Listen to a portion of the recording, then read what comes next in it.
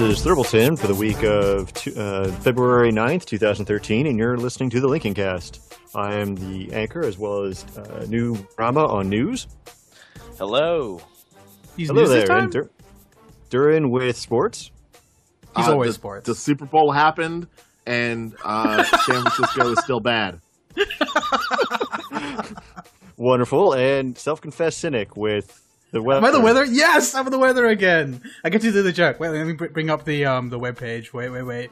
Wait, wait, wait, wait, wait, wait. I'm not gonna let anyone speak until Oh God, this is San. Francisco Okay, fire. so Yeah. so it's gonna be sunny and then rainy with a chance of frost. Saying that Canada lost influence, but it is a complete chimera that Canada ever had influence in the Arab world. So there's a chance of flame and frost. It's as if there's a gathering storm. Yep, that's that's Where- that's the worst case shutdown right now. where in the world is it? But raining before we do, I, I move my must mouth with my Dourin. mic when I laugh at movies and bad jokes. Oh, as long as I'm laughing. That's I'm right. That's right. like- Fucking just- Tay Zonde joke in 2013. What? What? Uh, Dourin, how you been, sir? I've been okay again. Um, Did did you enter, did you ever end up beating uh, Antichamber? I I did as as you learned five minutes ago. I So don't we're not supposed to talking about. reveal that we What- just what is we just recorded this intro ten minutes ago. What I is had to repeat everything. I, I made some Okay. joke about the Indian So, rape so thing, and I no chamber is. So I'll quickly just throw out what it is. It is a first-person puzzle game, um, somewhat akin to Portal, uh, except it has nothing to do with portals. Um, I can't think of two games feels- that it's like. I, yep, Portal, but what what's the other touchstone you'd use? There was that game a while ago which was um similar aesthetic with all like white, but and with like green blocks you could extend from the wall and stuff. I remember they did a quick look of it on Giant Bomb. It looked really I, I awesome. thought, I thought the first you were talking about Unfinished Swan. No, no. I don't know he looked like he had. You, you, you only see the dude's hands and they're like robot hands, and it, or he's like wearing gloves or something, and there's like lights at the Yeah, tips yeah, of his I- fingers. I- yeah, It looked really interesting. About yeah, but yeah, it's like Um, kind of so like this is- that. It's a, it's, it's a puzzle game.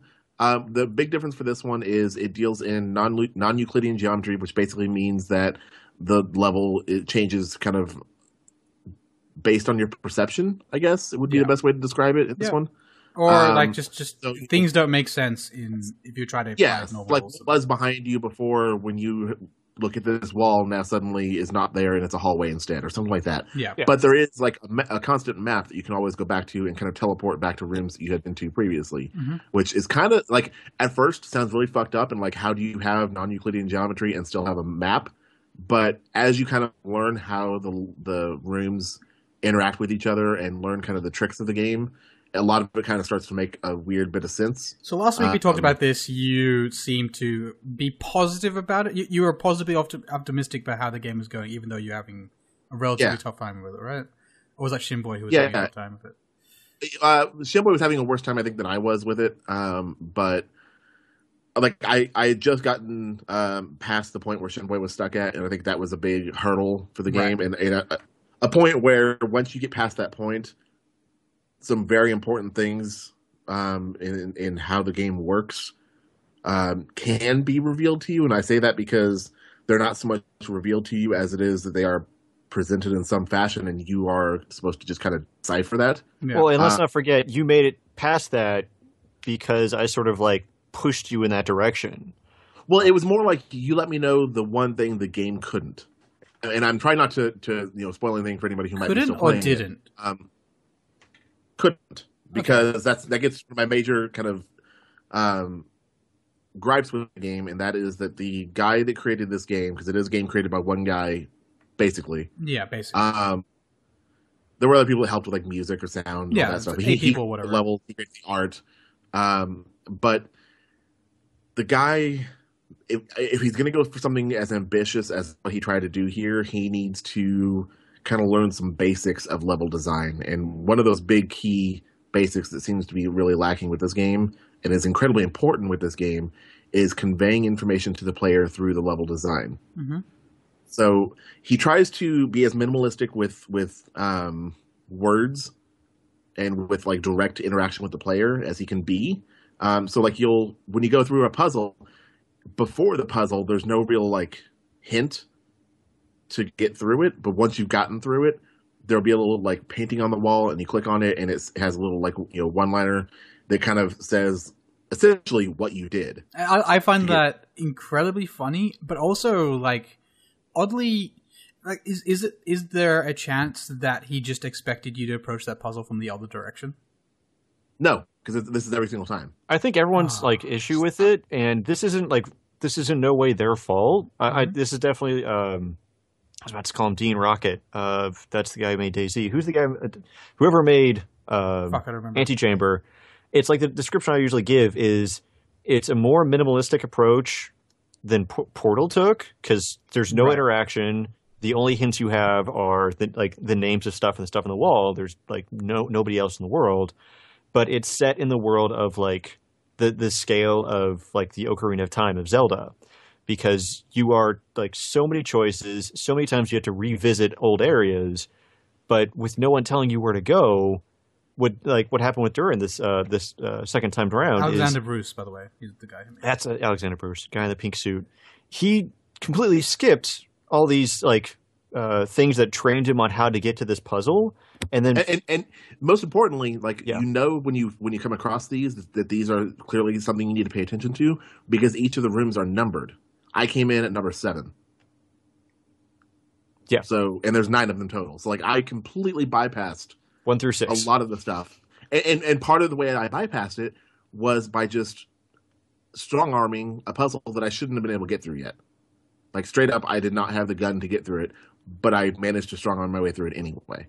Right. And is that is that a bug, or you were simply able to do that? Um, that is a lack of good playtesting. I, I th- well, it's it's lack of playtesting, but it's also the inherent design, sort of It's like it's, si- it's not though because the thing that, that the, the the thing that I strong armed was that that and I think this is vague enough that you know it's not going to give anything away. But there's that that wall of of I think it was green that was almost it wasn't That solid like there was some, some holes missing on it. the one that guy showed um, the circus room, right? Yeah, Yeah. yeah. Um, and so like that was something I did not have the gun to get through. Had nothing to do with the design of the game. You're not intended to get through that without that gun. But I managed to kind of glitch my way into the blocks and then continue removing them while swinging my mouse around wildly and got through it. Like that is that is that has nothing to do with the design of the game. That is straight up bad design playtesting. game, man. Who knows? You and don't that's, that's kind of a, pro- a problem with this. It's, and I mean, it's a problem with indie games in general. Like you can only get so much playtesting, especially when you can't afford to hire, you know, 200 playtesters to, yeah, to check, like, test your like game. the the Hey, game I indie always point developers, to I will play test your game for free. as a like a fantastic me. example of an incredibly designed indie game would be um, Bastion, but that's a like comparatively much simpler game. Like it's it's more Yeah, easy that's- to It's also a team. It's also done by a team compared Well, to this. this was done by- one man. like eight total, but uh, like it- just in Yeah. general, like anything. This isn't like based off standard game design practices. Like this No. is a pretty new thing, so I can I can definitely Yeah. to some extent I can I can put like complaints like that kind of aside if I was to actually to some recommend it. extent, yeah. Like, think, like that's that's something I would not like levy against the game as an like that example is not something I, le- I would levy against the game because, like you said, that's something you kind of put aside. It's one guy. He probably only had a very small group of people Yeah, to help play test it. It was probably the people who were doing his music and like friends and family. yeah. Um, One other thing that like he he chose for it to be this way, uh, but like wh- wh- when he there there's a TotalBiscuit did a interview with him when he was back at PAX Prime 2012, I think, Mhm. um, where he talked about his, compare like people will compare his game to Portal, and he says uh, with Portal you tend to solve the puzzle. And then the act of progressing is actually going through these motions of like getting going through the portals in the right order and all that. yeah, So you plan out ahead of time. Mhm. Whereas with Antichamber, you are solving the puzzle, and then once you understand it, it's very easy to get through it. Right. Um, that lack of repetition, I think, hurts the game a little bit. In that there are times where Dourin learned how to like use this level of the gun, but then forgot it later on, and I would have to remind him like, "Don't forget, you can do that. That's how you need to get through this part." And he's like, "Oh, I forgot they taught me that." yeah. That's actually something I've heard because quite you a few just times. simply don't use it for a while. Yeah, Well, uh, In that way. one thing I wanted I wanted to get back to um, quickly uh, was I was talking about like his uh, desire to you know have minimal interaction with the player through you know just straight up telling the player what to do. Like there there isn't that for the puzzles. Like you you, you have the puzzle. The closest you get is kind of the the name of the room when you go back and look at the map. Um, and it would be okay if like if that was the direction he took for the entirety of the game. Like that, I would be okay with that. But it's when you get a new gun and then you come across the first puzzle after you have gotten that gun, and there is straight up a mouse dr- drawn on the wall with the button highlighted that you need to press to do whatever the new function is, and the words saying like like press and hold or something right next to that, all plastered on the wall right next to the puzzle. So, I'm- how would you try and show Well, I- somebody I'm, that? I'm imagining a game with because all right, the goal of teaching a player the entire game through minimal interaction has been around for quite a while. It's it's, it's not Yeah. new to this game, but um, Yeah. I think to some extent that goal in the pursuit of that goal kind of gets in the way of having an awesome game. I'm I'm I'm picturing a a alternate reality where he got like a random friend of his to pull a kind of like um GLaDOS or narrator from Bastion kind of perspective. Whereas whereas you're going through the antechamber, you're hearing this like old timey PA system and like a scientist in the other end informing you how to do stuff. Like when you go into the room, it's like hold down the left trigger of the rifle to have this work and stuff like that. I I, I would love to hear that kind of. Or when you get to the end of the puzzle, have the like the old timey guy on the end of the PA system go, "Ah, I see you figured it out," and he and he just says in like decent delivery the same thing that would be on those pictures on the wall. It, it, it- if he put some humor into it and that kind of stuff, I think that would have been Well, like an awesome game. the problem with that game. is is kind of the, the general abstract nature of the game in general. Like something like that wouldn't necessarily work. right. Um, but I think something as simple as within like, and this is something again that Portal did incre- incredibly well. That this game could have learned from is within that room that houses the gun. Create a, a very simple puzzle that requires whatever the new feature is of that gun in order to progress oh yeah, directly Yeah, inside sure. that room. In order to leave the room, you have to do that. Just any form of teaching. Yes. Yeah. Like that would that would be the best. Whereas in this one, there were times where I would get the gun, and there wouldn't be a puzzle nearby. I would actually like basically from there, I would just escape out, and or I would hit like a, you know kind of a somewhat of a dead end, or or end up back at a place I'd been to before directly after getting the gun, and I would basically just escape out and just start teleporting to different rooms until I found puzzles that coincided with that new gun.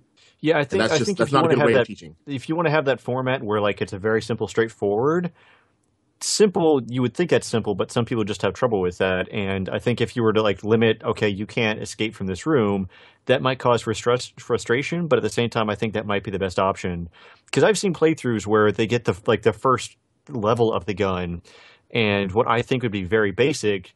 It takes them like 10, 15 minutes to get to get through and understand, and they will just quit halfway through the puzzle and go to another area before going through the tutorial room, as it were. Um, Well, and I think that's again kind of an inherent problem of, and this is kind of what I was getting at before uh, we had to start re-recording. um, it's, it's kind of an inherent problem of his decision to make this game. It's one of the one of the many inherent problems of him his decision to make this game a an open-ended game, allow you to kind of fast travel around wherever you want to and approach rooms at any um, time that you desire, assuming you have the abilities to get into those rooms um, where that's one one reason why Portal is successful in what it does, and this game kind of struggles with it. Is with Portal, you come into a room, and you have to get through that room to progress Yeah, to the next to room. progress. It's, it's very it's very linear in that, in that in that way. The So when you come into a a lot. room, yeah, when you come into a room, the most important thing about it that this game really struggles with is in Portal, when you come into a room, you know you have all the tools that you need to get through that room. yeah, In there, this there are game, many you're never where, certain. yeah, you you just don't have what you need, and it doesn't tell you that you don't have what you need. Um, yeah. So like that's that's a, bi- a big problem I think that the game struggles with a lot. Um, How would you th- how would other you think of it if, um, for example, he introduced the visual language of the entire wall being um, covered in like this is just my mental image of what I would do to semi fix the problem. Um, if you enter if you enter the room with the gun and you pick up the gun and then something changes around you that indicates that you can no longer leave this room by hitting escape, which is what you can do throughout the rest of the game. and then you're presented, and then the puzzle appears as opposed to. Yeah. Um, That would be okay, and, and that would actually not only would that be okay, that would be okay, and be it would make sense within the narrative of the game. right. And, and so then, then you complete the puzzle. Then the, the effect around you dissipates, and then you can exit the room as, as natural or whatever. Yes, Something I mean, else would- that might work that won't hinder on his ability to like, like I'm just going to quit out is, uh, pretty early on you notice that there's some other entity in the game that you notice that's like you you see it going in the room. I'm not. I hope I'm not spoiling too much. Oh, But- there's, there's a plot, somewhat. Yeah, there's a, like a pseudo plot. There's- You don't really there's get something too that much into it. throughout Yeah, uh, Right. but it you see you see it several times throughout the game. And what might be useful is uh, what what Valve does a lot, like especially with the, the Half Life games, is they will show you an like an element of the game, like either what a new enemy is like or what uh like what a new gun is like, but in a controlled environment before letting the player use it. Like they intentionally can't interact with it; they have to watch it um, happen, and maybe having that entity solve the puzzle first, and then like they're Oh, yeah. stuck in a glass wall or something, and then so you get to go around and mimic it. Um, yeah, that would be okay too. Like that's and that that's the thing that it, like it frustrates me so much is like you know here in just the last few minutes we've come up with a couple of different ways at least of potentially solving this problem. Right. Why did this not come up during the production of this game? Like what? Like did did, did was there never a time during the playtest sessions that people were like, well, this didn't quite make sense? And I feel like that might be part of the problem with maybe I'm guessing a lot of his playtesting being friends and family Yeah. is it would be like they would bring it up and he'd be like, well, this, this, and this, and this, and this, and they're like, oh, okay, Yeah, they, they just That give them. A, they they being someone's friend allows you to give them a free pass, whereas a player Yeah. would just be like, "No, this, yeah, no, And- this is wrong. You fucked up. You fucked up." yeah, and like like Thur- Thurb and I were having a conversation about that on Mumble um, a few days ago, I think, um, and he mentioned like that uh, uh, somebody was having uh, having issues with the game or whatever, and they kind of took to Twitter, talked to him, and, and kind of he helped them understand what they were doing wrong. And that's great, except that not all of us have direct access to the developer of the game every time we get stuck. Like that stuff needs to be in the game. We cannot rely on the developer outside of the game world to be like, "Hey, you, know, I'm I'm stuck on level three. What do I do?" Mhm. Like that does that doesn't work. So it, I mean, that that's that's what, that's what gets me back to my original point of like this game is definitely worth worth playing. It's really great. Um, the ending is is absolutely actually pretty awesome. Right. Um, though again, doesn't make a lot of sense, and I fucking hate when games dump you back to the desktop. Um, but I definitely cannot recommend it at twenty dollars. I don't feel like it's it's a game worth that amount. Yeah, I'd agree Um, with that. 15, 15 at the most. Fifteen, just- yeah, fifteen. I think is a good price for this game, uh, which is why I'm glad I picked it up at that amount.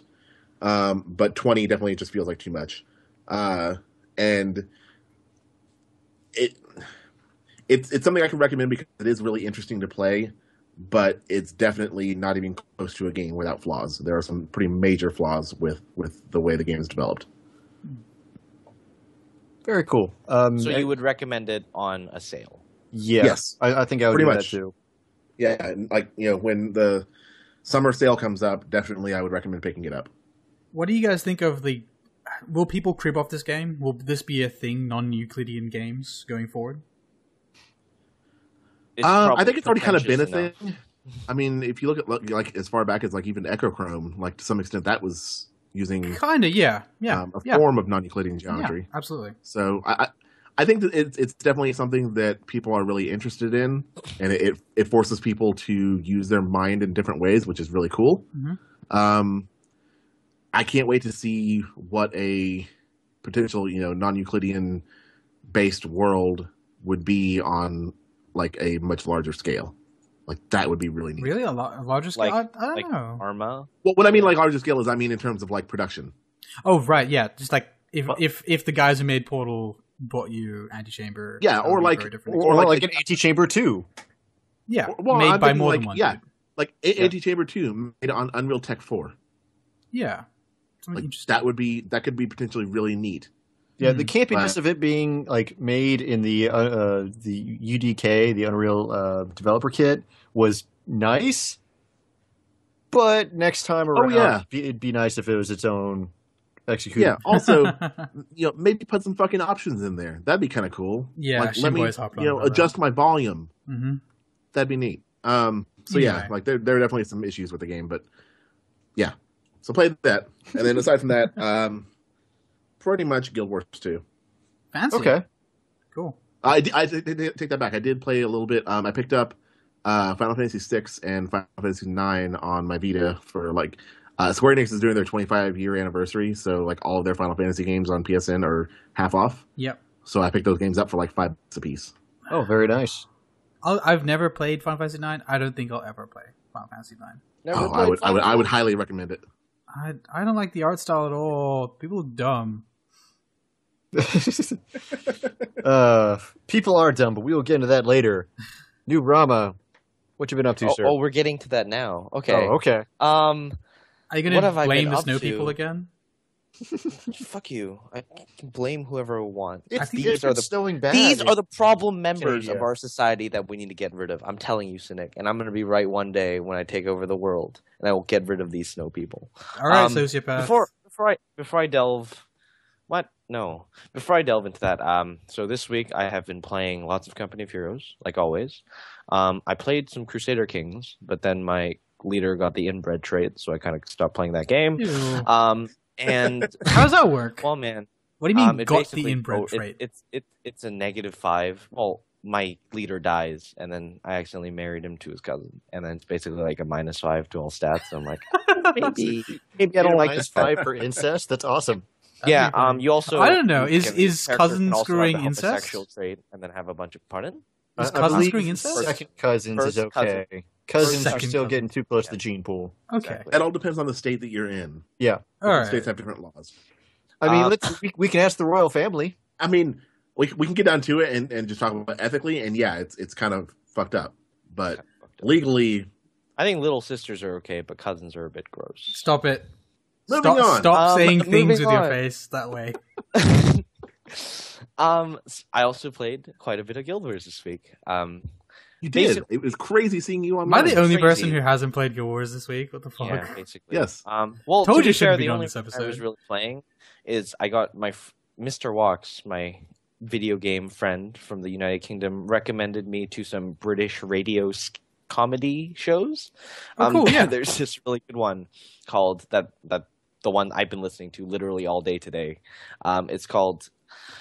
The, what the hell was it called? Um, Damn it! Uh, That's a good name. uh, great. wait, let me let me grab my you phone. hyped this up so much, and you Uh, cannot even remember its name. They're on the cutting edge of No, time. I I, had- will say while here you're we looking that the up, unbelievable I- truth. I- Sorry, I'll, I'll have to look look up uh, what what you're going to link us, but I do enjoy uh, some radio shows like the Firesign Theater, but they've sort of fallen out of uh, favor in the U.S. It's it's nice to see they're still popular in the U.K.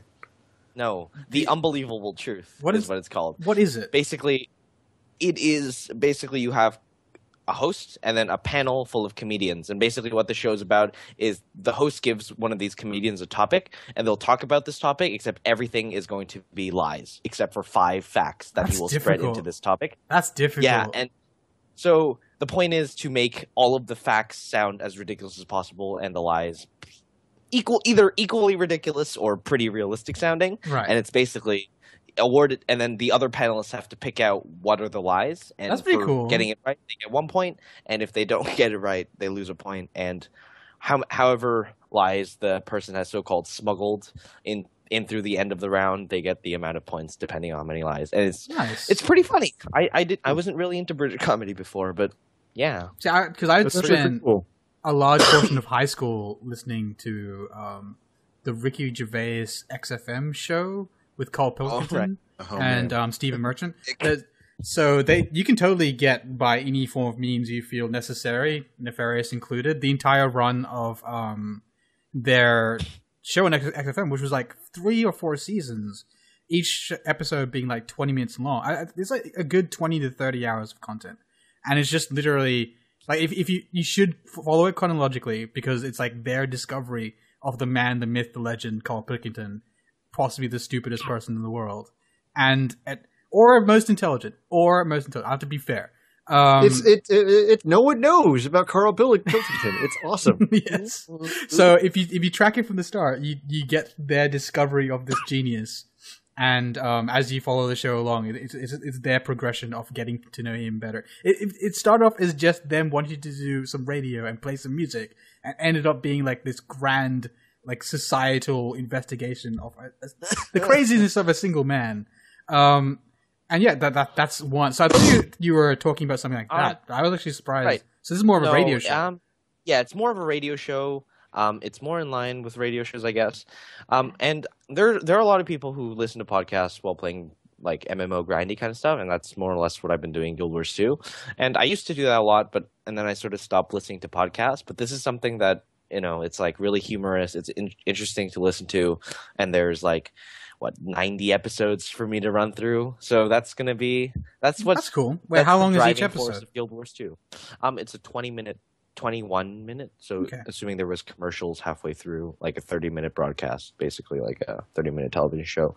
Um, it's I I highly suggest everyone check it out. Like everyone- Stephen Fry guest stars in it, etc. Does anyone else have like an interesting like thing they listen to? Because I have another one. Um, I think I've talked about it here before. Writing excuses, which is I, I swear I've talked about it. It, it. It's like some of the best fantasy authors in the world, and they they literally do each episode. They're about fifteen minutes Ugh. long Disgusting. how to write. So yeah, it's really like really interesting topics like how do you write love? Like, how, how do you do that? Or Oh, there's a Canadian show called The Debaters where they just have comedians debate, and that's oh, that's awesome. That's that's actually, that's probably one of my favorite things. Debates are Um, always awesome, especially when comedians. It's just called The Debaters. You can catch it on CBC Radio One. Wait, it's on Canadian comedians. No, I'm assuming they. Hey, hey, hey! Jim Carrey is a Canadian comedian. Exactly. Actually, Jim Carrey is pretty cool. Ace Ventura was fantastic, and two was possibly better. I can't decide. How about Son of the Mask? He wasn't in that one. You didn't like Ace Ventura? Um, I, I something I've been watching lately. That's crazy. Um, Way to intro- way to not No, no, say no, it's your not- segment and then shit all over my segment. Is this what I mean? The- the guy- you the just get said to shit over other people's the other people Yeah, been- Wait, we're just suggesting other things you might listen to after you. you Yeah. it's like just- something I've been like. Well, I don't want to know about it now that you're shitting over my like segment. I didn't. or like a I normal didn't say where- your one was bad. Sounds interesting, asshole. So well, Duran, it's, Duran, what do you want to say? It, it's a, a YouTube. Let him speak. um, I'm going to talk over him, but and tell Nubarama to let him speak. Dourin, what you been watching, sir? It's, it's a YouTube show, I guess, uh, titled "My Drunk Kitchen." oh, that one's great. Oh, yeah, yeah, with Hannah Harto. Okay, yeah, yeah. So I, I had never to heard of it before. I just literally just kind of randomly came across it, and that show is amazing. It's, I mean, it's. She doesn't try and like you know to, to disguise what she does. It's she gets drunk in somebody's kitchen, usually her own, and cooks stuff.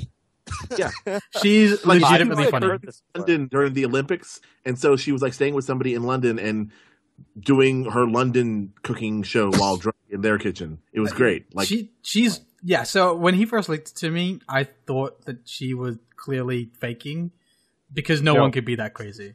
Um, she she is that crazy. No, she she's pretty crazy. I think the episodes where it's cut more, like it's actually like edited together, feel more fake to me. But when, when it's one of those episodes where she just rambles on for the I solid feel like the ten ones minutes, that are cut means like the fact that just proves she was pretty drunk and she was she had no idea what she was doing. And they're I, well, "Oh, it was cut really Yeah. well, so it was just like constant humor, and that doesn't sound Right. That didn't fly. But when I when I looked at some of the others, drunk they people were generally aren't all the time funny. They're just sometimes rambling. Well, and it's Exactly. it's it's funny because like you can tell that she's clearly not faking it because as each episode goes on, like like from the beginning of the episode to the end, you can actually Or she could be just really good at more and more shit faced. Yeah, Right.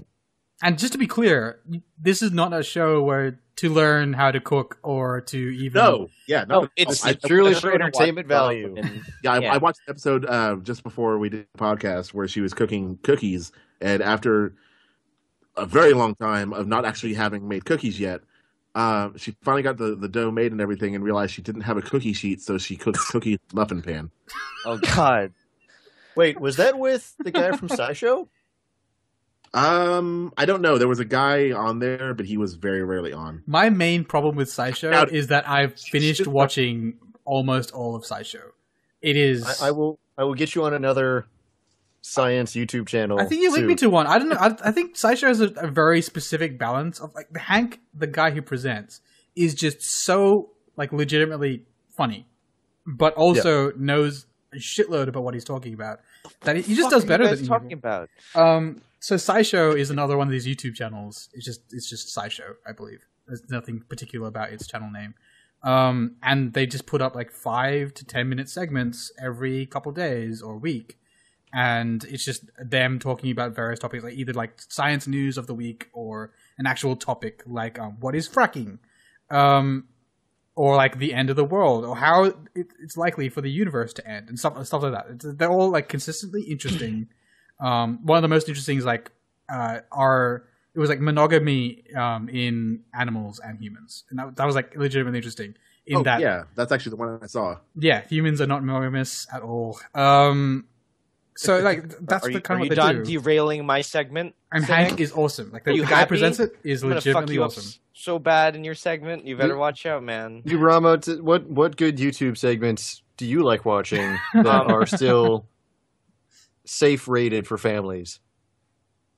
Well, that's, that's, Well- that's, Well, that- that's can't not think of anything. entirely So- required. Yeah. You can say anything, It's really. Pseudo safe because you know there during Well, was people getting in- drunk. Safe as in you don't need the Onion Router to access it. Then I don't have anything for you. Oh, okay. Um, however, I do have a story about eating really disgusting food today. Oh, awesome. Would- To hear the story. Yes, I want to hear Well, the story. Well before that, I'm going to complain about snow for a bit. Okay. Oh, god damn it. The northwest, northeastern United States and Didn't we agree for you to not do this because you've done it before? you can eat a dick, cynic, because you cut into my segment. Um, I'm very passionate about my. So it's snowed about 40, 50 centimeters in southern Ontario. To be clear, that's two north- feet. That's two feet. Um, and you know what that means? That means fucking shoveling snow for three hours. And it got so bad to the point that my dog, I had to shovel my backyard where there's grass because my dog couldn't go do his business outside because the second he walked outside, like he'd be up to his neck in snow. So I had to literally shovel the backyard of my house. So he could Fuck You had, you had to sho- you had to Fuck. shovel out a crap hole for your dog. Yes, I had to shovel out like a large trench that would be like a latrine, even. Yeah, like with a diameter of ten feet. What? So my dog. Bullshit, you, you shoveled 10 feet worth of snow. So and it's not even. It's like, that's huge. That's a gigantic area. That's well, it's a backyard. Let's see what's He's got a big dog. 10 I've- times no, 3. It's diameter 10 feet, right? So it's 5 not, not squared radius, diameter. times 3, so 75 square feet of snow that you shoveled. That took you like an hour. That'll take you ages. It took a long time. It took a fucking long time, and I had to do this for my fucking dog. And you know what I'm gonna, you know what I'm gonna have to deal with when I go go to City Hall on Monday. I'm gonna have to deal with senile old people complaining about how their driveway hasn't been cleaned. So fuck you, fuck you. If you're an old person listening out there living in Toronto, fuck you. Hello, I woke up this morning and there Right. was a large amount of Right. snow in my front yard. Going back to the food story, you guys know what a beaver tail is? Oh, thank God, you finished talking about snow? Awesome. Yeah, No, you I, guys know what beaver tail is? No. not aside from the obvious. No. Is it an actual Yeah. beaver's tail? No, it is a Canadian food where it's like it's well known Canadian, but it's just basically fried dough, like deep fried dough covered in sugar and chocolate sauce and then they gi- and then they sell that to people. And basically I was just walking around town. So Stuffed with food. chocolate. yeah, It's a with, food. basically pretty with a much. couple yeah, with a couple other people, and basically there was this empty parking lot, and then there were a line of people, and then there was music playing from 2005, and they thought it was tasteful to play that kind of music. But I, regardless, and it turns out they're basically celebrating that they're going to build an a condominium on this parking lot, and so they're just giving out free food, and that's apparently what condominium companies do. Um, Cute. so they had this these two big like trucks of food and some fucking clown that's making little balloons for the little babies, right? an actual clown. And um, yeah, an Dressed actual like a clown? And, um, yeah, dressed like what a does a Canadian clown like- look like? Did you ever Looks see the like a movie It? No. No. Um. Yeah. So Was that an old people joke? no. Oh, well, Okay. um, You didn't ask me a question. What does a Canadian clown look like? It looks like a clown. I don't know. It. You know, like he has the maple leaves all over his face, and then he just says a boot and a, and Okay. like shoot them puck That makes sense. Okay, so A- that's what I figured. Is there like a Um, disparity in the colors clowns pick from country to country? That has to be right, right? Sure. Yeah. Oh man, I'm gonna. I, damn it! I'm the only one here who finds that incredibly interesting. Oh well, I'll just Google it later. Fuck clowns. What, what are you doing? I wonder if Um, there's a site that tells you so like the most basically the common clown colors per country. is so this fucking deep fried dough that's that that alone is enough to make you sick and it's it's pretty big it's like the size of like put your hands together like palm to palm and that's like that's the size of it and just deep fried dough covered in the chocolate sauce and sugar and they serve that with hot chocolate and fries and that's what i had for lunch today and it turns out um for some reason women like eating that stuff more than men do which is really weird This clown looks so sad. He's got like. All right, let me just describe wh- this. White with red polka dots. Apparently, I don't, I don't, I don't think you when need to cynic, describe when it cynic because thinks most of a people clown, know. clown that like makes. No, but he isn't. He isn't kid. bald or. I sorry, he's bald. He's bald with a hat. Look at his hand. Why no, no, no. What I, was, what I was saying though is like you don't really need to describe it because most people know what it is. Yeah. Okay. Oh, what the beaver tail thing? No, no, no. It, the the the, the clown. Is it just called it? Yeah, it, That's- that's that's the name of the movie. Oh no, I was looking that's- up um circus clown on Wikipedia. Oh, okay. I, I, I, I thought you were about, I, I thought you were about to describe the link that was posted up. Oh, was there a link? Let me have a look. I'm gonna, comment on this. Um. All right. Someone describe this picture because Oh, okay. No, it's it's Podcast it's it's a a clown, but he's format. got like reptile hands as opposed to human hands. oh, right. I was Um, looking at circus clown on Wikipedia because there's like pictures. Old timey clowns look way different from modern clowns. I was, Do they I not have the a- circus in Australia or something? Th- Well, it's yeah. infrequent. Like, what's here. this fascination with clowns? Yeah. I- no, I was just wondering because because colors mean different Did you, things. did you pick that circus country fruit and in, Guild right? Wars 2 because you've never experienced Like there's the some colors that are always the same. Like I believe red being passion and blood and stuff is, is pretty predominant amongst most cultures.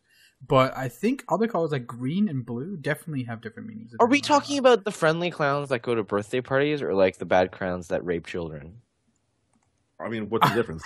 I was gonna make that joke, and then it was like, no, but friendly clowns are so because I I have tremendous respect for a person who's capable of maintaining that level of energy all day. Like being a clown's probably Without really difficult. kids. Um, sure, yeah. Being, Why the fuck are we on the subject of clowns? Where did we? I don't know. Because I don't this know. app Says to derail everything that has to happen with me. You're God you're- damn it! Be prepared for your he- derailing. he's already had his segment. Right. Oh right. And while I was shoveling snow the other day, I, I came the closest to. Wait, was there anything interesting about the food you ate other than the fact that it was fatty? It was disgusting, and also the the ladies that I was with seemed to eat a lot more. Was of that, that, was that was that it? Like you, you wanted to use the Lincolncast as a vehicle for your sexism? no, no, No, it just kind of happened. no. Women like eating fatty foods more than men do. Ah, I'm new forever. um, no, but it was also yesterday was also the closest I came to drop kicking a kid. Um, basically, I was shoveling snow, and this fucking Did like eight year old kid. Okay. no, right. this eight year old kid basically just like he he ran he runs into the pile of fucking snow and then like scatters it all over the driveway. Damn straight. that sounds so and- fun. Like, what what's your fuck you. what's what's your opinion on like because what's what's the level before the kid gets annoying? Like, at what age is it no longer adorable and just like oh, it's a fucking kid? The moment it him. progresses past crawling. right? Really, Crawling for is me, anything over the age of six, I, I refuse to Well, yours is a I subset of mine. very close to me. Um, refuse to enjoy as a human being. Kids only start Um, getting awesome again at like 14 when they start thinking for No, themselves. kids don't get off. Kids, are- I feel like they're significantly. It's like they they hit a stage where it's just like I'm fucking the shit. I'm the shit of the world, and you guys are all stupid. I don't know. Until like Perhaps know. like the kids I have known throughout my life have been like more. Like, I either get- way, I don't know. kids at age eight are assholes. That's all I want to say. Absolutely. If you, if I would come across like an eight year old kid, I won't hesitate to punch him in the face. But to be clear, if I was walking down the street and I saw a huge fucking pile of snow, and, I, and while someone was shoveling, I would have the deepest like desire to jump all over it, I wouldn't would do you it. Because self. Yeah, because you're you're. But I'm a grown ass you're, like- adult. I can I I've never had the urge to jump into a pile of snow. Really? Fuck snooze. Like a pile I, of I'm- leaves. I'm in a yeah, but situation.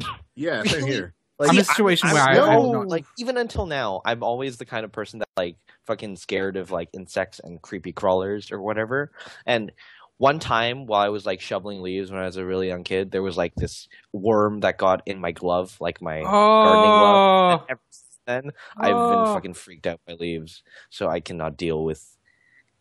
That's why winter's my favorite season. Like, see, like I with winter, complain you all can I want about shoveling snow, but there's no fucking insects in snow. winter you make like dead. a snow fort. You use the snow to build stuff.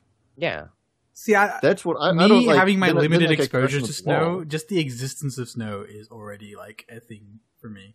So I don't like the, progressing beyond that to actually making constructions out of Have you snow. gone? Have you, have you is gone skiing or snowboarding?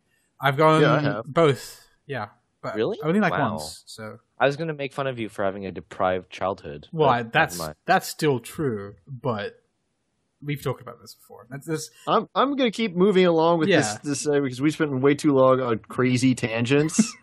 um, What and are you just talking like about? cynic, did you have anything else new? Uh, Hey, did you guys hear about the book um, "Under the Loving Care of the Fatherly Leader"? Cynic, have you heard about that book? is that the one you recently reviewed it's, on about, Goodreads? it's about North Korea and the Kim Dynasty. Is that the one you put on Goodreads? Yeah, it is. The. Wait, uh, that's a real book. There's actually an Yep, interesting book you've read Care. recently. I actually left a Um, comment on it, which was like, "This is the only." because interesting the book more I read about recently. North Korea, the more crazy it seems. Like the, it's like some sort of weird pet project of like you know those weird psychological projects they put on gerbils or stuff like that, except in like a scale of an Asian country. It's like really interesting. this is a, Escape up. from Camp 14: One Man's Remarkable Odyssey from North Korea to the Freedom of the West. That that is the one book you've read recently that sounds incredibly interesting. It's by Blaine Not not the loving care of the father leader North Korea and the Kim Dynasty. No, that's not, that sounds a bit crazy. Wait, was that written by like a journalist, like the rest of these were, or Yes, it's a ah. journalist. so it's probably so it's probably pretty good. Like, do you like it? Yeah, it's really interesting. It's like a really weird look into the lives of weird, crazy totalitarian. Ever since the Drew in North Korea thing, I've had like a, some form of interest in North Korea. Aside from that, no, I I've read I this feel like week. I should read up a little bit about where I was born. I've read more where I grew up. fantasy stuff. Um, I'm, I'm, I'm, I'm not going to hijack this twat. podcast about Twat. talk about Twat? my my fantasy stuff. The Twatcast, the Twatcast is pretty awesome. Um, Okay. they're dirtier than we are, but talk about nerdier shit than we do, which is kind of crazy. Well, no shit. It's called the fucking twat. God. Why is that allowed? The Wheel of Well, that's, Time That's beyond. podcast. Yeah, but It's like it's the on. internet. Everything goes and nothing The is fact accepted. that they they use that acronym means. Wait, what does twat people. mean? Isn't it twat? um, douchebag. I think it's it's it's a British slang, isn't it? No, that's twat. Renee. It's twat. I don't know then. That's I, that's that's the weird thing. I, I read that as like just the wheel of time. I don't, I don't even see. Anyway, I was just wondering if there was any equivalency between twat and twat. Anyway, I listened to that, read some books, like more books, a bunch of fantasy novels. Um, I think this one's the Rir- the Riyria Revelations Wait, are you talking about the female fantasy? novel? Riyria Revelations. Oh, f- female fantasy. I'm not. Oh man. Oh, you should talk about it. You should talk Oh about it. man. All right. So I've I've gone through pretty much most except for the Song of Ice and Fire because I want to see if that ever comes near to completion of like the um, most recommended fantasy novels of all time. So I've gone through all the major lists and stuff that you find online looking for um, what most people consider to be the best. So I've gone through all that and read all that. So now I'm in a situation where I either reread stuff I've already read or I look up like the alternatives, like what else is good out there in terms of fiction, um, preferably fantasy because that's my my wheelhouse. Um, so there's a whole genre of fiction written for women. Um, gen- Fifty Shades of Grey. so yeah, there's Fifty Shades. There's stuff like that, which I won't go near. But there's like a whole genre of female, like r- almost always Like written Lord by of the women Rings and The Hobbit.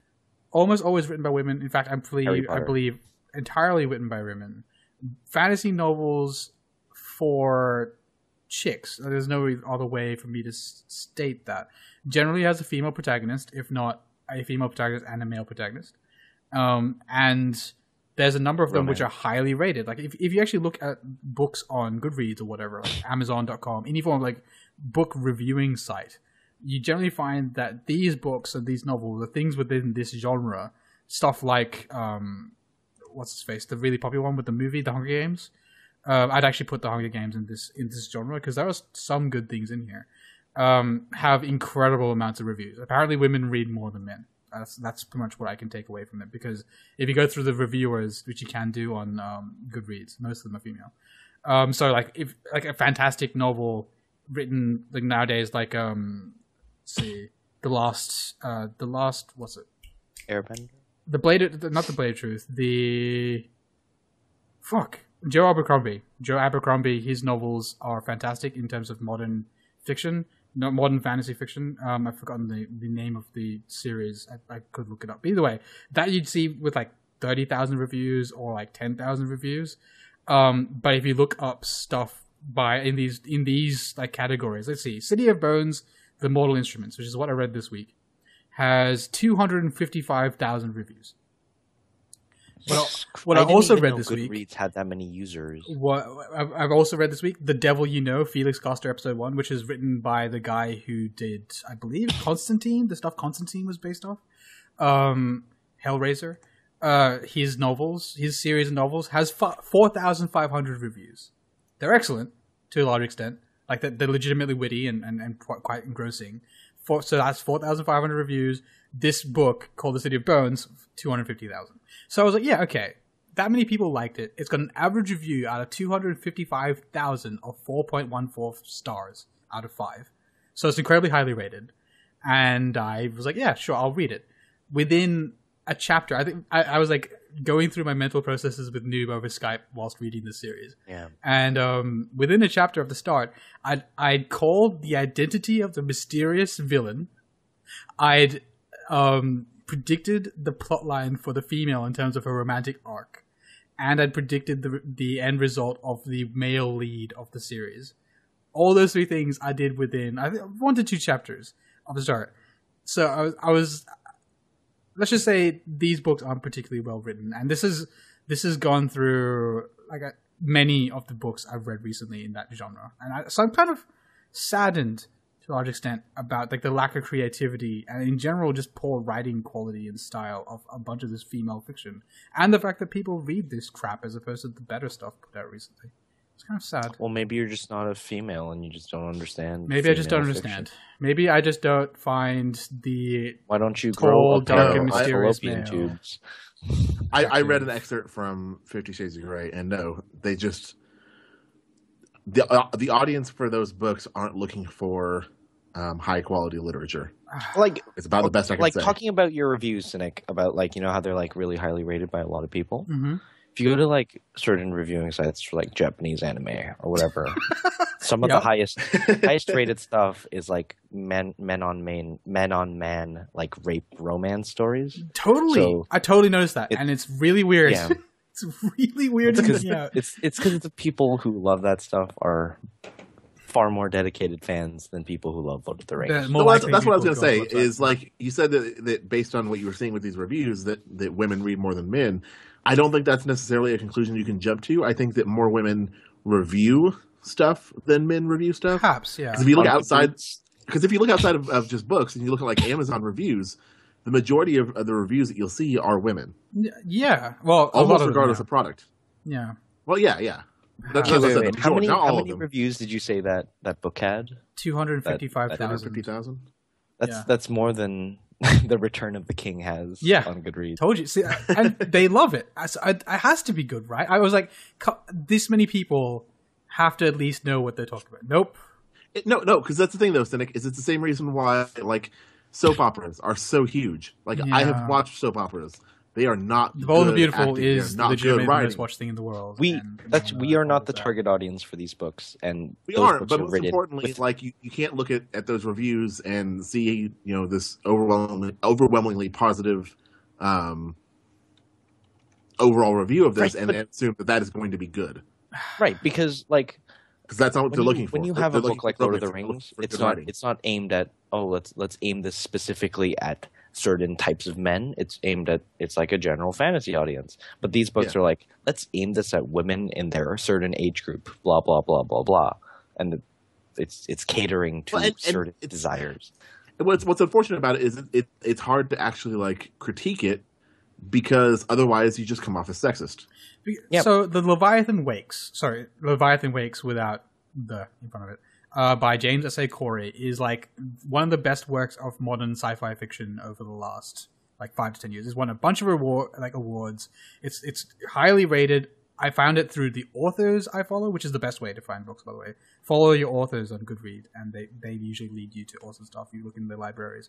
Um, My authors are not good reads. so they have like Leviathan Wakes again, seven thousand reviews.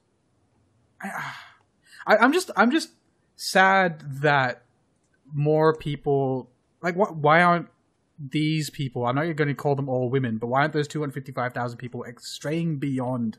The, like they're clearly reading. They've read this multiple part, I think eight part series or whatever of Right. terrible fiction. Why aren't they straying to? like think about it. Because Twilight's they're, really they're- again, like I said, they're not looking for a good story. They're not looking for quality, high quality writing. But they They're like looking it. for exactly. No, that's what I'm saying though. They're looking for exactly what that book offers. which is like almost invariably is- 16 is- to 17 year old romance slash high school Yeah. romance.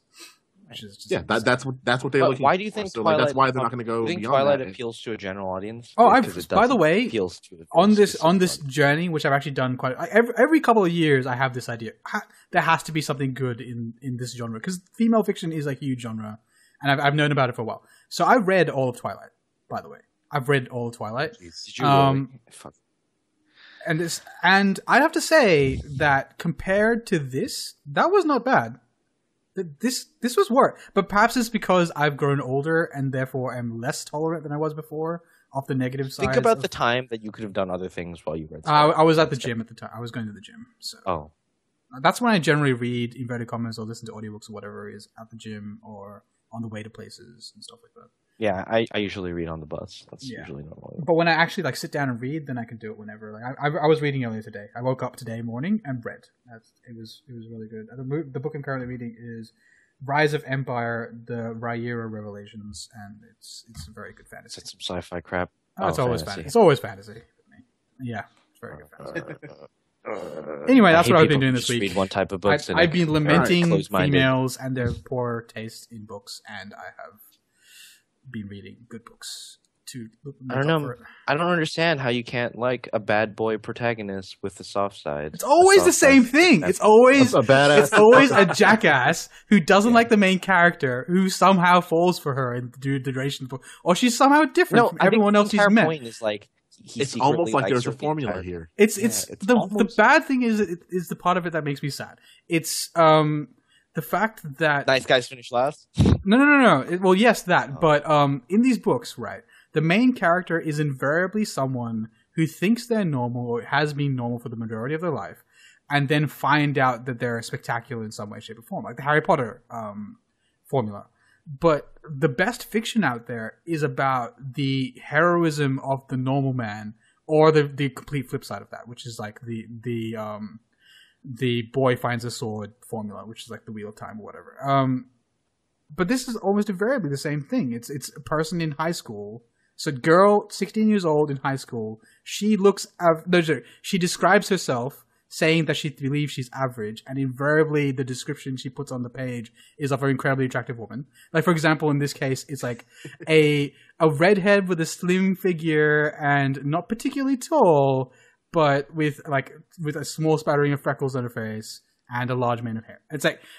How are you how do you believe you're not attractive you stupid woman and and it's, it's yeah it's, it's stuff like that they always believe they're normal they turn out to be spectacular they fall in love with a man who who would never have looked at them twice in their mind's eye um and But suddenly, once they take their glasses off, they're insanely attractive. and it's like and a lot of this fiction they're the shit ones like they're consistently being saved by the other people uh, there's, there's no there's no strength There's no heroism to, There's- yeah to this main character. there's no heroism there's no strength there's like these aren't people i'd want other people reading about or, or looking up So basically, it's a it, it's essentially uh like these are books about the Lois Lane character, like from her perspective. Yeah perhaps like yeah actually i'd actually i'd, I'd t- totally agree with that in fact um one of the well I, it's weird because there's a flip side of this. There's definitely like fiction out there which is like legitimately strong female casts, and I, and for a long time in my Yeah. life, I've believed that men write better women than women. Um, but it's not entirely true. I, Oh, unless I'm unless I'm horribly mistaken. There's a um, there's a series of books called The Women of Avalon or something like that, like the, the Mist of Avalon, which is about King Arthur but told from the perspective of the women who influenced his life. Um, and I've Wait, heard that's wait, so incredibly is good. King Arthur a, f- f- a lady, like in Fate? No. Stay Night? Oh. What? Interesting. In Fist- it- really? In Fate Stay Night, King Arthur's a lady? You don't know? That's the twist. Saber is King Arthur. That's so dumb. Anyway, um, Well, yeah. I mean, like it's uh, the time will tell, and we can revisit this this topic later. Is I mean, we could, we could go topics like with, with references like Mirror's Edge. Wasn't that written by a lady? man, I mean, I, I, I wish Uh, you could just yeah, I a believe quick so, way to yeah. reference And that. then like we we can talk about it when um, the new Tomb Raider mo- uh, game comes out because that was written by a lady as well. oh, was it? That's Yeah. fantastic. Yeah. And also, I have to point I- I- out, I, don't um, think it's that men, I don't think it's that men can write better women. I think it's that the women who write these books, like you're describing, yeah. are No, as I said, like a long time, I thought that was not- the case, they're but it's not not always it- the case. Like you're right. yeah. they're- no. well, I think a lot of it is they're, they're not approaching it the way that they should be as an author. yeah. Instead, they are injecting their own personal fantasies and their own personal insecurities into these characters. Yes. Right, I'm- absolutely. I'm sure this is like similar to some fiction that men could write, where it's just like really weird and just like completely exploitative or Yeah. something like that. And so, like, I think Ma- Matthew Vory has totally had the, the same idea as me, and he, he's, he's written an article, I think it was two years ago, about the Twilight movies, and um, he's lamenting their popularity. And I totally agree with him then. This is, this has been a thing for a long time. But I, I wanted to point out that um, the Uncharted series, written by a woman, Elena, I believe it was her name, and, like the women in that series are awesome. They're they're legitimately fantastic characters with a lot of depth to them, and they're not weak. They're not. They are strong people. Um, with I mean, they're not they're not men with with vaginas in those in those games. They're like legitimately. They're they're awesome women, well written women in fiction. I, I, I would like to see more of that, and I, I'd like to see people. I hate how people are, are are attracted to fiction like this. Anyway, yeah. So we've got on a tangent. That's what I did this week. I read. I, I didn't. Very put it on cool. Bad dude with a soft, sensitive side. Oh, Now that we are an hour in Thurbleton, what what have you been doing? Um, I have I like uh, I have not been playing too much. I've just been revisiting old games. Um, I, I, I beat Antichamber last week. Talked about that. Uh, Right. I tried playing a little bit of, su- of Sword and Sworcery, but I just keep failing on the second boss, and I'm like, uh, I need to take a break and try this later. right. And The music in that game is wonderful. the music is wonderful in that game. Yes. and That's why I want to beat it, so I can like It's I will not feel guilty about pulling the music. So Um, good. And I've been trying to play Hawken, but just recently there's been Your there's game been this the year? surgence of people playing as scouts, um, which in layman's terms Yeah. Is running around really quickly and lightly with a shotgun. Ah, of course. like in TF2. yeah, the Like, tier well, two. like in TF2 TF2, scouts, yeah. like in Call of Duty or something, and that's they're pulling it off, which is the annoying part. Which like I'm okay because they're they're playing a certain style that's really well, but I should be just as effective with like going a, a heavy mech because that's the whole point of playing a mechs is you're really bulky and it takes these long fights. Um, and it just Oh, no, seems like it- it's mechs are the ones get get taken down by Ewoks. yeah. I, I don't know. It just seems like that it's, it, Well, I, I think maybe like that that influx of people playing that class is maybe showing an imbalance in that class. oh yeah. Oh, always. Like, and so I, I was gonna draw a um a comparison between this and a couple of months ago where Heart Speak Heartseeker spam was the thing. Um, yeah, it's, it's definitely something people will gravitate towards what works, and you I can't think really Heartseeker blame them spam still is a thing. is it it's still, still a a thing? thing. After it's the- not even after the like, nerf, it's still a popular thing. Um, yeah, it, I, I'm almost like prefer Heartseeker spam because you could see them. What people are doing now is they're um, they're like basically going into stealth, hitting you, going right back into stealth, hitting you. So they get all these bonuses when they're going out of stealth, right. and you don't see them for the initial attack as they exit stealth. Mm. You see them for a few Yeah. seconds, uh, for like a, a Well, half a second. See, I haven't I haven't been having that problem because when they start to do that, I just fucking drop AOE's and they die. Yeah, I guess I should play a character that has AOE. Maybe I don't know. Uh, are we talking played- about? Are we talking about Guild Wars here? or Are we talking about Hawken? I, I Yeah. lost it. Guild Wars. okay. I thought We're talking about thieves when they when they do this like stealth, like in and out of stealth bullshit. I bullshit. thought that they're was talking about do now. Hawken. Were you We talking were, about- but Oh. segued us with a Heartseeker We, spam. we said went Okay, over right. to yeah. Yeah, sorry. You're the one who, who brought this on. Yeah, so- no, I, Turns out I, I lost don't it. do well versus Ellie's. Right.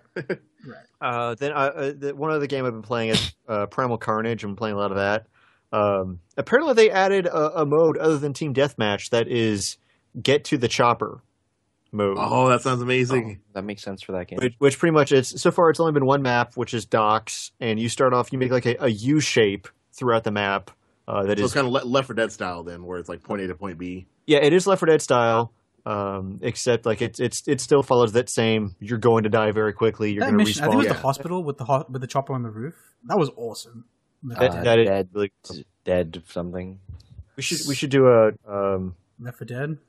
uh, I'm well, really a leak bad at it. Left 4 Dead stream or something. Dead something. Arrival or something. Any- anyway, it's it's it's very fun. But what brought that on was uh, anybody who who may know who enjoys watching StarCraft, uh, Husky StarCraft, and a few others streamed them playing that game, and I was like, oh, I have to see if I can get into the map they're playing on, and I did. Nice.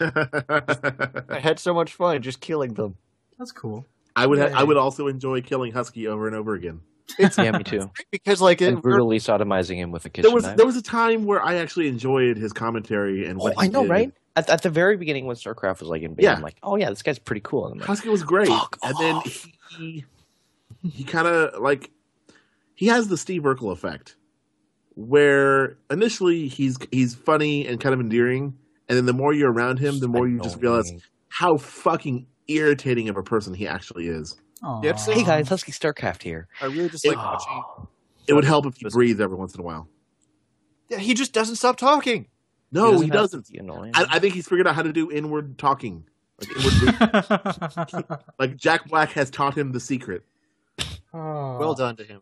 So I don't know, but yeah, it's I significantly prefer Day Nine. If Who I is still that watch dude? StarCraft. Again, in, in in the tradition of fiction, skewing towards the like the dark, handsome man. Who's that guy that Steve Urkel transforms into with the, the machine? Is it Stefan? Stefan Urquelle. Fuck yeah, Stefan. Does he have a sensitive side? No. I, I always thought he was. Well, he's Urkel. Smooth, smooth operator. Just fucking smooth. I, I need to look this guy up. Stefan, Steve Urkel. But yeah, it's it's the the main two big uh, new developments have been I've taken to going back to Minecraft and just been playing a lot on there, just relaxing and having a good time making stuff. Way too So mainstream. I actually have a thing to, to bring up to you, Thurb. Uh, if you are enjoying Minecraft, um, a friend of mine has a, a current server that's up and running. That if you are interested in playing on a what is basically a bare bones server intentionally, um, they are looking to have more people join just to kind of build the community. I might look into that because like the the server I've been playing on is it's Heck very it like you don't have too much in terms of uh, helping you in the way of uh, plugins or whatnot. Uh, it, it's the, the the main things are just like security and uh, protection and like chat. I think no Tekkit?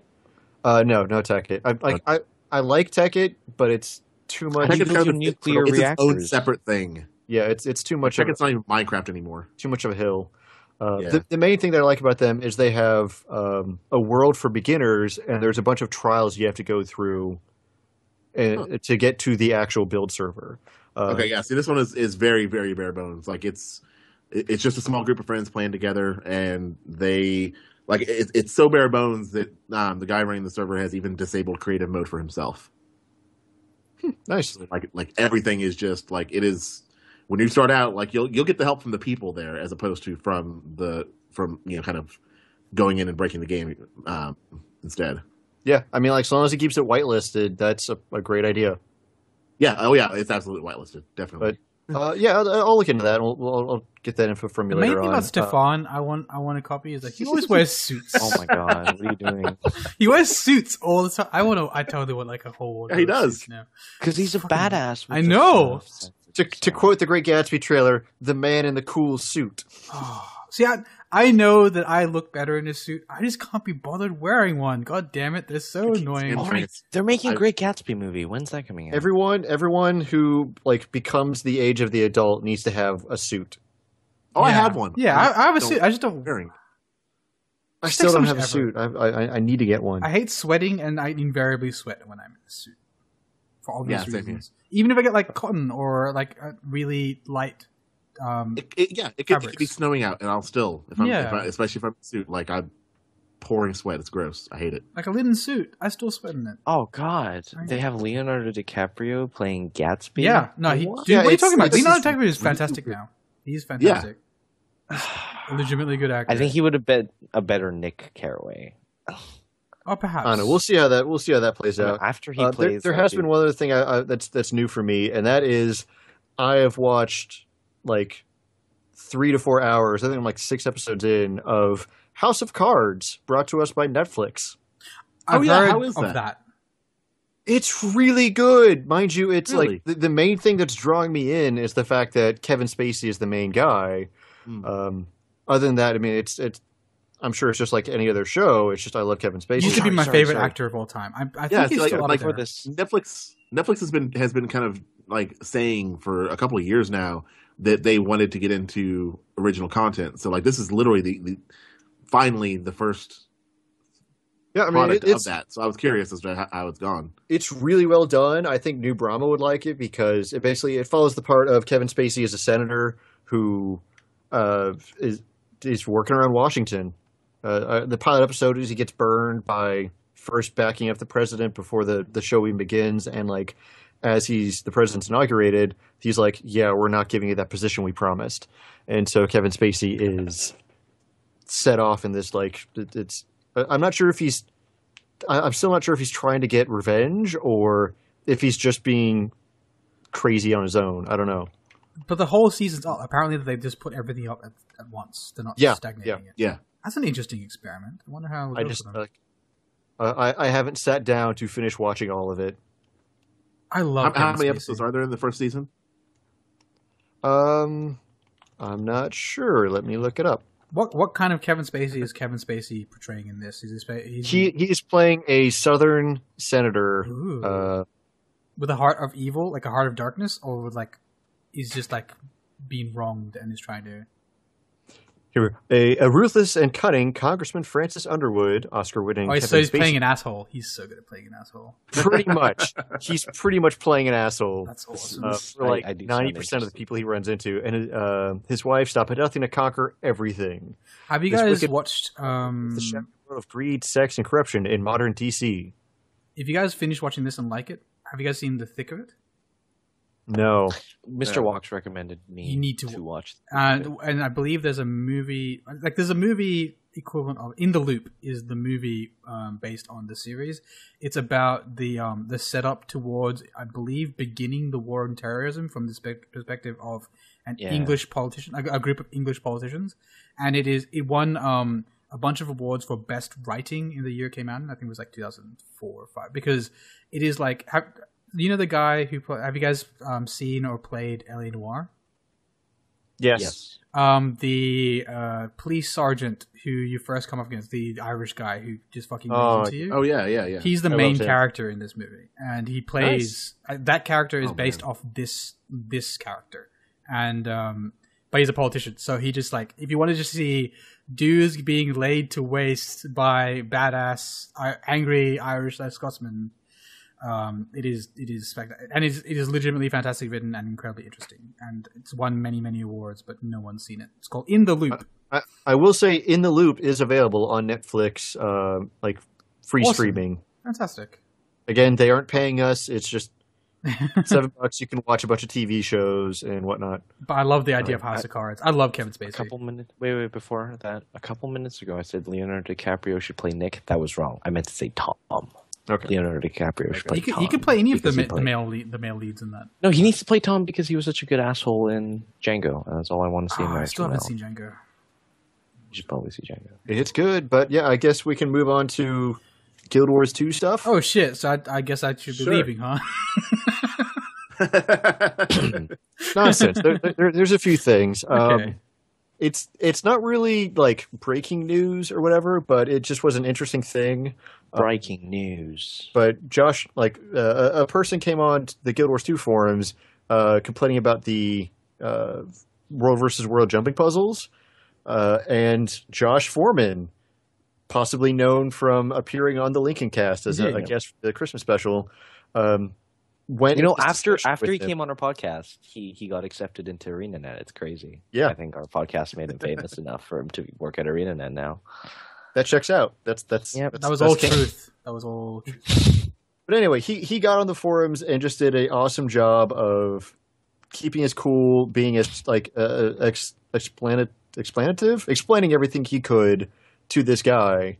Uh, it really shed some light on to anybody who didn't know, like the the workings of uh, ArenaNet and why people who make levels can't just be put off doing that and start working on changing the mechanics of programming because they haven't been taught about it.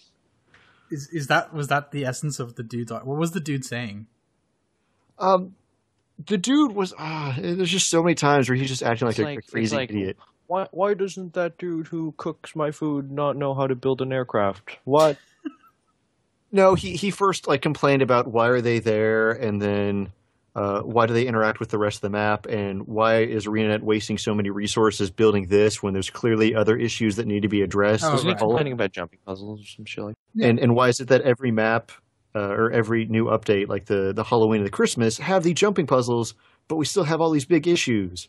And so Josh was pretty much saying like, well, the reason why is because it takes one guy or maybe like a couple guys a few hours to do that. And like, well, they need just why do they have a jumping puzzle team? It's like they don't have a jumping puzzle team except for the one that I'm working on, which is standalone thing. And by and by I there, Thurbleton means Jo- Josh Foreman. I, if, Yes. if Thurbleton was working on a jumping puzzle team, I would a hate that jumping puzzle because Thurbleton likes jumping puzzles, and would probably know what to how to piss me off, and b Thurbleton wouldn't be on this podcast because I I'd don't have him know. locked in the dungeon somewhere answering Yeah, questions. we only have like potential ArenaNet employees on our podcast. my my, opi- my opinions mirror Josh Foreman's in the development of this upcoming jumping puzzle, and that is he has something that uh, he is right now. I'm not sure if this is what the public are going to call to it, but one called baby mode, which Yay! just makes all the hard jumps. cynic mode, which is just like fuck it, make it easy. I just I, I just hope they, they they continue like to live calling it baby mode. That would be so awesome. and to be clear, I like hard platformers. I just don't like the way jumping works in MMOs. I do also like on Steam. I can't remember which one of my friends it was, but I saw they were playing a non-Steam game, Guild Wars 2: The Jumping Simulator. I love I love how you can rename stuff on Steam. I know someone who decided to get Guild Wars 2 just for jumping puzzles. Really, That's He's crazy. Mr. Walks. Really. Yeah. But I guess I, I guess we'll mention that we might put it in the links. Uh, there was a Reddit post that pretty much summarized everything, and and the guy did have some some valid arguments of uh, on on full maps they're taking up queue spots because people are wanting to do the jumping puzzle or stop others from doing the jumping puzzle. And it's this whole inner debate, but uh, it's just a nice read. Cool. It gave me a chuckle. The the main thing, if New Brahma wants to talk about it, is the uh, ArenaNet released some information about the new update at the end of February called uh, the Flame and Frost: The Gathering Storm. I.e., an explanation for my wonderful joke at the start of the episode. Exactly. Of the uh, actually, yeah, Cynic. Since you're the weatherman, do you want to talk about the weather coming up? Uh, kind of. So, The situation worsens for the citizens of Wayfarer Foothills and Diessa Plateau. Like that. Talk about it like no, that. you started. That was fantastic. You should keep going. Volunteers have And a race. Yeah, Volunteers have a race. volunteers have a race. You asshole. But more refugees hobble down from the Shiver Peaks. The storm there gains momentum, but the forces of good are beginning to rally. I sound like a beetle now. That's pretty No. good. I don't mind it. I can't. Re- I can tell, to but it's defend pretty the land close. and its peoples. Someone must hold back the gathering storm. In Flame and Frost, the Gathering Storm, the second installment of the four-part series, the stakes are raised and the battles rage in the foothills of the Shiver Peaks. I So hope this means there's any more than like two random dynamic events. based on A, a couple of things we want to talk. I want to talk about is they said it's the second installment in a four-part series, but they've also said they want this like Flame and Frost thing to go on for the rest of the year. So last time we talked about so this is a thing that's happening in PVE, specifically in like those two areas in the north the Norn and Char zones. And the last time we talked about this, we hadn't really they hadn't really outlined like what duration they expected this to go over because the idea is for them to add new dynamic events, perhaps change some zones. In inverted commas, change the world of Guild Wars 2, but let's be clear here that they said the exactly the same thing about the Karka events before, which they did, I guess, change the world of Guild Wars 2. It added But, a new um, area. Yeah. Uh, So, like, they said that to? About this as well. And last we, last time we talked, it was about the January update to the game in which they um, put in the first couple of things in this series, the Flame and Frost series. Uh, and and from memory, Thurple, those are like just two just two dynamic events, or was it more than that? Um, it wasn't really dynamic events. It was just like they've added uh, some Cool. NPCs and some corpses and some signposts you have to clean up. I'm guessing. Um, So is that is that- is this threat mysterious still? Uh, it's it's still mysterious. There's still like uh, theories about what it could be. Um, we are beginning to see. I think some people have reported seeing um, uh, geysers or just like th- things coming out of the ground. Uh, not really an event that pops up. as- well as people have claimed to see uh, new buildings appear, but it's just like refugee camp stuff. It's still a gathering storm, and it's still not anything we can fight. Wait, so is is this like? Do we know the chronology of this? Is this supposed, is this supposed to be happening um, simultaneous with the events of the end of the game, or after the events of the end of the game, or? I believe this is post happening at post yeah. uh, Dragonfall.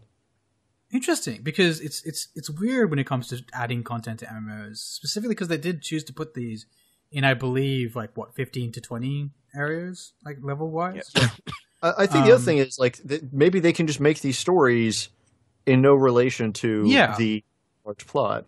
because my immediate response to this is um, with the human areas like the divinity's reach and so on and so forth do you have an idea of there being a legitimate government so there's there's pol- a police force and is essentially in the Seraph and then you have the queen and you you have the castle and all that stuff the walls Except none of these countries ever have borders. The human Um, race doesn't have borders. well which I found weird. not distinct borders but at the same time like you don't really see that with the others like in the char areas you know that there's a command structure you know that there's uh, what it's very militaristic in that, that that there's like generals or whatever they named them at the top and they, they have that that structure might in as the well center Somalia of, um, in Charlands because the second you leave the the Flame Citadel, there's just a bunch of small outposts here and there, and you have no sense of like, is this a village? What what is this? It's just a farm? yeah Oh. like there's like well, Okay. you, you do see some people patrolling that there's but there's there's npcs who seem to be official like sorts who um patrol the char, I think, actually have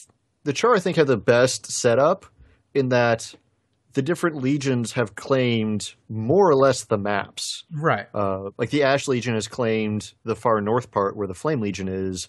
Uh, I think like Iron Legion claimed the starting zone, and right uh, Yeah, it makes sense. Yeah, like, it- it's it's like the Iron is there because they built the city, and that, that all that all kind of um, ties together. Uh, but the, the the main thing I have with this is if there's a situation where people are dying like mysteriously in like swathes and are like leaving areas of your your well kingdom. I don't, know what else- what else to call it, your country. Uh, like just like fleeing from there. It- it- wouldn't there be a situation where things are a little? I can't believe things remain mysterious for very long. Like Right. by now, it this should. is this.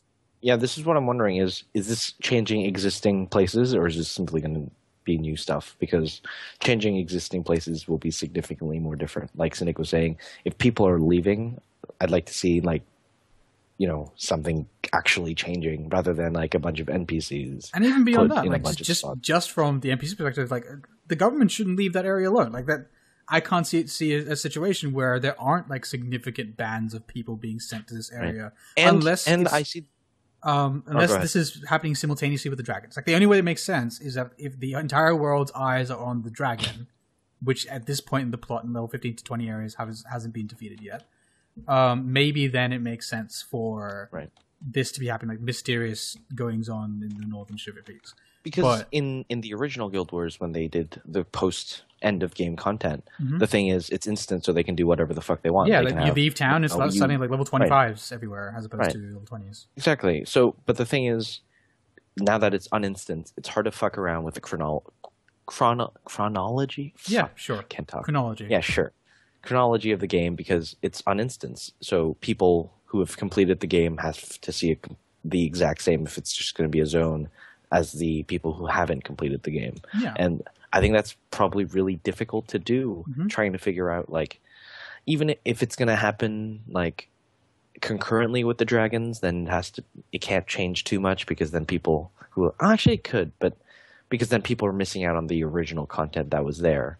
And if they're just going to be adding new stuff, then they're going to have to wedge it in somehow without changing too much. So this of the announcement was actual for story of the game. February 26th, so it's still quite a, a few weeks away. So we don't really know how they're going to approach it. Like all they, all they say here is that like the situation's gotten worse, and they, they've listed out their changes for other parts of the game. But in terms of the actual stuff for that area, the, the those two zones that this is affecting, we don't really get a, like an idea of what's going to happen. As News said, like I, I, if they're going to change those areas and they're expecting this to be something that I'm even remotely interested in, two dynamic Right. events, whatever it was in the last update, isn't or whatever, just small changes. I think as you guys outlined, um, isn't enough to to make me care yet. Yes, Uh, did we talk about any of the extra stuff they've added with this, or not yet? Last No, no, we'll, we'll, we'll get to that in a second. yeah. Um, I mean, lore-wise, it comes back to they're his- at a really difficult spot. Exactly. And Thurbleton's like statement there, it, this being the second installment in a four part series, really comes up because if that was the first installment before, like, is this going to be a thing? Is this going to be big at all? If Well, one thing, and this is like just roughly speculation. I, I quickly tried looking at my source for this, but I remember for uh, hearing that uh, Rytlock will play a role in this, but more so they're bringing in another Char um, NPC that is like helping Rytlock solve this particular issue. so, he's going to die at the end. Like that- that's kind of No, I That's- think they're more just like bringing in a uh, like Rytlock was the thing for the dragons in the pre, uh, like in, in, in between two books. I think they're making, and this is just a rough like prediction, but I think if they want to have a year's worth of content stuff happen, they'll have this new Char hero appear.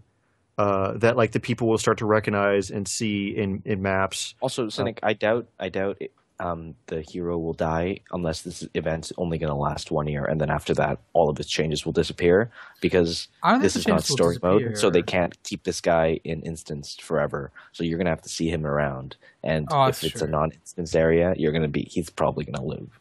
No, but you still see well, like look around when you're doing story stuff in yours too before you get to the last battle and stuff. Right, but you don't, you don't really meet like the or big whatever. characters that die, like the visual guy or the guys. Like oh yeah, true. They're only in in instances. Uh, Right. So they're, the the problem is this lore is completely restricted to the game mechanics. The fact that they chose non-instance, etc. Well, or inst- yes or, and yeah, no, because we aren't talking about them adding new landmass. Because, like, for example, this is February. The first part of this I was, feel was like no. January. I feel like the difference is adding new landmass is completely a new thing because they, they don't have to change anything. They don't need to fuck with, you know, like what's the existing yeah, balance. Don't you think that's what they're, They- they're they leading just- up to doing? Because just stick it in there. to me, like, this is being part two or four part series. This the Gathering Storm stuff and the Flame and Frost thing. That sounds to me like as it, like Flame and Frost is going to be the equivalent of the first novel in the trilogy, and then when that ends, it'll lead up to a situation where they're going to open up a new zone in like in Jan- July or something. If you if you go by whatever, or it would be June. What the fifth month? What's the fifth month? May? I've forgotten. Um, May yes. May. Yeah, so like in May they'll open up a new area because that would be after the four part series over and it'll be book two, Flame and Frost Part Two, the Frostening or whatever they're going to call it. Um, yeah, that, that could be it. Like, but perhaps Flame and Frost isn't like the whole the name for the whole arc. Could be interesting. Well, I'd assume it is because prelude to the Flame and Frost, and then Flame and Frost. Yeah, together, like book one. The title and subtitle. Book like the book first series in a in a, in a series of novels has a prelude in, in general, like a, a prefix or a, a opening chapter which sets the the, the, the scene. Because this couldn't be like regardless. I, don't, I hope this isn't something minor because I feel like they if if they want to keep this game exciting for everyone, like they can't just have a bunch of minor updates. I think they need something substantial halfway down, and this is around the time where they should be adding something relatively substantial that's going to be either bringing back players or keeping people interested. Hmm. And from what I've seen so far, mm, it. I guess I'll reserve judgment until this entire thing is rolled through. I guess that's Hmm. what I can say. Yeah, I'm hope I'm actually personally hoping for me to be able to explain experience it as like one thing later. Like if, and that's why I'm kind of hoping for them to add new landmass after this like first initial run, because if they keep it such that like the lower parts of those two areas are still like people fleeing, then as you get towards approaching the new landmass, um, you have like the second like more complicated part of the plot, and then the actual plot of whatever this Flame and Frost develops into the frostening happens like later on an actual further landmass, and you can actually experience it as one read through in very commas ra- rather than having to come back to the game like every month. So Just- even though that's what they want. Just one question. Like, out of like, I'm just curious. What do you guys think of the lore impact, or just like the stuff, um, the Karka update change for you? Fuck just in terms of like, fuck the worst idea ever. exactly. But I'm, I'm I'm highly against sea monsters, like monsters from the deep bullshit. No, no, no. Anyway. In terms of the amount of content it added, I feel like it's almost minimal, other than the fractals. Well, it's just irrelevant. It's hard to say Yeah, I, because I think if they yeah. put more into the like post Yeah. event stuff, Yeah, 'Cause while the event was going, it was a really good zone. Like, That's 'cause pretty when was the last time you've been to that island? Because I haven't gone there since that. I never went. there's nothing there. because as Thurbleton said, like while the event was going, it was actually a pretty vibrant, interesting place with stuff happening and shit going on. Yeah. It was only Because after it the event like, finished that it kind amazing, and then of died out.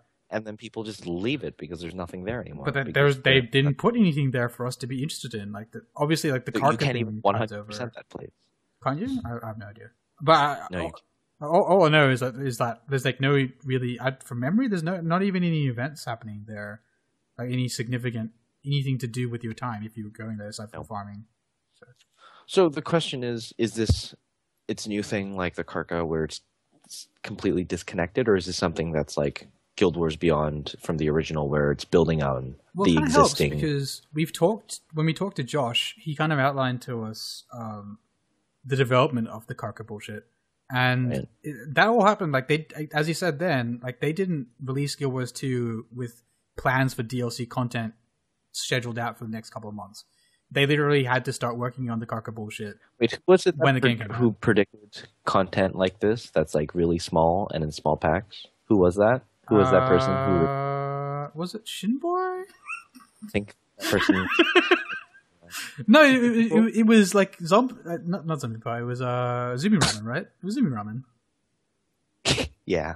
yeah. Anyway, But yeah, like what so. I was saying before we went on this tangent was that, uh, like, my prediction is that along the same lines of what we're talking about right now, is that we'll finish up this, and this will be like the the, the Char character appears, and then the next three months or in four months we'll have something that happens with a human uh, NPC leader appearing, and they'll all start banding together to make this group again that we'll see more active in the world. oh, so That's just a, so a rough prediction, but sort of like what WoW had. Um, the the I don't know if Joe remembers Saurfang was this guy No, that came yeah. out of like the Silithid, like the War of the Shifting event that happened, that big massive event that WoW had that Oh yeah, sort yeah, of yeah. blew up into this lag fest.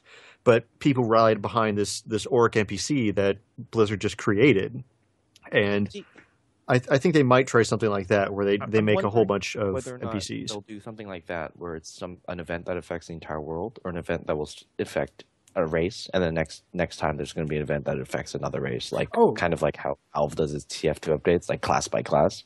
I wonder if they're going to do it area by area rather than entire. oh yeah, that's, because that's entire- kind of what I was like leading up to. So so when they they only had like a month to start developing the Karka bullshit, right? But they actually got like all this time, so at least a month before they started Flame and Frost.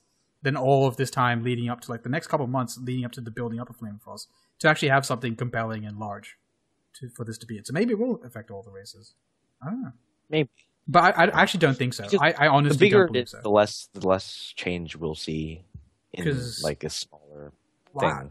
Like to me, it's, it sounds as if like this whole leading up stuff because the stuff they've put in is not complex. I'm not going to say it, it doesn't take a lot of work, but they haven't put anything really significant in yet. And that Nothing could be because they they're using this time between then and whenever this comes out to actually build whatever they're putting out later. right, that could totally be it. Like so, it's it's very likely like because I honestly I don't believe that we'll get like a human side to the Flame and Frost thing. I think that Flame and Frost is actually going to lead us to the the further north of the Shiver Peaks, or maybe like into the the mines and stuff that or whatever it is, the, the tunnels that that run within. When I the think of flame, I think of char, and when I think of frost, I think of Norn. I'm assuming it's just in that area. Yeah, yeah, it's- it's, I- it's- I'm saying that's the Flame and Frost thing, but that's going to be the fir- like the four part that's going to happen like in the next two months since we're we're on month Right. two of, of 4 Mhm. I think after Flame and Frost, the thing they have for this whole year is going to be like the next thing involves that Char NPC teaming up with uh, the Asuran NPC or the human so. NPC. I, I, I think event. that Flame Frost is going to lead to an actual new landmass or whatever, like new explorable zones that that will further like the story and and deepen it and, and broaden it. Uh, and that's when the other races will be. I don't think the other races will have like their own I don't know. stories. When, to go when do you think they're going to start padding for expansion content? Like, hey, we're leading up to an expansion. Here's gonna here's content that's leading up to it. Wouldn't it be crazy if this this was is it? Wouldn't it be crazy if this was it? this is- I don't there's think no it way is. this is- It's it either. well, it's like they they, Well, I they why, why wouldn't it be? They they plan on on extending this stuff out for the next year. Like, what if this is a giant long lead up to their eventual announcement of an expansion? Like that. That isn't really too crazy, given how long Yeah. they plan on for this to go. Exactly. We, when we true. when we first talked about it, we didn't know it was going to be a year long, and so Yeah. we do have to reshape our expectations because uh, if you do talk from uh, like a year from now, that's a year and three months or so, three, three and four months since the game came out. So that's about right time where we predicted an expansion ticket. Right. Hmm. And, and they've also said that like it's they originally said like it, you're going to get an expansion's worth of content in the February and March updates, uh, and people took that as oh we're getting a ton of new zones, but they said no you're getting features that you would normally see an expansion appear in these months. Really, Uh, I'm, I'm seeing features that I normally expect after launch. Yeah, I'm I'm sort of like uh, it's some of the stuff I'm still on the fence about, but Can we? I guess can we can start. Yeah, we uh, uh? Yeah. we'll, we'll alright. segue into that with the uh, new map that they're offering for structured PvP. Uh, noob. Uh, brand new PvP map, Spirit Watch. This peaceful green vale nestled between cliffside shrines of the Norn spirits of the wild is about to echo with the sounds of combat. In Spirit Watch, players score bonus points by capturing the Orb of Ascension, Ascension, and running it through any of the three shrines on this new PvP map. So I I, think the first thing we can take from this is that, like, similar to what we talked about earlier with the Josh Foreman, um, this is people who don't know how to fix stuff, but they do know how to make maps. Right. And so, since they don't really have anything else to do, they pumped out another map for us. Um, I guess this is the kind of things we can see on an update, just like regular map pumping out. And I'm, I think I'm fine with that. yeah, like Cynic, what do you think about it this in combines terms of with like? their um, other stuff, their announcements that we'll talk about maybe later or whatever, um, of like slowly introducing these maps into more competitive play. Because, like, the general idea is, um, like, uh, like one of the big things is the Orb of Ascension and running it through the tree shrines and whatever. They- They're experimenting with different um, plays on the conquest game, modes. format. Yeah, well, not even game modes because I, I would love for them to play with game modes, but what they're doing is just complicating the conquest. They're they're they're playing more with conquest, which is what they said they'd do. Like, to to be fair, and so like they're adding this map, like cool, like the visual style. We only get like a thumbnail of it, but I think it looks dumb. But that aside, like it could be a map that plays really well, and if it is a map that plays really well, then there's nothing I could be but happy, assuming they are very cautious with how they introduce this into the competitive format, which they can be, thankfully, with their, their new PvP systems, which we'll talk about. Like, I, I, sure, sure, if, if they're going to be adding maps, that's cool. I would have liked, if you asked me what I wanted a couple months ago, I would have said maybe some stuff that calls back to Guild Wars One a little bit harder. Like, I would, if they, if they, I, I, I, I like originality and all that stuff, but all we've gotten from Guild Wars Two from the start, like as soon as Guild Wars Two came out, has been new stuff and new ways of looking at things and all that kind Yeah. of stuff. I, I'm kind of, I kind of want some of the old stuff back. I, I, I would like them to just reissue, like, like, like full on redone Guild Like Wars Two HD remakes of the Yeah, HD remakes of old maps. I'd, I'd like to see that. That that'd Uh, be yeah. kind of cool. I mean, like former Guild Wars players, big part of their fan base. I'm going to make that assumption, and Yeah. I'm sure that is a credible assumption. And like playing I to would that fan base actually isn't necessarily bad. say that's probably not the case.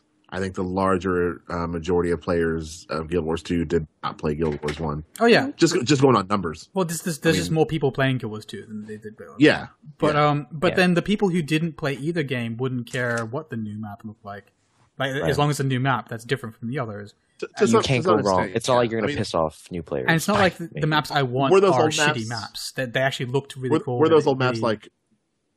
Were they were they conquest maps? That, oh no, they, they could not be used for. five Conquest. I, I'm just saying or they would have eight? to be like a fully remastered thing that actually calls back to the old maps. Because at the moment we, we haven't had anything like that. We we don't have anything in this net set of maps that harkens towards the old ones at all. So I I- like if, if, Well, if I think a lot of that is you know they they they um toyed with other op- options in Mhm. beta. I mean, we, we know that much. We, Yeah. we know they tried out you know deathmatch and um, capture the flag and all kinds of Yeah. other modes. And this was the most popular, and this was the one Oh they yeah, got no, I- right. that's, that's not what I'm. so we I'm so we know they're It's not we conquest. know they I'm they about. they It's messed with them. I, I, it's not conquest. Worried about. Just just in the terms of like the visual, what the maps look like. I that's, Oh, so you, that's you what I mean you don't you don't mean literally like those maps. You just mean like no. The I spirit of those maps. Yeah, I want the spirit of those maps remade. If if, if you were to ask me what I really nostalgia. wanted from Guild Wars Two, we've only gotten new stuff. So I, I've had my fill of new stuff. I, I like I like the new stuff they've done. I've seen pretty much all of it that I wanted to see. So if they wanted to get my attention again, it would be like because what they're doing here is releasing a new map with a slightly new game mode into the game. And as I said earlier, no matter like all all the players like Dourin and stuff, like they would be happy with a new map as long as it did what they're doing here. But if you want to get my interest as well, it would be if this map also like harkened back, had the spirit of one of the older maps. I I find that fully interesting because they said that. When, So I, I think the, hard part of that would be is like this game takes place in a completely different place than Guild Wars One, right? In a lot, no, in a lot of cases. Same. Well, it's it's it's still the Tyria, same- and and It's, it's the, the, first thing they same It- map. Like When the, they the- said- the PvP takes place in the mists, which Yeah. is this area between That's true, okay. And Yeah, when they said yeah. when they first started talking about the mists was they would be harkening back to stuff the Guild Wars One did because it, it allows them to do that because it's this place aside from time. And the, what they gave us from that was Battle for Khylo, which is like referential towards some of the backstory of Guild Wars One and stuff, and like parallel story, but doesn't. I don't think towards Sank's anything. asking for like an like an exact rehash. He's just asking for some sort of nostalgia bonus for people Yeah. who played the original Guild Wars, and that's not And- and- necessarily and- a bad thing. Would and, that I, be? and I think that's something they're going to do. I think maybe they're wanting to get this stuff out there now, and that that's probably going to be something that will come. Uh, by At then, some would I care? maybe that's, that's my worry. It's like by then, would I care? Is my is my question mark for that one? And, Well, and- after the Cantha expansion, I, I, I guess the other year. thing you have to look at too is is looking at what their player base currently is and and where the um the the the, the level of happiness with the player base and everything like like I understand where you're coming from, yeah, but do they care right now about that? but they're. But that's what makes me player so annoyed. Is they, they everybody made a new map, man. They made a new map. Why couldn't they just make this map slightly different? Like, why, why did it have to be this? They could visual make three of the same maps, but why did they have to make this? I I think this goes along the topic we, we, we talk, talked about earlier of the, the map makers are, are a little constricted in what the uh, the programmers and the people who are, Hmm. are balancing the game Right. ha- are, are working on it. So the people who are making new maps can only work in that, that constraint of it must be this three three point style. Yeah, no. Uh, I, I think again, I'm could- not worried about whether it's conquest or not. All I want is some visual Yeah, flair. That he's he's looking yeah for aesthetic difference. Yeah, Oh, okay. Well- I, I just didn't like the way this map looked. But when it comes to the Orb of Ascension, running it through the three shrines, still being conquest, that's I, that's what people, that's what they're constrained to, and I and I and I am fine with that because again, that Yeah, as, actually, as you've all been saying, that's what their options are. That's all they can do. Well, I, I, I think we I can, we can move with you. I think this map actually to. really cool. I I think we can move this to. We talked about this on like on a paper type and talked about uh, SPVP. Um, when was the last time you guys did SPVP?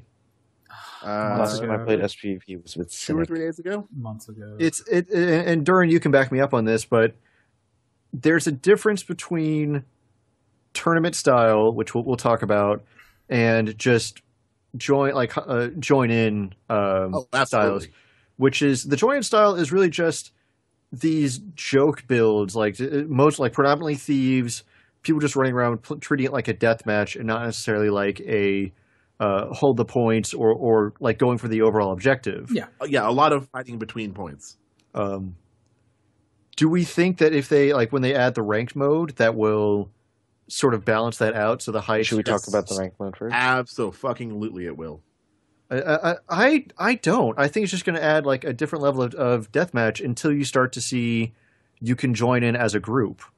Uh, which that's, do you, that's the thing though is that is that at, at the lower levels of the rated, yes, it will be very similar to the unrated um, because those are bad players. That's that's kind of the whole point of this is the you know the the good ones rise to the top.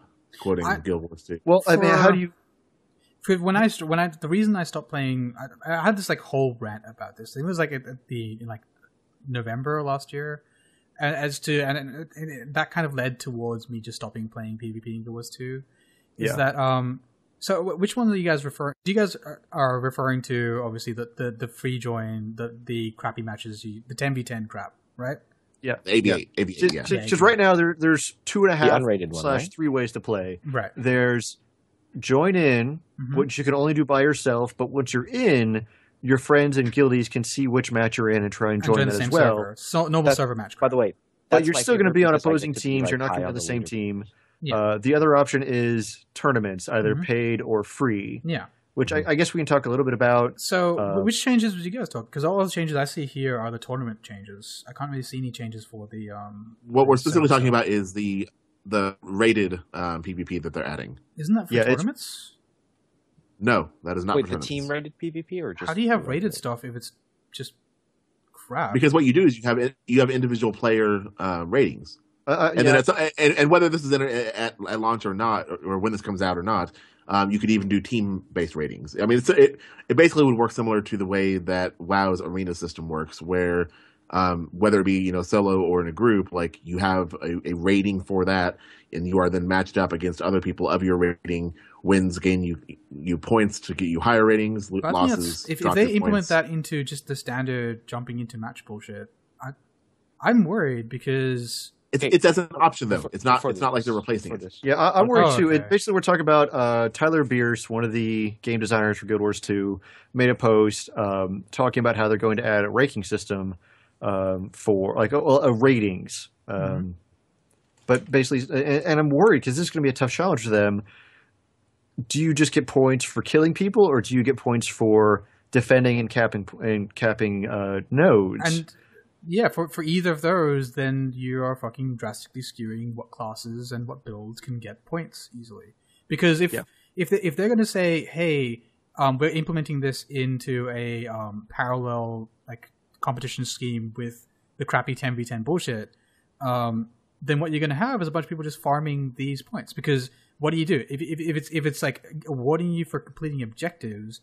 Then obviously people who can hold a point are are highly coveted, and so you'd get the the fucking sandbag eles and your sandbag guardians rack, racking in these points for doing what is admittedly skilled, but is not in the grand scheme of things even remotely like um, valid competitive forms of play when slotted into a team. Like you, you can become really, really good at being a sandbag, and if if they choose to award people who hold points, then that's good for you. You're now a very good sandbag. Have you learned how to operate with a team? Have you learned how to move around the map properly? Well, I- I, mean, there's there's easy ways to solve that. I mean, it's it goes.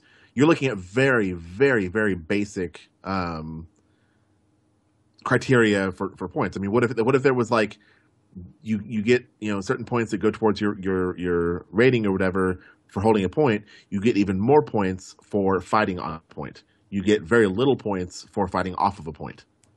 You get a lot of points, or you get you get you know maybe some bonus points for raising uh, um, a uh, teammate, or maybe even some more bonus points for killing an enemy who was attacking one of your teammates. So that sounds those like are all the, things that so if I played a specifically all the things you put noted there.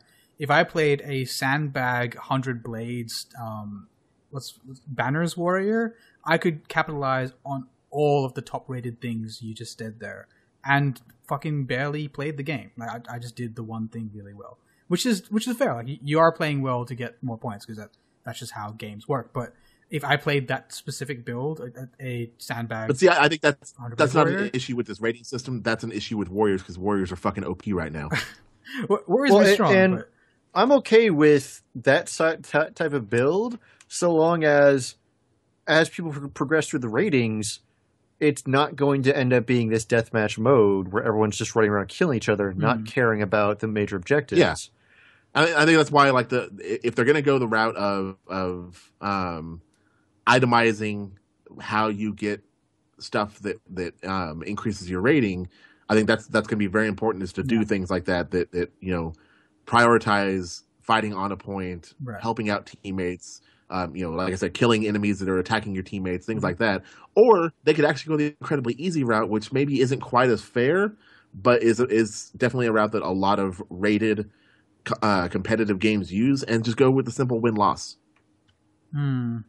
I think that's going to end up You more win a game, with your rating goes um, th- th- That's going to end up more with people who play deathmatch because you can win just by killing everyone.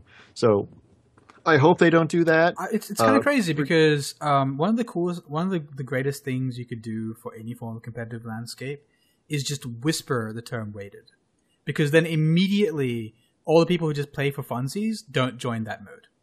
Mhm. So it, just just by having a equivalent, like no matter how they do the rating system, just having a um, parallel version of the ten people bullshit hot join could immediately have better quality of players in there. Yeah, I mean, I mean, look look at the game now. Like even without the the term rated in there, Mhm. you know, go into a free tournament, Yeah. and just having that that word tournament in there, Yeah. and suddenly people are actually working together and Yeah. they're fighting on points and they're doing what they need to be doing. they're actually playing the game Like- properly, which is well. Yeah, I, I have my. own well, I've, playing I've the said, game more properly. yeah, I, I've said what my I've had my thing with that, but yeah, exactly.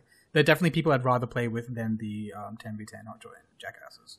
Excuse me. yeah, it, Excuse it- me. it's still eight v eight. Oh, sorry, I have a question. What's up? What's up, noob? And then we'll move So, on to the next T- two next team bit. rated PvP. Is this so? Is this for ratings? So I'm confused. We haven't gotten if there these yet. are team ratings and they're separate from. Regular done that yet. Yeah, exactly. So the the other big change they're doing is um doubling down on the two one v one like team system. Um, Right.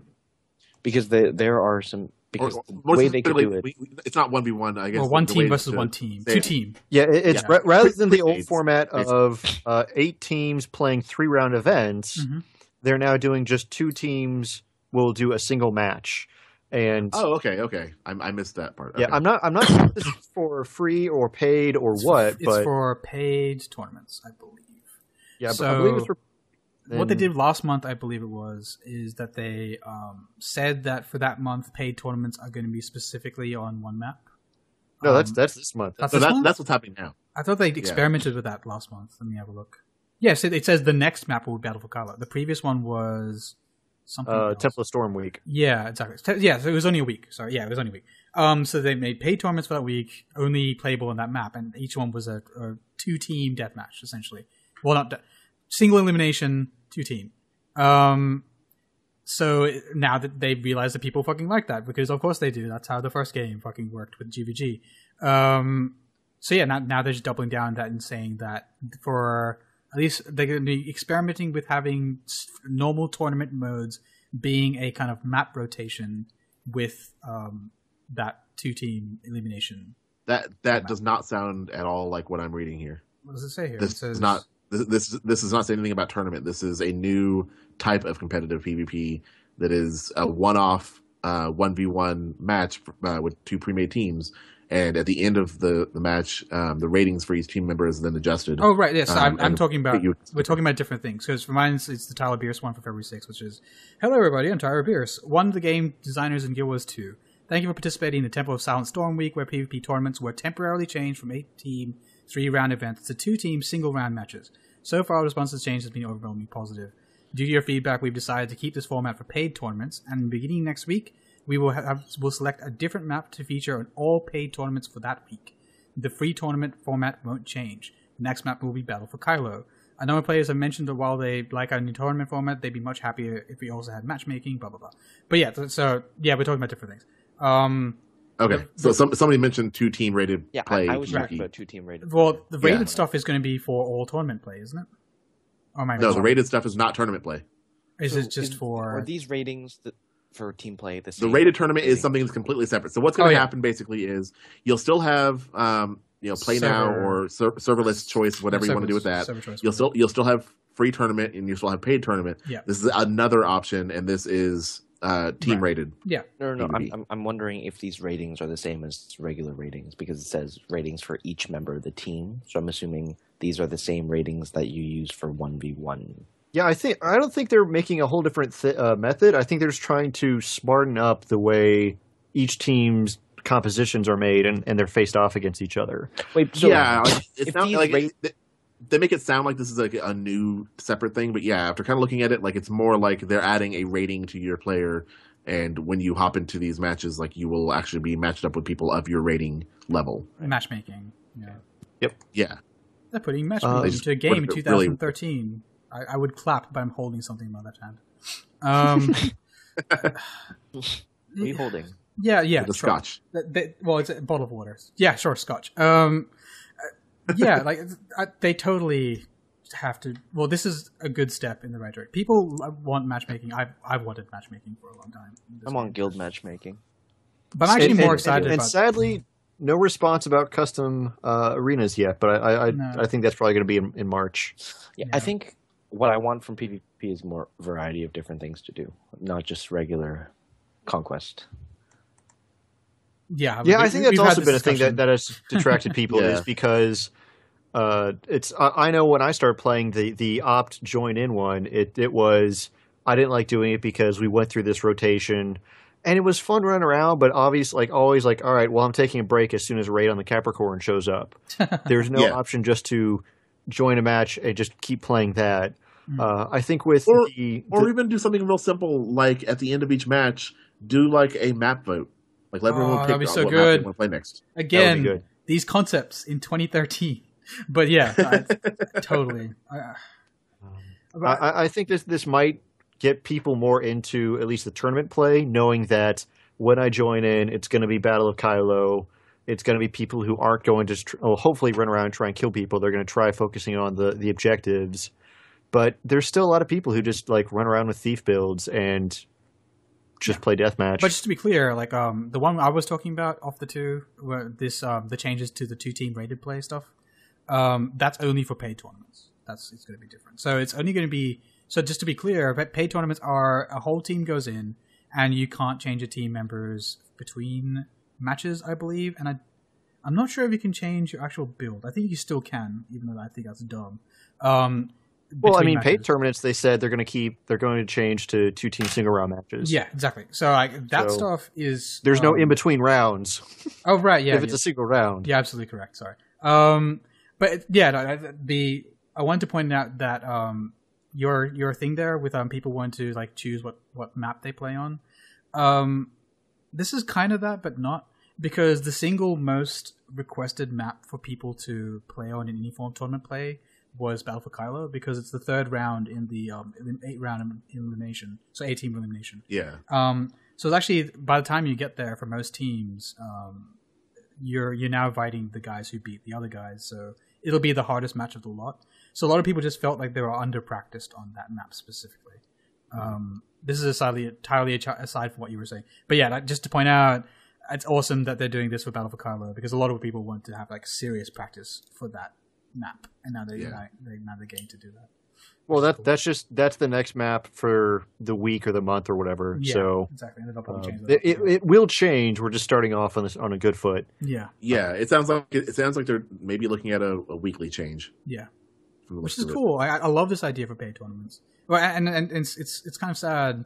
I, I I don't know because whenever you guys stray off to, to talking about the um eight v eight random match bullshit and the ratings there, I, I just completely tune out and keep reading about this paid tournament stuff because uh, it's it's the only real way to. Well, the, the rating thing is nice because one thing that'll one thing that'll actually allow is players who are serious about structured PvP and play a lot of it will get highly rated and and be matched up against each other in non-paid tournament stuff, and will allow them to have you know actual good yeah, um, practice on all of the maps. really hope so. I really hope so. And, and any form of matchmaking is a is a definite boon to any online multiplayer game, um, especially if it's skill based matchmaking. And so so here, uh, yeah, or at least from my opinion, like uh, that, these changes are all good.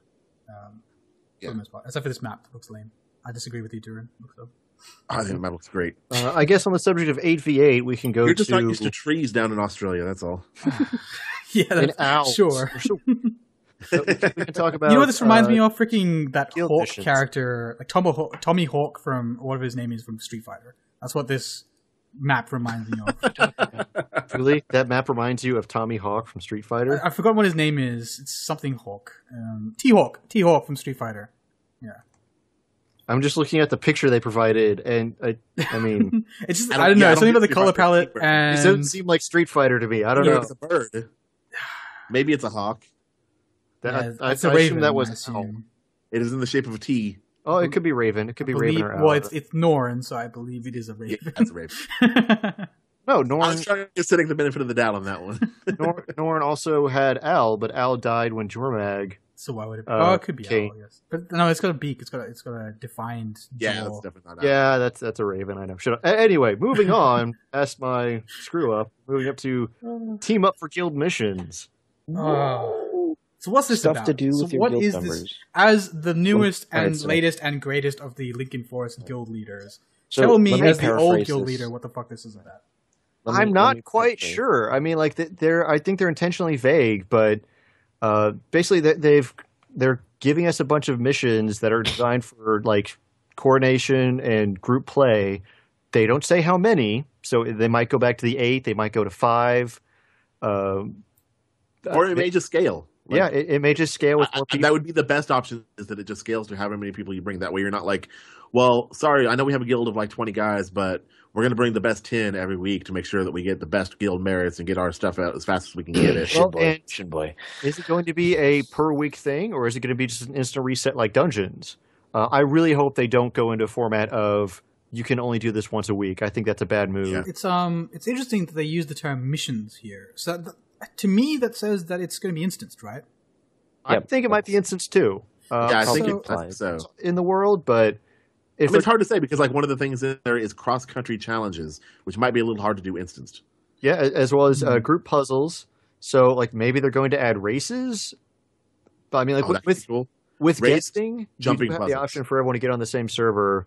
But it would be a smarter system if everyone was just instanced on a giant map. Yeah. But that Yeah. takes their sources and all these things. yeah, it's, it's the size of the map that that becomes difficult there because they're capable of doing a shitload of instance content if you see the, the dungeons and so on and so forth. But um, yeah, ca- do, do you because they how are they doing with World vs. World server loads? From from my understanding, rather well. Um, do you think they could have large maps in this system if this is instanced? Like, how big do you think they could go? Um, I don't know. I mean, like it, it's. I, would- I would still love up- to see this something the size of a fucking like uh, Borderland. If Yeah, I'd, I'd love to see grand scale. Yeah. Again, I'm just looking at this picture they provided. I'm pretty sure that's the um into the like the the the mists loading zone for structured PvP. Is it? Yeah, looks like it. Is it? I don't think Yeah, so. is- this is- I'm pretty sure that's it. But tarps. uh, I don't think there's no tarps there. oh, there's tarps there. Um, but that's that that could just be just a promotional picture. yeah, The thought other that was like thing- a visual glitch. Um, About this is you earn guild merits, which uh, basically it's going to be a new currency for guilds for upgrades and buying stuff. I find that incredibly well. So okay, I've, I've got a problem with that one, and it, Yeah. it might be the same thing the cynic was was getting at. Um, but okay, we're what uh four months or not four months? Uh, half a year. months into the game? Yeah. No, Does that like sound about right? Six or no five. Six, I'm five. say yeah, five yeah, to six. six. yeah, six, yeah, six, five, six months, somewhere around there. Okay, um, we have more currencies in this game than the months that this game has been out, and they just keep piling them on. yeah, Like I, I I'm already dealing with like eight fucking currencies for things right Mhm. now. See, Like but it's I, getting I, ridiculous.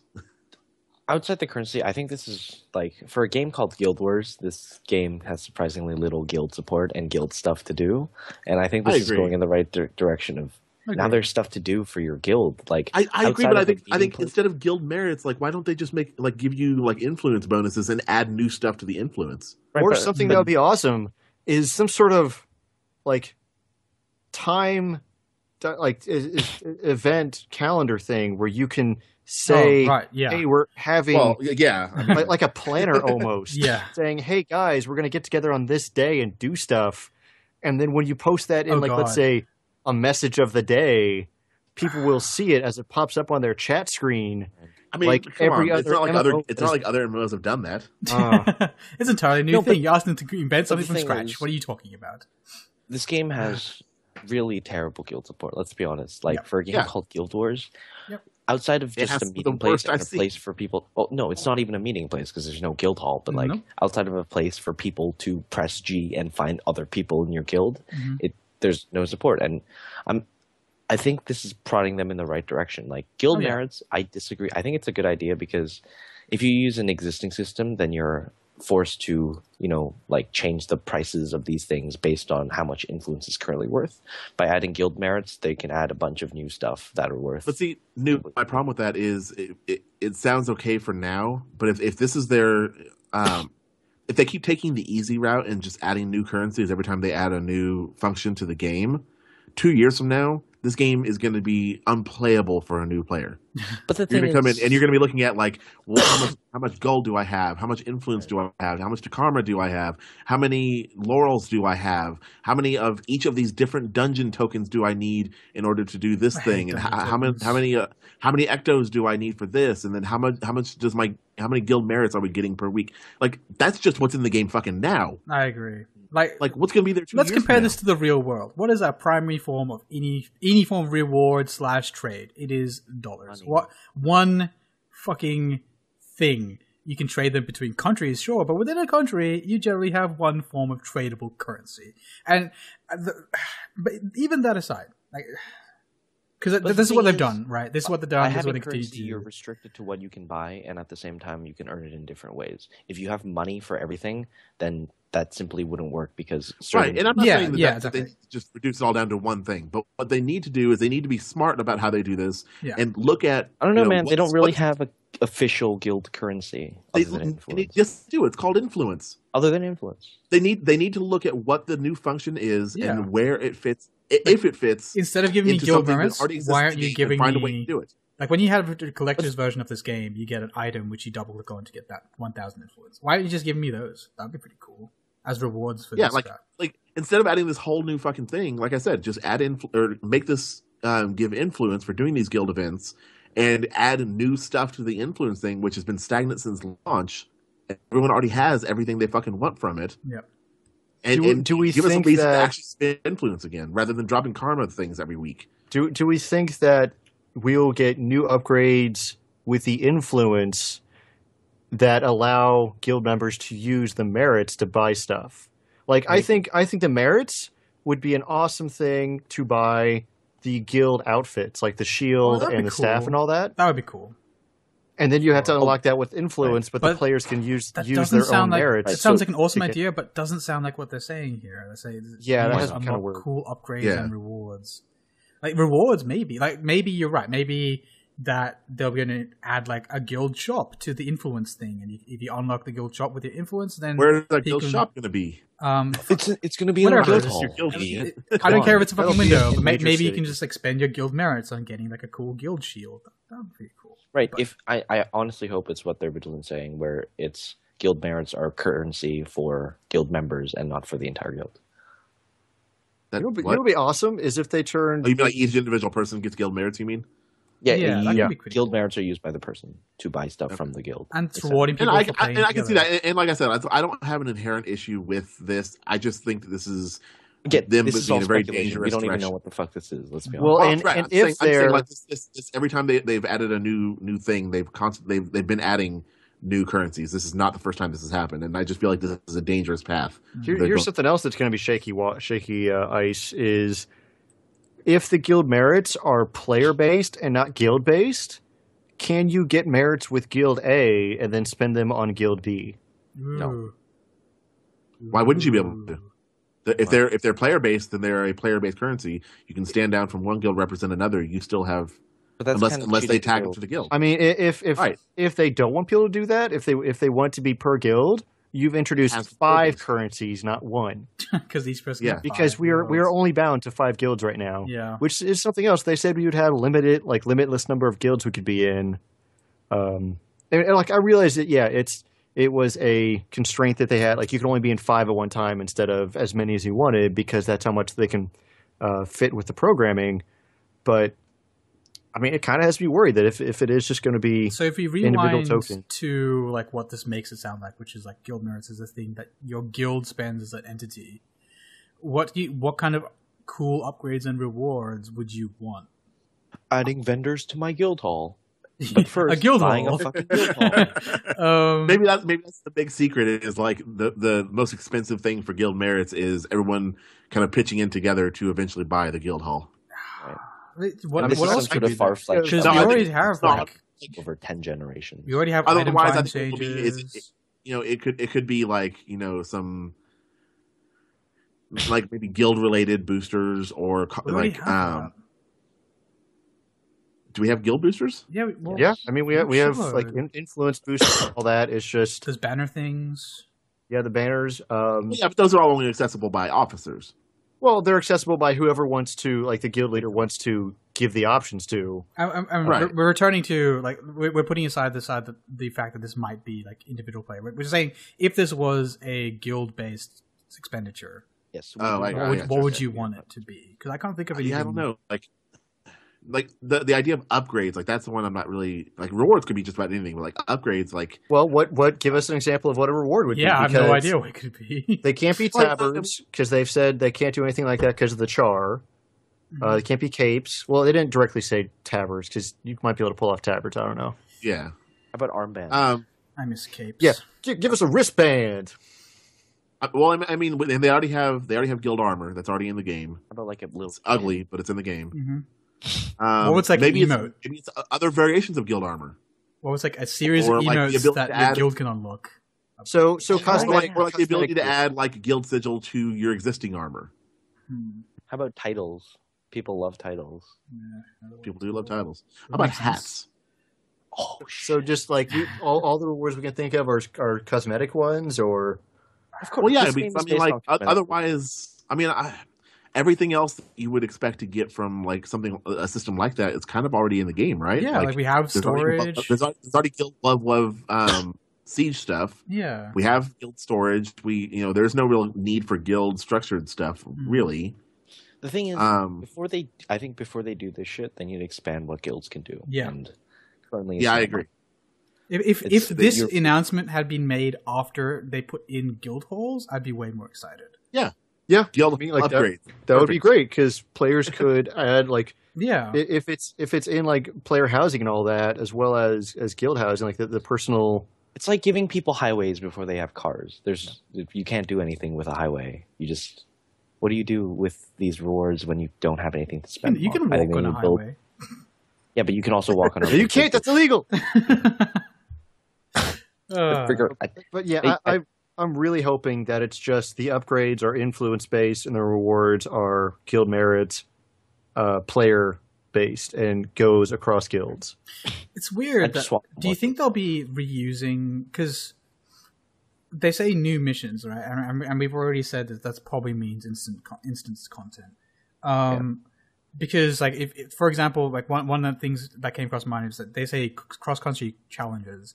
Like, what if a mission was, hey, if everyone meets up in X place, then NPC will will walk over to you and say, hey, does your guild want to do this cross country challenge? And then you have to go across the world. The problem with that idea is, even though it's an awesome idea, um, like be, being based in normal PVE maps, um, is that once a bunch of guilds are doing it, then you're having like thousands of people meeting up in this random spot and um, doing the same or just like slightly different obstacle courses and challenges or whatever. Or, Across the or, PvE or, or maybe it's maybe it's not that. Maybe it's more like you need members of your guild in multiple different zones, kind of doing this, doing things at the same time, all building towards a, a Oh, larger. a fucking shit objective. show. I will not want that. No, because that's that's see, that's that's the thing though, noob. Is that I don't think any of this is going to be hard. right. I think like the the bounties, the the fights are going to be Zerg Zergfests. Yeah, They're not going to be things that are going to be balanced around, making sure. they're not going to be boss fights. you know, Yeah, this is why I They- think well, it's- they are boss fights. They're gonna be like doubt- world I boss fights, they're where you gonna just let stand there and people attack it. running around. so well, it's that, that's something that that would be a cool option. Is if they made this available in the world, um, it would be something like, okay, let's all guest to this server, which is why they had to wait until guesting was around to uh, uh, put this in, and then a guild summoned boss. That would be something that'd be cool. But I, I don't know. I'm Problem still on the like fence. if you're just a regular dude playing. But the you just see a alternative to fucking that box block is of if they in my do- game, that's not fun. Sorry, sorry. What was that? and then talk to I don't. I don't want to be in the middle of another guild shit while I'm Oh, running exactly. around That's, that's why I'm worried about it being the open world. But the alternative is if it's instanced. What you- what would you guys think if it was like they just took, for example, and, and the one I, I hope they do is um the where the fire Snow Fragment. elemental is in um Oh. the Sewer Study area. You know that building with all the crazy shit happening. Yeah, the, Yeah. the reaction, Imagine they yeah. took that just that building and made it its own instance and put a guild in there and gave them objectives to do in that building. In the same construct, even though they're reusing content to a large extent with the, with the area itself and the enemy spawns and the map design. See, If they gave us cool things to do in that as a guild, that could be interesting. Even though when I reusing think of co-op missions in general, I think of just single player missions and just games in general, like single player missions for multiple people, and I'm, that's when I think of when they say guild missions. Hmm. I'm assuming it's a similar story mission esque mission with many people, because with the like problem with slightly that different. is that then they'll have to be making all this new content, and I'd rather a new landmass than that. I doubt they're gonna make a new landmass just for guild missions. I think it's just I gonna hate you. existing. Yeah, Yeah, no, that's not what I was saying. no, what he's saying Oh. is like if, if that's what they're going to do, if they're going to spend all the time of like creating new content yeah, just for this stuff, like maybe those bet those resources would be better spent. yeah. Making But if a they whole did something like my for us to other play on. idea, which was I think they're like, building the- reuse But I mean, it's, it's hard to say that because it. like Cynic, you, you like you are kind of embodying the contradiction of the player base and why. Yeah. Arena's having a hard time with this because, like, on one hand, you want more guild stuff, but on the Mm-hmm. other hand, if they're going to waste all this time um, on the resources to build new content for guilds, you'd rather they do a landmass instead. yeah. I don't But know. then, but in, in this case, unlike the argument that um, went up with uh, Dudeface, we are talking about the same people working on both. Like, if they are making large scale Yeah, yeah, yeah. guild unique content, then that will be the same level of design But I as you do like the- stuff. there's like just a bankrupt amount of guild content that exists. I think we need to get guild to a certain level. So I, I would love to doing other see shit. like stuff like remixed, instanced remixed areas um, approachable by a guild, even if it's like Now, now it's uh, the other thing is there's no reason it can't be all of these things. yeah, it could, it could be No. all Yeah. these things, yeah. we're just trying to pr- predict which one we think they're most likely going to go with. And and honestly, if I were to say which one they're most likely to go with, it would be, hey, everyone meet up in this area. It'll in normal PVE, it'll spawn a um, a dude. Oh, fuck no. something to do. It's gonna be. Oh, I actually hey, think it's going to be a small instance. Small instance with a very small amount of people. Yeah, I- yeah, Uh, small instance. Yeah, probably a small amount of people. And Um, is it gonna hopefully they'll go higher than content or five. Unique content or No. remix content? It's gonna be existing areas, red lined off. And Yeah, I, I'm thinking something around along the same lines as personal story sort of stuff. Sure. With more people. Yeah. Which I mean, like, it's not particularly amazing, but I'm I'm fine with taking that over nothing. I mean, what if they did the I would, thing? I would um, love for a guild mission to be like we they reuse the content from Claw Island, where you just have to like hold hold back waves of guys like oh, a that'd horde be cool. Yeah. That would be awesome. horde mode. Fuck yeah, I'd love to see horde mode. Uh, I'm- I'm curious what the puzzles are, but I'm, I'm thinking they're just going to end up being like jumping puzzles where Oh. That that, Probably, that yeah. involve like the mechanics like five people need to be on these switches or something. I don't know. But I love the idea of remixed old content because it's it's comparatively low effort for them to do and could be really interesting because they, there's a lot of cool places that I've only seen once. Um, And and you aren't going to go on your travels again Yeah. unless like you find yourself brought like you know lured there. mhm. Like I'm not going to make a new Um, character, which is a very big uh, a big deal for them. Like they've said in the past, like they, they want to get players out there looking at these different zones Mhm. again. yeah. So like that would be that would definitely be a good way to do that. I I, th- I think this is a good way to segue into the last uh, bit of well, the second to last bit of news. Wait, let's complain about guilds first. Let's complain more about. I guilds. think we've I'm- complained I'm enough not- about guilds. No, wait, wait, wait. for this But week. like, I don't know. I feel like they had more with guilds in the original fucking Guild Wars than they have now in that game. Did they? I think I think you're looking years- back with They rose-colored did. glasses. They had guild battles and guild halls. Well, they had guild battles and guild halls. That was the only two things that they, they really did. Well, I mean, like, they also had guild halls, but by that same token, Guild Wars was a far more instanced game than Guild Wars Two. Uh, so, I mean, if they want to revisit and go back into instant stuff with guild halls, but uh, I think they'd also. see why not. I mean, I'd also like to see them add uh, more options to make it so that I, instead of going to Lion's Arch every day, uh, I can just choose to go to Divinity's Reach by default, and there's a Mystic Forge there. And I think that'd be like a, a good use How of about- resources. 'Cause- But how about we have a guild hall and then we use guild merits to purchase the Mystic Forge for our guild hall, and then we all just hang around in our. Oh, guild that would be hall? How cool. fucking cool would that be? That'd be I mean, cool. it's I agree that would be very awesome, but at the same time, um, for people who are not in guilds, they go to Lion's Arch or something, and Well, they are if you're not in a guild, you can suck a dick. Is well, what it- I think. it's and, and like they would be great additions to our guild or any guild, but they don't interact with people who are doing like who are in. Don't like sucking dick? Join J- Bomb. I would love to be at the at the meeting because there's invariably a meeting about this where someone sat down with. So how about guild halls, guys? And everyone was like, "What are you talking about? Why why would we want guild halls and guild wars too?" And I want to punch them all in the face. It's not a game about guild. I wanna punch them all in the face. that gives it the name. Yeah, I'd, I'd love to be a fly on the wall on some of these things, and it would be awesome if they just like released all the like if they recorded this or live streamed it or something and let us like just watch, not interact, but just watch. Some Uh, meetings they 'cause- have. Indeed. Yeah, all that stuff fascinates me. Mm. Uh, but the other thing we could talk about is uh, there are. It's a. I guess this is an attempt to revitalize uh, people getting into the other zones. Is w- p- people have seen they've changed the way achievements work. Now you can choose your own daily achievement, Oh, uh, yeah. and this this sort of has me worried.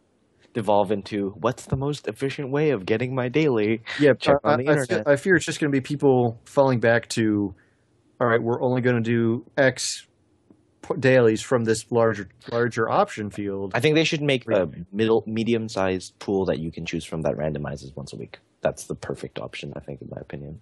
I think so too, but um, do, I don't, I don't, I don't, I don't see a problem with people just finding their most like their own most the efficient way of daily? doing it. Because the cool thing Why is Because happening because not everybody enjoys the same stuff. Yeah, it's Like, the there people. be- there's I actually mean, groups of this people might- who this is do gonna sound dailies crazy. together and stuff. It's kind of This is gonna sound crazy, but there are probably people out there who enjoy underwater combat, I like. and so um, when that one and pops those up, people they, are wrong, they always like and doing they it. probably should get their. I have my brain hand checked up. out. I wonder if I'm at there, thousand. there are maybe other people who don't give a shit about crafting, so gathering is not something they want to do for a daily.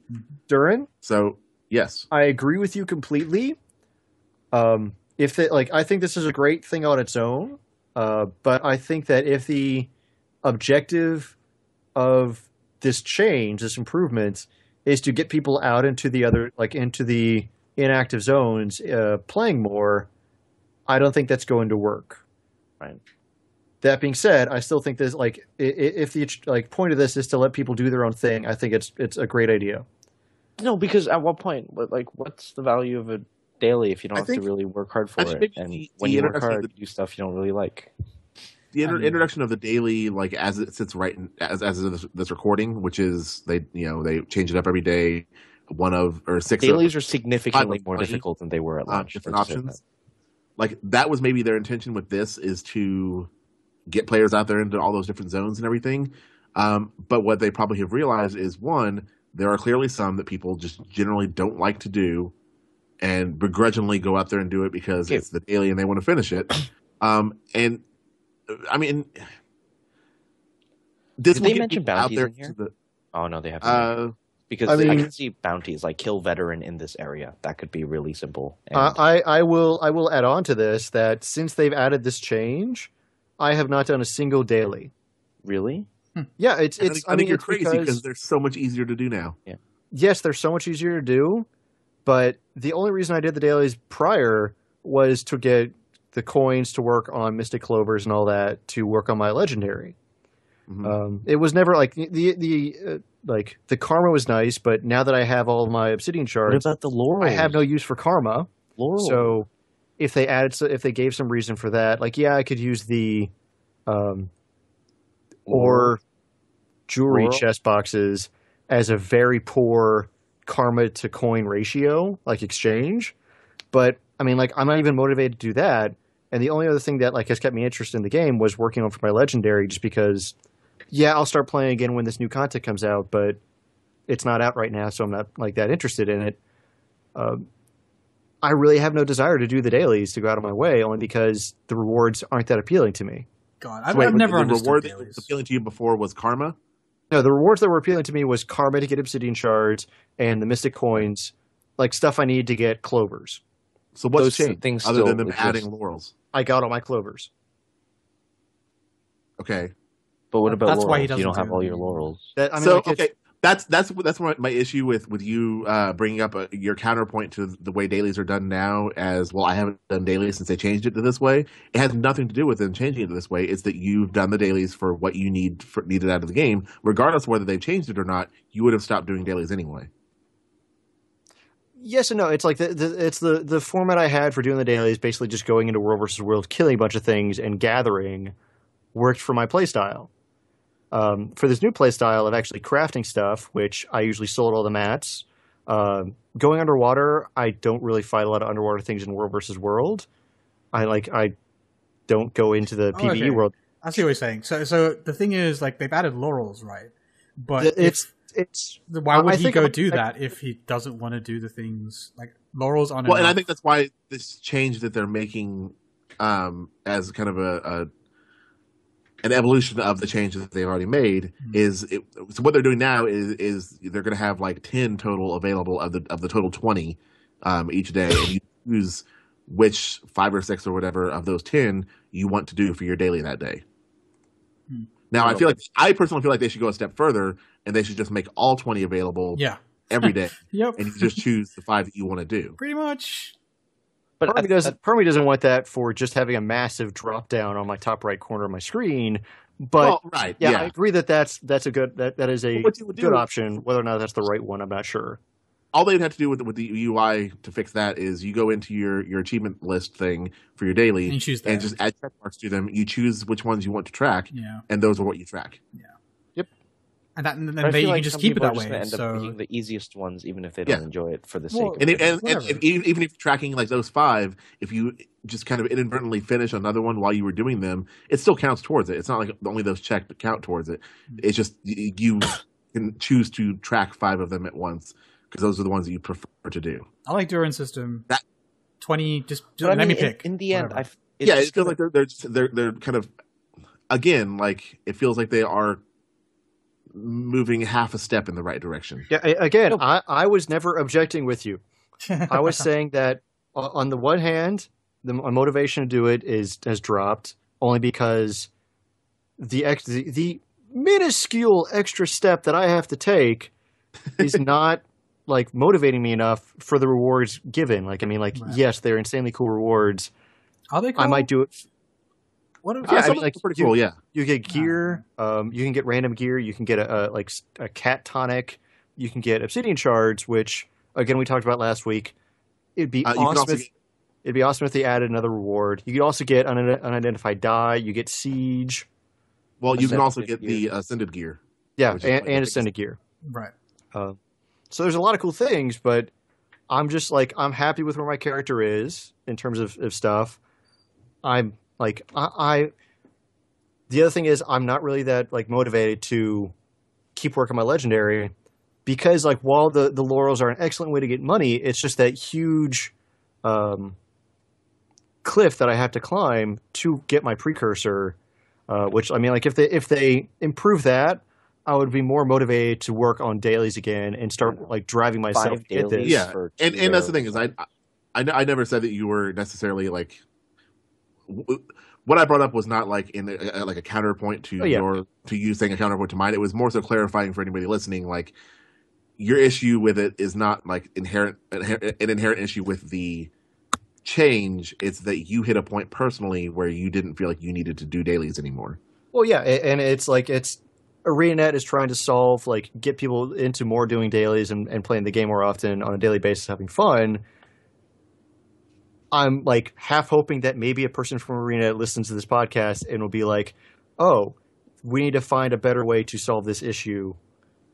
Like maybe make So if somebody from ArenaNet is listening to this podcast right now, I have already said Get your me better way to solve this issue, and that is to Let me pick open all up all 20. Yeah. No, no, And let don't me do that. pick from- don't pick do five that. of Don't do that. Yeah. Don't do that. People Like, just let- gonna pick No, whatever's no. easy. The reason why you want to do that, the fucking like like base idea of Guild Wars Two is play the game you want to play it, or play the game the way you want to if play you it. don't if you don't work hard for it, you really don't. And by putting it. restrictions on dailies of telling me I have to do these things, kind of goes against that. Even though No, they're I'm not opening saying up you more have to do these- before. I'm I'm asking for a mon- like a medium pool of dailies that randomizes each week, so people are forced to try something new. That sounds like what even they're if doing. they- and, and, that, and that's what they're doing. Well, and, like- and What I'm saying is that's not going far enough. I feel like I like basically what I'm saying, noob. I never want to do underwater. I, I don't want to kill 25 things for a daily underwater. That's not fun. Yeah, That's you have the choice not to. And if there are going to be really some don't- days where I'm going to have to do it. well, in noob, as you said, they've presented us with that choice right now with the five options.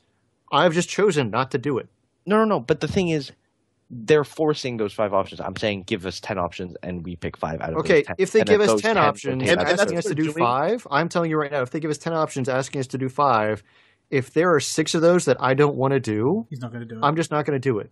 That's the problem. Yeah, like they they could they may give us 10 Well, then, available. then That's you they're don't doing. the rewards of all the hard work. And that's what they're doing. That's what no, happens. but noob, that's the thing. It has fucking nothing to do with hard work. It's that Yes, there are things in this game that do I don't enjoy.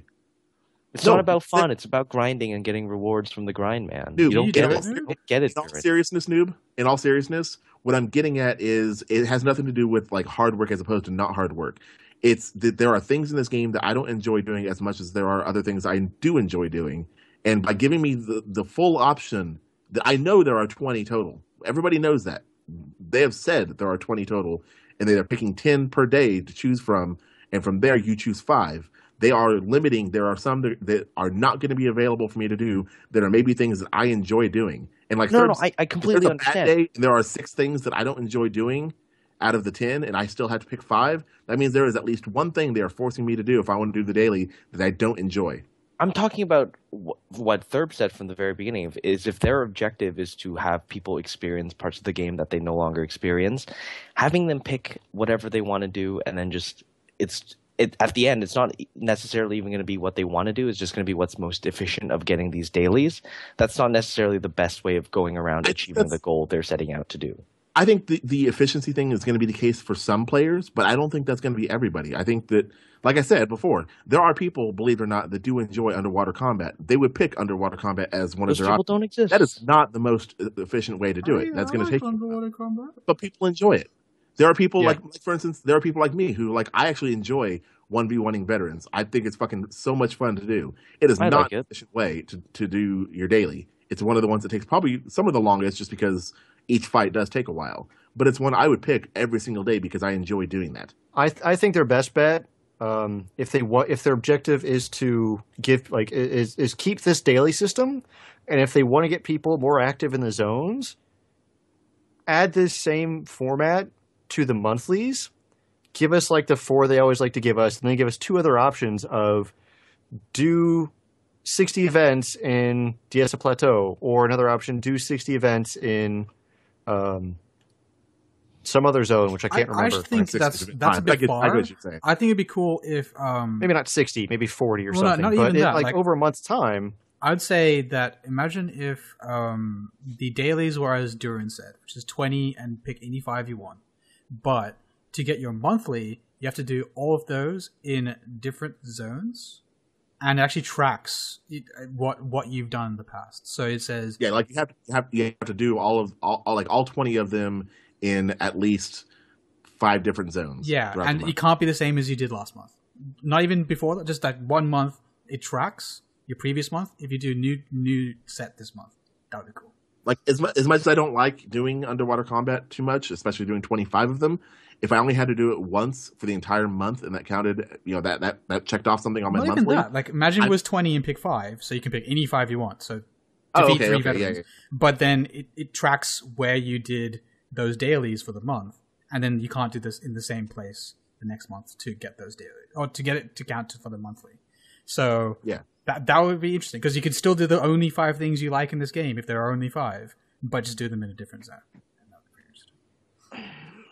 See, I'm a bit reluctant about that because I think because they added these lower rewards and by like direct thing they're adding these rewards as cash value rewards because you can sell these for gold. Mm-hmm. So if you're making something that everyone is easily able to do and is easily motivated to and it's super accessible and it's like impossible not to do, you're technically helping lowering the value of these rewards. But see, that's the thing though, noob, is that as it sits right now, they're still incredibly easy to do and Yeah. incredibly easily motivated to Right, like, but some people don't. everybody like, don't everybody have who plays the game daily will do their dailies Except- almost every day. except Thurbleton and a bunch of other Unless people. it's right, but that's a choice. It's not because they're hard to do.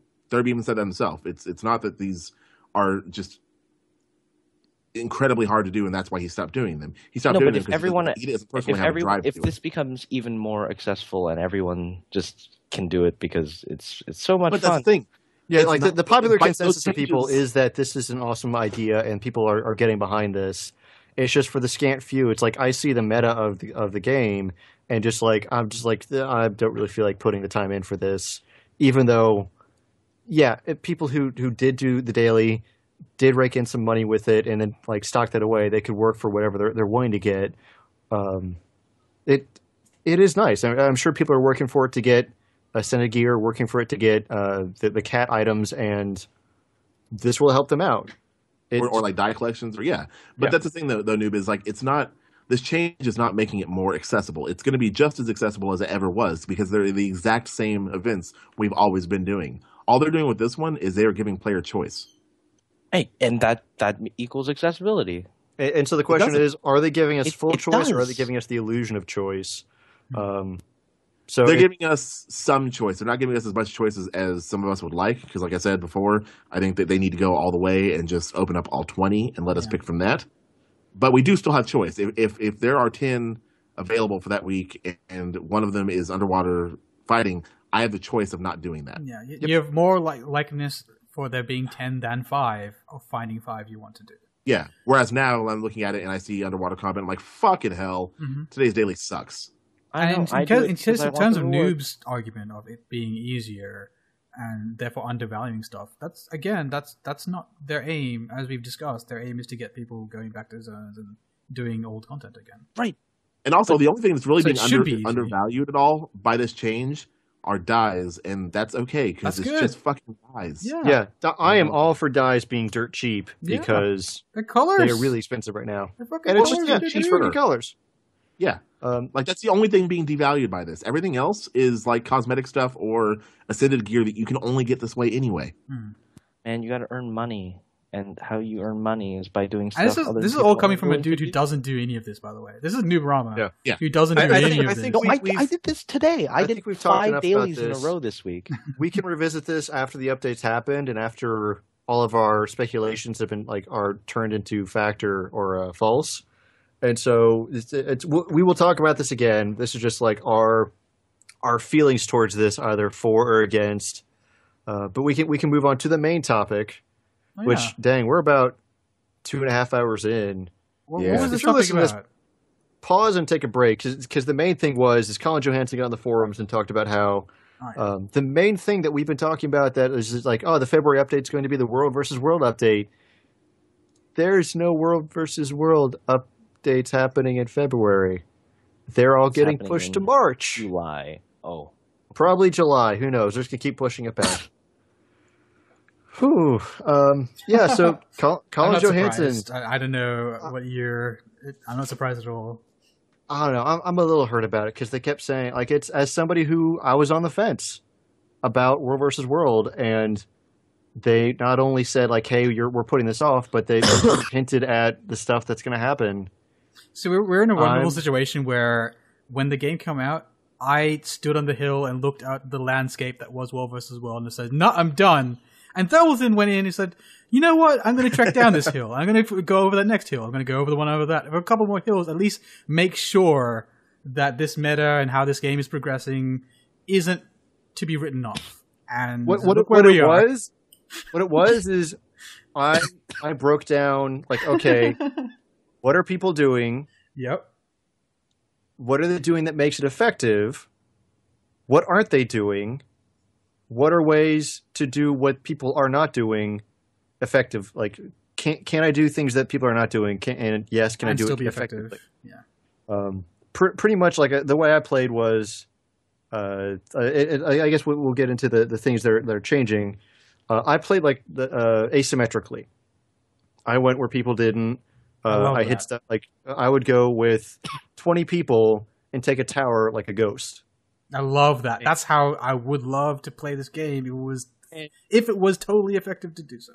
and and I played like Siege, where if you're attacking something, you have people who are focusing at the inside, but the majority of people are focused outside because if somebody comes like if somebody's coming to help, you need to be ready to stop them.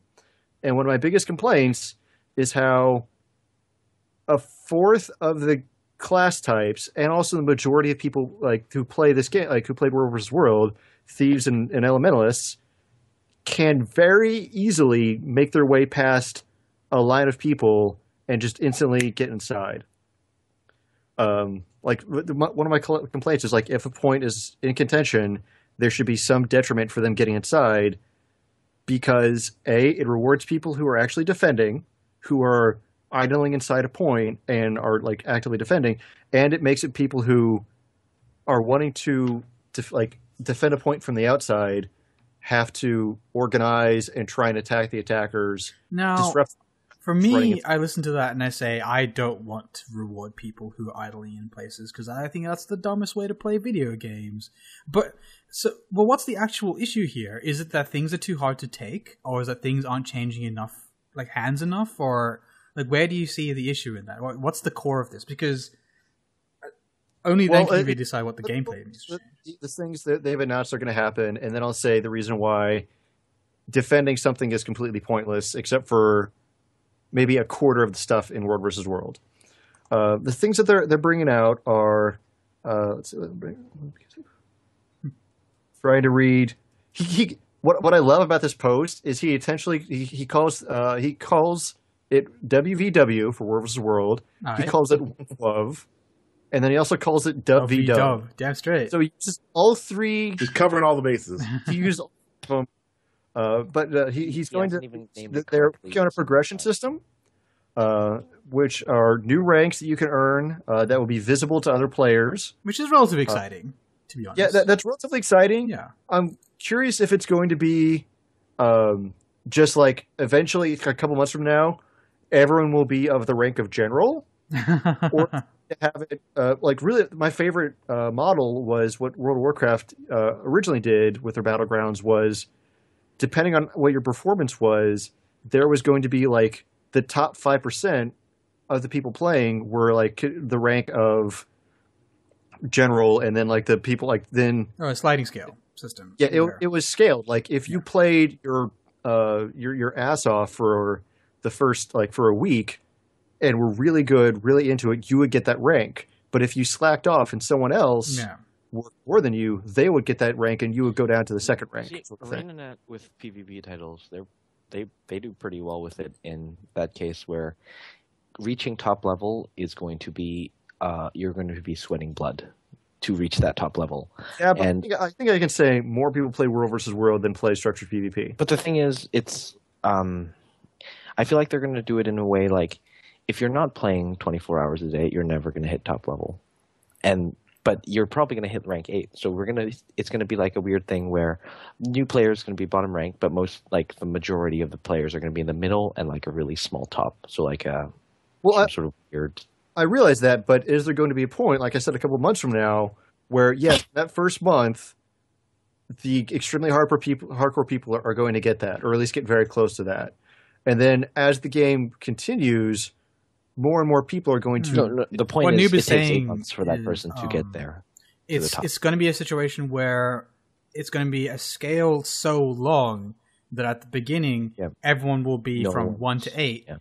and by two months later, people will be some people will be fifty, and a year later maybe some people will be sixty, and then uh, the gradation will be so large that that will so slowly differentiate the players. So the player base will have to reassess what is a good rank in that at the first month, maybe being rank 15 is totally badass, but a month, six months later, rank 60 is totally badass. But in the end, it's only this one continually sliding, like huge scale, which is what they did for structured PvP. Like, I, no one's level 99 in structured PvP, for example. Yeah, I, I agree with that. Um, That's what's likely like, to As, like, I, I understand that model. Yeah. I don't think that model is the best option. Oh no, because, no, I don't. I don't think no. so at all. But it's it's yeah. the option that I think they'll go with because that's what they do elsewhere because it works. Well, it, I'd prefer Thurbleton's model, which is like the top five percent are generals, and everyone below that is something else and something else, and that changes depending on who is the current top five percent. I like that, but that's not good either. But I feel like so wait, you're, say, you're saying nice you're saying like top five percent is generals, everybody else is like gradations of that, like lieutenants or. Well, no, it's like i- i- if Oh, you're in the if you're in top five percent, uh, if you're like ninety five to hundred, you are, are like the rank of general. If you're uh, ninety four to ninety, you're the rank of like commander. So you need to be Yeah. able to maintain that rank. is not not the blue icon commander, but just commander. And it, it breaks down to captain, all that, and Yeah, then the base yeah. level is just crew. Yeah. Um, Or in this and that like whatever. that's for the most inactive people. The people who are playing it more actively will get to the rank of like grunt or squire or something. But the main thing is you have to earn, you have to, you have to maintain that rank, not just earn it once. I don't, See, I don't know. I, I think yeah, I think the problem the problem with that is like I don't want to play up to discourages general players then- who can only maybe play Love Love for shorter chunks of time. But this already There's does no that, progression because in the PvP system, I'm still rank 15 or whatever it is. But and people right, blend but the difference me. is you'll always be rank 15 until Yeah. you move yourself up. You can Well, go Whereas on a with vacation. Thurbleton's rank, you won't always be your rank because it's all based on what other people are doing. you'll doing. feel So that you you've lost something in Thurbleton's. yeah, exactly. Because if you're like There's- you rank up to general and then you go on a further, like, vacation progression. and then now you're no longer general is the big problem.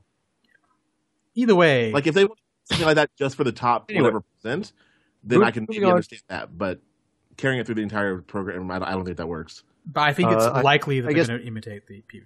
The Yeah, structure. we'll quickly go through these other updates, then we can keep talking about it. Yeah. Um, there new world versus world specific abilities and bonuses that you can earn as you rank up. So, yeah, it's like if you get to that rank, They're going to be you fall back emotes. down, Abilities are going to be emotes. I guarantee it. I'd like to think that let's say you get to the rank of commander, and then you fall back down. I'd like to think you'd still get those abilities and bonuses. You just wouldn't get the title of it. Like you wouldn't get the um, the EPeen rating, but you'd still get all the power that is associated with that. So you still have the e so test. what are they adding? Uh, are they adding like abilities and stuff? What, what's But happening? basically, uh, as you rank up, probably with new Rama's model, uh, you'll get new abilities and bonuses uh, for your play. Oh, and, and new those abilities won't be just emotes because they said that they will they will not be things that will make you hit harder or anything, but they will be things that will make you more useful in world versus world. Emotes. Emotes make you more useful. I'm, I'm guessing one of the options is you can carry more siege. Yeah, Or exactly. That's what I'm supply, thinking too. or carry more supply. that is Yeah. that is so strong. If that, if that's a thing, that could be pretty Eh, dangerous because I mean, it. I, I mean, it's, it, but that's the thing though. Is like it does. It's not something that you as a one person now suddenly do more damage. well, well, no, but Like, supply it, allows is your more side to than erect siege faster. Supply is Yeah. way more important than damage. Like supply is I'll, I'll, huge. I'll talk about that in a second and why like it's carrying more supply may not be the best issue. right. Um, but I, like, and I, I think it, I think it's more like um, you maybe get like a, a ability to erect like a, a guardian like shield over your dudes for like ten seconds or whatever. Like so- How about like a cool emote that shows a golden spear? I wouldn't be surprised to see Wolf of only abilities. yeah, Yeah, I, I, I don't think it's gonna be that. I think I think that it would be closer to like carrying more siege or or not siege uh, supply or um, maybe a large area wide uh, um, sprint bu- um, bu- buff that you can put on everybody or something like that. I don't I don't think it's gonna be something like a shield because I think that's that's too combat direct Gameplay and would make you more powerful. Hmm. Um, because like they said, they, they specified like that you will not be. I mean, I guess they specified you will not. It will not be anything that le- allows you to do more damage, yeah but it will make you more useful. use, useful. So? I mean, yeah, that's very little. thing- Very little like, of this is them the stuff. specifying. Yeah, They they they, stand, they tend to be very general, uh, open ended with these posts, but yeah, yeah it's the other thing they're they're talking about is um, they, they'll continue to work to rebuild the way the game uh, loads models and compresses data. Basically, they're going to keep working on fixing culling because they realize it didn't uh, fix it this time around. really. Yeah. So what was? Is it still? Is it better at least? Uh, it's it's a little bit better. Like they they they said that the uh, low polygon player model was only the first change in this, but it's it's still an issue, and AOE stealthing is an issue as well when it comes to because people will just associate that with culling. Um, I don't know. That, Right. That's that's one thing. Uh, they're also this is something that's really on the fence for me is expanding reasons to be winning in World versus World beyond the total weekly score, which to anybody who doesn't know, the people who play World versus World and earn points, which uh, every tower you own on the tick mark, which is every 12 minutes or so, that gets totaled from all the different towers, depots, and keeps and all that towards a um, a progress bar. And as the bar fills up like experience bar, as you go through these levels, you get bonuses for the PVE server you're on. Bonuses like more health, uh, chance to get uh, a crit when it comes to crafting stuff, chance for an extra gathering node. You know what? Uh, I I've always hated that. Yeah, it's it didn't really work because I'm fighting for people who aren't playing the game, and Yeah. I'm not directly contributing because I'm spend all my time in World versus It's, World. it's like not- Yeah, it- it's a derivation from like the Temple of Ancients um, stuff from the first Guild Wars, which is based off uh, Hero Heroes Ascent. Uh, in that, if you're if you're a server when a bunch of Heroes Ascent, then everyone in the entire server would get benefits. I sure, but I World versus World, I that new thing which is like It's, giving it's you nothing reason. that directly affects the way you're playing the game. Yeah, because self interest is the primary form of motivation in any form of online game. And Yeah. g- giving Yeah. more people more reason to be have to have self interest would lead to better and more competitive gameplay. So, and one percent just doesn't Uh, cut it. The other thing they're Well, going. they're- and, they're and- talking- and I think real real quickly before we move on Yeah, to the next one, um, I think that uh, unlike I, I I actually disagree with her, but I think that expanding on reasons for winning um, and providing a strong incentive to specific objectives, blah blah, blah short term goals, like that's actually I think incredibly important because the current reward system is such a failure. I didn't say I didn't like it. I always said I was on the fence about it. Mm. Well, I'm saying like I disagree with you. I think it's going to be great Well- because the current reward system is is To, shit. to be on the fence, you have to have positives and negatives. What, what, what do you what do you feel the Well, it's it's. I mean, it, it this really goes back to and and uh, I'll reference this a bunch, but what is winning? mm. in World versus World. Yeah. Yeah. Um, Is it just owning the most points? In which watching case, a pie chart fill up oh. with the color? if, if you if you're going to Yeah. talk to me about disliking how World versus World works on an intrinsic level, I'm with you all the fucking way. Wait, so. are, are we at the level where we're? I Gonna mean, uh, uh, because we will talk about the whole metagame of it, but well, we uh, may. get to Hopefully, we got points. enough time. I- I'm assuming it's just yeah. The the most points you own, you'll probably get a tick for something. I don't know. Mm-hmm. Um, provide additional ways for uh, WoW players to earn various power progression rewards available across the game. Currently in PVE for participating in World versus World content. Do you guys understand what that means? Because I'm not quite grasping it. Power progression rewards based. Not really. Wait, so Edward doesn't isn't it obvious? It's just like if you do better World vs. World, you'll have temporary bonuses in your PvP, PvE experience, like crafting or whatever. I bet. But we we already have that. So no, as in like on a Yeah, personal basis. It sounds like it's on a personal basis, like for you as So a player. PVE or World versus World. so it's So- going to give you more of a, more of a personal benefit as opposed to just server wide benefit. So basically, you're going to see people who are these elitist dungeon dungeoneers go into World versus World, cap a few towers to get some bonuses, and then quickly go into a dungeon so they have more health or more damage. Is that a bad thing? That sounds like a good thing.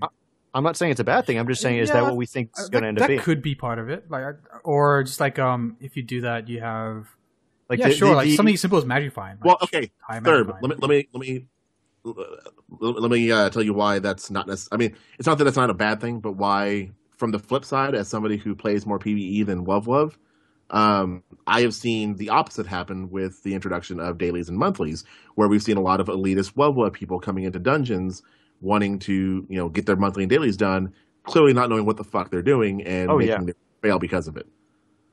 It's it's something that has me worried. Is the Yeah, elitist- isn't that a good thing in the elitism end? of everyone? in the end, isn't that a good Um, thing? Because then they're I mean, learning. for arena, it's a good thing because you have them, you know, doing more content. But uh, on the short I, mean, I guess yeah, it is, it, is, yeah. it is a good thing because They're learning it, how to it- do it- stuff. you know, they'll eventually learn how to do that and maybe learn an appreciation for a mode of the game that they generally otherwise considered to be easy Yeah, mode. Because let's be fair here, elitists of each side think the other one is easy. Elitists are Oh, yeah. jackasses, just in That's general. Let's just, just just be Yeah. clear. Don't be elitist. Um, so I mean, I, I was just saying, like you know, as a counter to what they're Unless saying, it's structured like, PvP and hating on the 8v8 guys, because that that's fair. Um, so yeah, I I mean, it's, it's already happening the other direction. So it's not, it's not, it's not inherently terrible. It's just, it's a, it's a hurdle that's going to unfortunately be something we're going to have to get over until those players do grow an appreciation for it, or just decide never to do it, and it's, that it's not worth it. Yeah. Um. It it's it, uh, I am okay if that's what the idea is. I was just unsure of Oh, what what, that post meant. Um, that sounds. That's what it sounded like. to It sounds me. like it based on them saying power progression rewards. Yeah, so it'd be personal progression or like personal power ups based on. available across the currently PVE. Yeah, so well yeah, I think so. All right. Um, and then they're going to try dealing with the queue and uh, the way like player population and demand. Uh, That's a weird one to me. I, like, well, Because- first off, the queue issue for people who don't know the way queuing works is there's a soft system in place where if people join in like streaming in one at a time, everything's cool. Um, you will get a queue if, let's say, there's 100 people on a, a map, and by the way, the maps can hold uh, 166 per side, I believe. Let's say there's 50 people on, and then 50 more people join instantly. Like, let's say an entire guild's like, all right, we're running in at this time. I think at the cap of like, if 30 people join a map instantly, it will put a queue in. And it will wait five minutes before letting five more people in, and then five more minutes for letting five more people in, and th- something like that. Um, so that's that is one side of the queuing issue. The other side is I, I don't think this is as big an issue, but when you get full maps uh, with 166 people on each side, um, rotating them through for people who are on in, in, in Lion's Arch or whatever trying to get in. I thought, it- Okay, I thought so it was yeah, I, bigger saw- I, of saw, the I saw this. Yeah, I, I saw this as just the general fact that you had to sit in queue for so long. Yeah, I thought that was get in. the. That was And no, th- that's th- why- I, I think this might be there, like because the, the soft queue was put in place because uh, in the early days of World vs. World, people found out this was a valid strategy to get 50, 60 people together in this giant ball, and then just run around from map to map to map, taking all the points. right. So they would see like there there'd be a soft amount on every map of like, okay, there's a huge attack on this keep. We need you guys to come over here and kill all of them. So they come in, kill all of them, take a couple towers, and then move on to the next map. Right. And just this mega zerg that is running through. Yeah, just map map hopping really. Yeah. it was the thing. And that was their way of sort of countering that. Um, I'm not sure if that's the best way. Who knows? But right. Yeah. No, but what was weird to me about this was like like uh Cynic said, it seems like the bigger issue really is like having to sit there in queue when the map is full, Yeah. waiting forever to finally get in. I've and it- it's like weird an to me that they, like yeah, it's, it's weird to me that like on the same post where they're talking about trying to get more and more and more and more and more people into Love Love, they're also saying like, yeah, we're also gonna work on the queue system so you don't have to sit in queue, even though we're trying to get even more people in, so we're doubly making this harder on ourselves. I, I've been I in- think the best thing that for all of this um, that may that will definitely help them is if they put some transparency in there where you actually see on the top right. Let's say there's 523 people in front of you. Fuck yeah. That number Yeah. will slowly start like start dropping. always, Yeah. always better. That that way, yeah, that way I know I can look at that and be like, oh, there's 500 people in front of me. Fuck this, I'll go do something else for now. Right. And also, Or, the or like, or like say like you there's 500 people in front of me. I have time to do my daily. Um, and, and this and- one, and it's, it's, it's current situation from what I remember. It's it's just you are in a queue and doesn't give you anything. It just says you're you're in a queue. It doesn't even it doesn't even show anything on your screen letting you know that you're still in queue. Uh, well, that's not yes, Blue it, it- Crown. It, sort of does. There's an hourglass next Okay. to the World Wolf symbol on the top Okay. left. Yeah. Okay, that that that must be fairly new then. Uh, well, it's, it's not very obvious. It's not very obvious at all. It's just a little icon. Okay. Um, but uh, yeah, I'd vastly prefer if I actually gave you a fucking number. Always better. Or even or even something as simple as like mouse over the web web button and it tells you you've been in queue for five minutes. Estimated time's about 15 minutes. Oh, estimated time's always useful. That simple. Yeah. But yeah, I, I guess from here, that's pretty much all the stuff they've talked about uh, announcing. We're going to discuss about why we, like, you guys think this would work, and why I think it won't work. And then Cynic I agree and Noob are going to be the people who are like, "Hey, we're dealing with a persistent world. This is the issues that they are going to come up with." Um, Wait, so what, what? What do you? What do you? Which which which part are we talking about? What what are we? Are you just going down the list? Because I I'm fine. I'm. I'm not really sure. If you want to go down the list, So yeah, thought we we can. just talking about the problems with We have a world list. versus world in general, and I thought I was going to go with like what I think the problems of world versus world are and how it can be better. Yeah, and like, and, and if we think that this is on the road or even a, a step into fixing some of these issues, or if like it, it, it, and also if you guys feel if the issues I'm going to present are valid ones, um, it, it- do it. yeah, like th- things I find are like it, it's there, there's really doesn't seem to be like an end game to this. Which if they add a progression system, that might solve it. But they're they're like the the the maps I've seen are th- there's no reason to defend. because uh, apart from one map or what one tower rather, and that's the uh, the Briar Tower in the Borderlands, every tower can be trebbed by something else. And by that I mean they can be trebbed by uh, the trebuchet can be placed inside a tower where no one else can hurt it.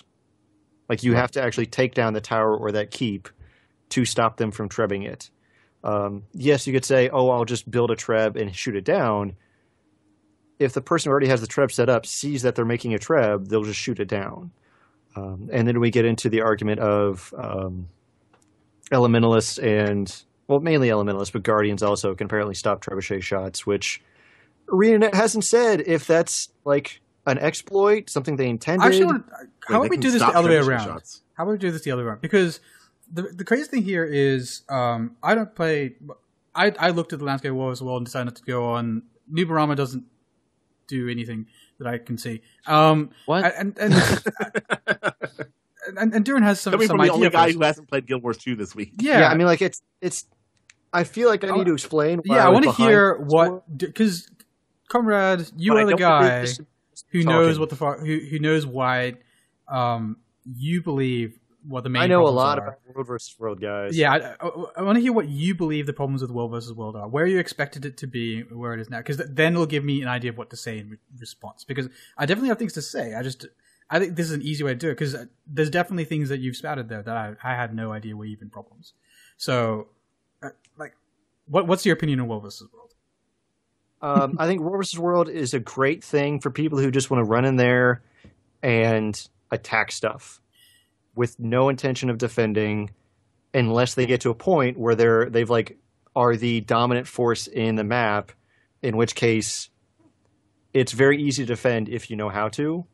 Uh, but even then, it's just like the best option still is to run around in a pack of fifty. So the cra- the crazy thing here, here is like when we were in the betas, um, which is a long time ago now, I guess. Um, well, the the coolest thing about That that, was before the World War. Wow. the cool thing about that was because it's in some ways it's very similar. The maps were always full, and there was a bunch of people playing, and there, there were definitely zergs and people running around taking stuff. Um, but the major difference back then was you didn't have a ingrained society of people who were full time world versus worlders, and you didn't have the whole thing where people camped on points and that kind of stuff. Like you, things were more mobile and fun, but because when shit got real, like it wasn't a situation where we. It's hard to vocalize. It, people were, met at the right places and were there at the right times for fun to happen. That's all I can say, and that consistently I, I happened think the the thing was is back in the betas it was reset every day.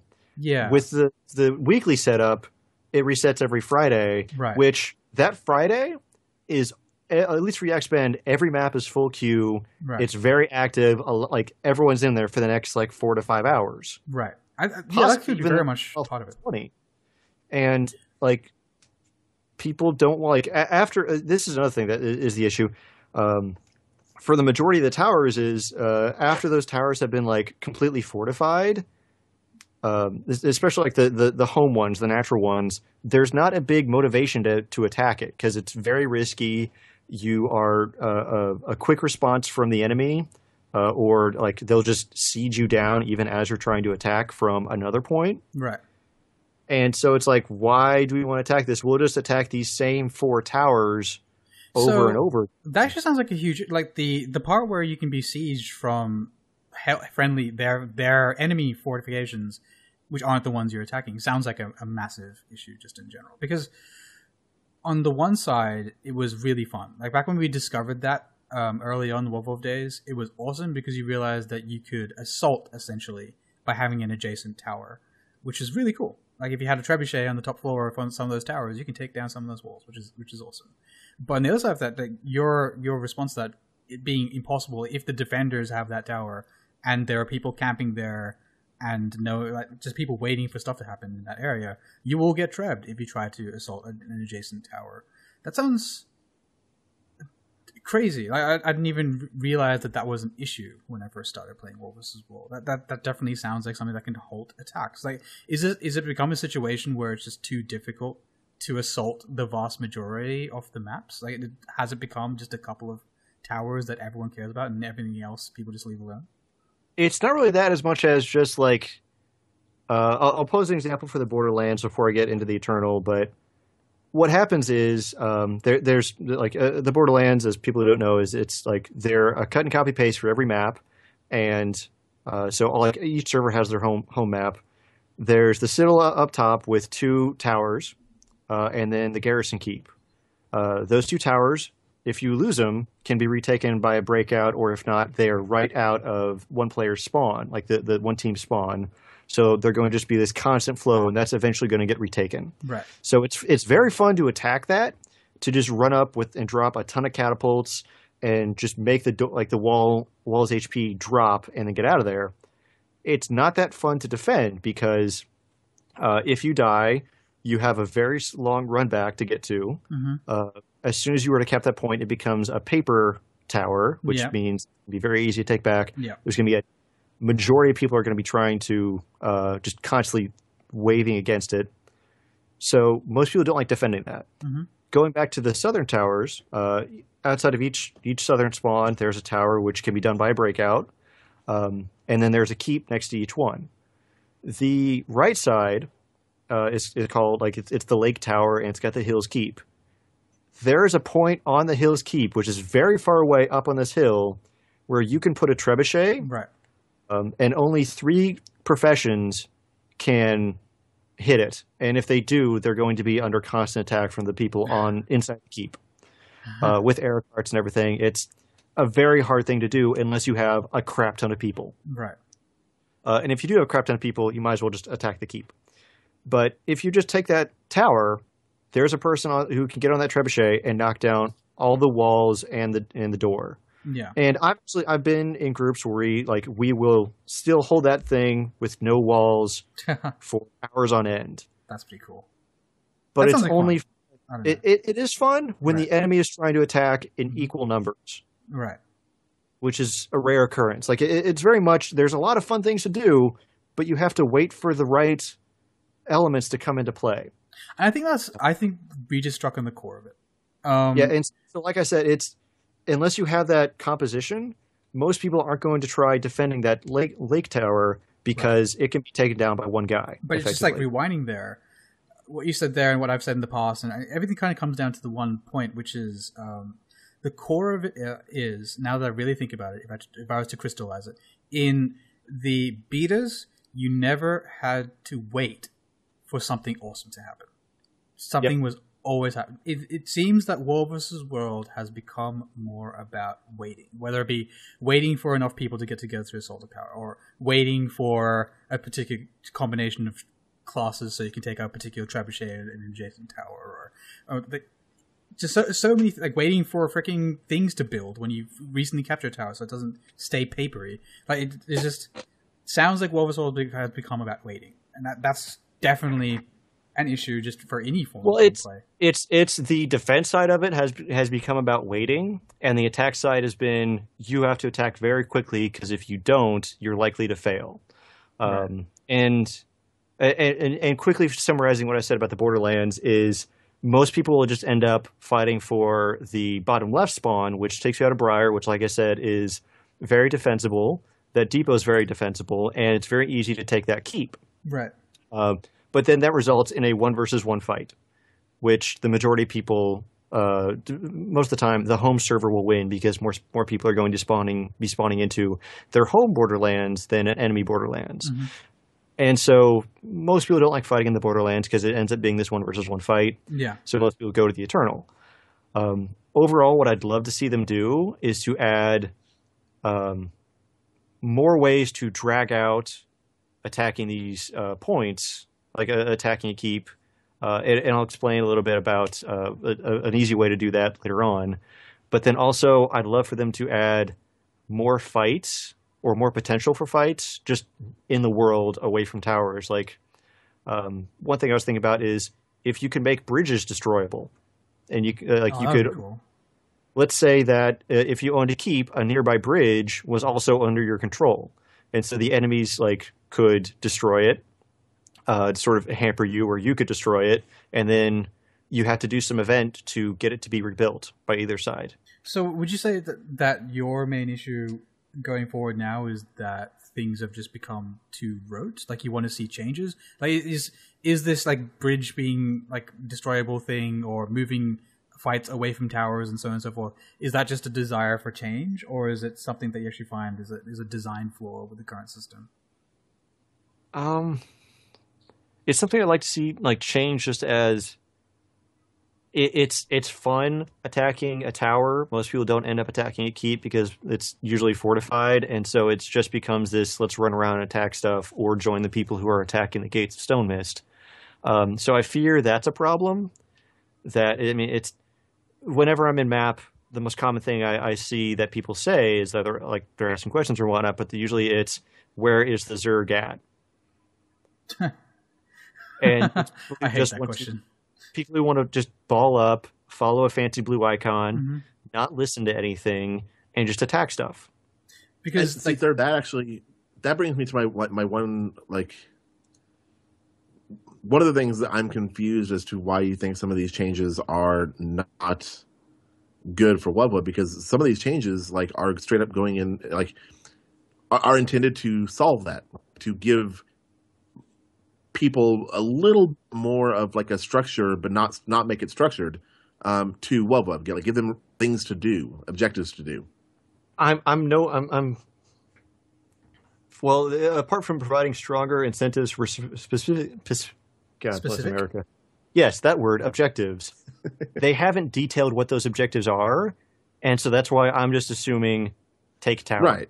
They haven't they haven't detailed what they are, but I mean they said you know for specific objectives, um, additional short term goals, like eh, like what they're looking at is the minute to minute in Webweb. I mean, because if- as if- it's right now, you're right. Minute to minute is follow the Zerg if you are in Webweb for the most part. If the short term Um, goal was like you got a ton of more XP, money, or whatnot for defending a point in the first minute of its attack, that would be, that would be awesome. that would be awesome. That, Yeah. that that would motivate people to defend.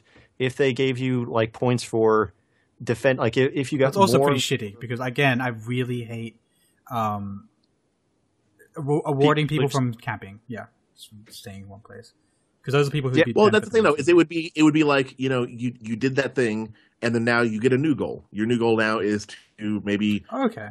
you know assault a tower or or to you know um, take down a, a passing Dolyak or something like that. Basically, the idea being uh, what I'm assuming and what I'm hoping these are. The idea being is to like incentivize players, motivate players to move around the map and do things. that's something else I'd love to see change is with Dolyaks because you could have twenty people defending something, defending a, a Dolyak, and if a thief comes up and Yeah, you can just kill it with stealth and you can't even stop him. You could AoE like crazy, but he'll just back off and then hit it again and again.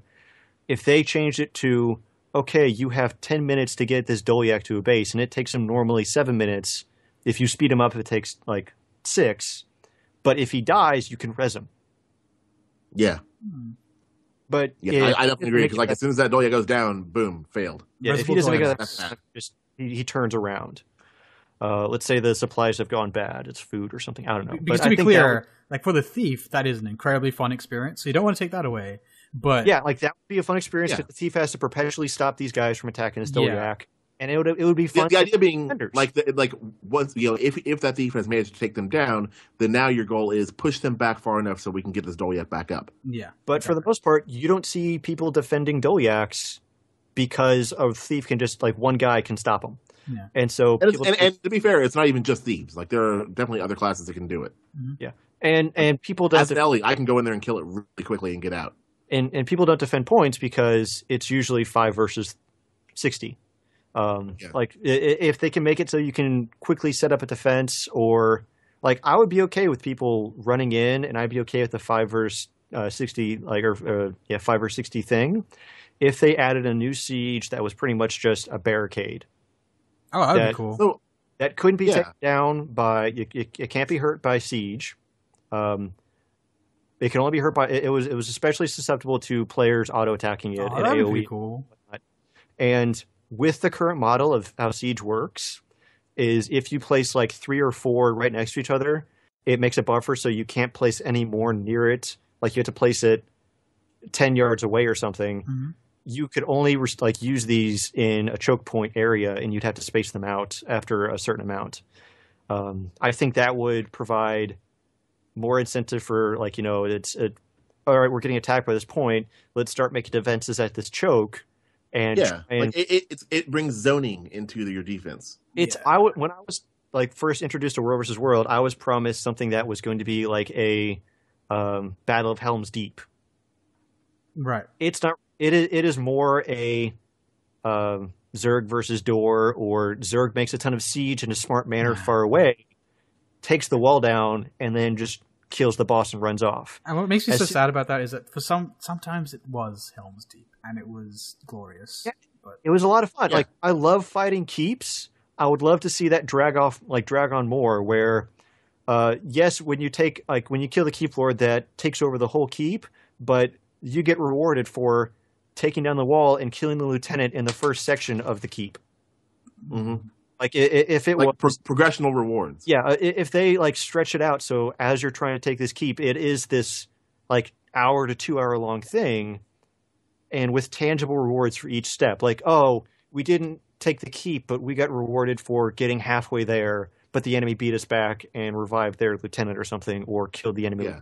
but my my make, it, make it more make it more of a power struggle than it currently is. It's it just seems like there's a very small window of you can go back and forth and take this stuff, right. but in on the larger scale, like I'll I'll take on red team, I'll take Ogrewatch um, tower, but that's just going to get tripped down from the keep, and it's going to get tripped down from um, Stone Mist. So there's really no point in defending Ogrewatch. We're just going to wait till the wall's down and then charge in there. I the the only issue I have there is for all the things you've listed there, still give advantage to the Zerg. Like if Yeah. if there was something which can only be defeated by auto attacking, the, the Zerg would win. If, if there's like a progressional awards, the, the, the Zerg will still win. Like they, they will overwhelm the defenders. Like if you made it so that um, it, it will only accept X amount of damage per second or something. Hmm. It, it, there is a timer in which it falls down. A leg- like a time like timed defense. Like, like Yeah. I think there was a, a game recently. I forgot what it was. Which um for defenders to make a last stand and make like just a crap ton of arrow carts far off. And as the enemies are just breaking down these barricades, you're pounding them with uh, arrow cart fire or something. I don't know. my But just Skype is it- doing a weird thing where if I'm talking, I can't hear you, Thurbleton. It's weird. oh, sorry. No, it, no, it's just Uh, hey, I hate Skype sometimes. um, third, real, real quickly, like while while we're on the subject of, of siege, um, going back to your complaint, your, don't get me wrong, valid complaint about um, uh, Trebs being able to hit other like towers from within or whatever, uh, or hit keeps from within towers, however it works. Adjacent towers, Um, yeah. Yeah, yeah. Um, do you think? Like I, we were talking about it in Mumble, and we were talking about ways of like reducing the range on on the Treb so that it didn't work. So somebody somebody else had had had brought up maybe increasing the map size, but I think that that brings in way too many problems Yeah, it, um, it- with, with other balance issues. the design of the map bugs me, but because Yeah. redoing the whole map is way too It's gonna, it's, yeah, it's way too much work. it's way too many resources for Renet to put down. They could alternatively just slightly lower instead of 10,000 unit range, make it 9,000 unit range. Yeah. That way you aren't seeing this completely one-sided Treb fight. Um, But I was also thinking, like while you were talking about it um, a, a few minutes back, what what would you think about instead? Um, just make Trebs not able to be built within towers or within Yeah, that's what I was going to suggest, but I thought because I like if you need to def- if you need to if you're being assaulted by a treb that the attackers are assaulting you with instead of being able to build the treb where it essentially can't be hurt why not force the attackers to find an area outside of the keep to build their treb to try to take down that other treb if, if they not want to go down that there's path. own like because there's sufficient stuff in there for a keep's defense. There, there's mortars, there's cannons, and there's oil pots. Yeah. they, they don't need Be- to have because- trebs in there. it's, I mean, like, I am A-okay with that. Um, but it's still very easy to just run out there, kill the enemy trebuchet, maybe die, or maybe just wipe out the, the defenders and then run off. Um, if they had something like the barricade, I would be 100% for well no no i'm not saying i'm not saying instead of the barricade i'm just saying as specifically as as a way of fixing the issue with trebs being basically invincible within a, a keep and able to assault outside i think an easy fix would be just don't don't let trebs be built inside of keeps or towers Like Yeah. make them make them like force players to build them in places where they are also just as vulnerable as the enemy. I I am all for that. I think if they did that, they would get a lot of backlash. Um, and, and, and Yeah, but is it is it warranted backlash though? I mean, that's the thing you got to look at. Any change they make to it that makes it harder for people who want to do things easily, they're going to get backlash on. Well, and, and like all of this has to go in the context of um, ArenaNet said that World versus World is not going to be balanced. Right. They Yeah, never I, I mean, I think yeah, nobody can Yeah. expect it. They never went further in depth on that. Of like, is the fact that you can have a trebuchet inside of a, a keep taking down a tower and there's nothing you can do about it apart from having like a really skilled group of defenders and elementalists uh, to stop the trebs from hitting your treb as you take theirs down. Like that is the one option, and that is a high skill, uh, high coordination counter, which not most people do. Um, I, I was losing my train of thought. No, but okay. Well, I think there's I, I I think there's a difference between like Is, that- is that it won't be balanced and it's still doing things to fix stuff that is clear, clearly an issue. yeah? It, and like I agree, it's not going to be balanced. Renet, but- uh, believes is a unbalanced system, or by the, by unbalanced, do they just mean you're going to run into fights that are four v fifty? Well, I think it's more so like not not just you're going to run into fights that are four v fifty, but more more importantly, they are not going to do class balancing based around Wub Wub. That's never going to happen. I think that's more so what what ArenaNet's getting at with this. Um, but with the actual like Wub Wub specific stuff, like Siege, there's no reason they can't work towards maybe not making it 100% balanced, but fixing things like an incredibly powerful Siege machine being invulnerable. or at least very very hard to counter. Yeah. Yeah, Um, yeah. I like that. That is, the, I think, the number one issue why I've been like, why I've got, like gotten out of World versus World is because it's just whoever owns SM owns six towers, or at least has very easy access to attacking them. Yes, the local defenders are going to retake it, but it's just going to be this back and forth on one tower. Um, and, yeah, and, and it seems like the current system has um, essentially set up a very stable but not necessarily fun metagame. Another option I'd love to see, and this is, a de- I agree, this is definitely a radical thing, but I'd like to see them just get rid of towers. That would be cool. because the most fun I've had, actually, the most fun I've had uh, in World versus World is when I like th- these past few weeks when we've been red team um, is retaking our tower from the enemy, or not, not our tower, our keep. Right. I, I I would say like getting rid of towers would be okay only if they were replaced with something that is compelling. Like just simply getting rid of them dramatically reduces the fun of PvP or of Wub Wub because there's just there's gonna be less things to do there. Yeah, But it- it- having it's- less it- things to do will also um, force people to congregate more. So it Yeah, could people be are going to focus more on these massive sieges of Stone Mist and the th- and the three keeps, or the three keeps in the Borderlands. Because Um, the idea of the varying types of objective in World vs. World has been the fact that you can take them on with a specific amount of people. Like, for example, um, the the progression from a um, supply ca- supply dump or whatever you call them, a supply, a tower, and a keep Depot. Yeah. is a fly depot, a, a tower, and a keep. Is that you could assault? You, you- their idea for it was you can assault a fly depot with five people, you could assault a keep, a tower with twenty people, and you can assault a keep with fifty. But what they didn't realize when they made that system is that so many people play World versus World that you generally have enough people in the map to always for that churn to continuously and always be happening. And in addition to um, it being more and more difficult, like those bars are raised. You, in a lot of cases, you can't take Right. a supply with five people anymore. And that's why that's why I'm saying like I'm not saying like replace towers with something that is very similar to towers. Mhm. I'm saying don't simply remove content from the game. Like if they're going to remove content, they need to replace it with something that is actually compelling and adds something to Wub Wub. Oh yeah, like Now, I said, that was a, a radical as- suggestion. Well, even something as simple as you know maybe smaller keeps in those places instead of towers, and maybe that'll do something, or just simply more keeps. Like add more things. Like like you don't want to remove content from Wub Wub. Actually, 'cause That that's just create another Dobleton's problem. has of- of more um, weight to it because if you do remove, because again, like the, a lot of the design established was established because they didn't expect this many people to be World versus World. I think the strength of World versus World is those larger fights, not the smaller ones. Because the small ones just become invalidated because all the work you put in as a five man team is undone in ten minutes by the next five man team. I mean, to, to some extent, I agree, but I mean, you see the direction they're already going. They're adding more and more smaller, um, smaller Objectives. group stuff to do in World Yeah. War. Yeah, I mean, they're going they're going so far as there's there are going to be things that you can do, or if not already, things that you can do as a single player to Right. affect. Let me World talk Cup. about smaller Well, groups. here, here's uh, uh, okay. A couple th- things I'll quickly run off. Um, first, first thing is uh, I'd love to see uh, two thing two things added. Uh, as you guys may or may not know, if you were to escort a yak, uh, you'll still get like an event credit for it, but you don't get any reward.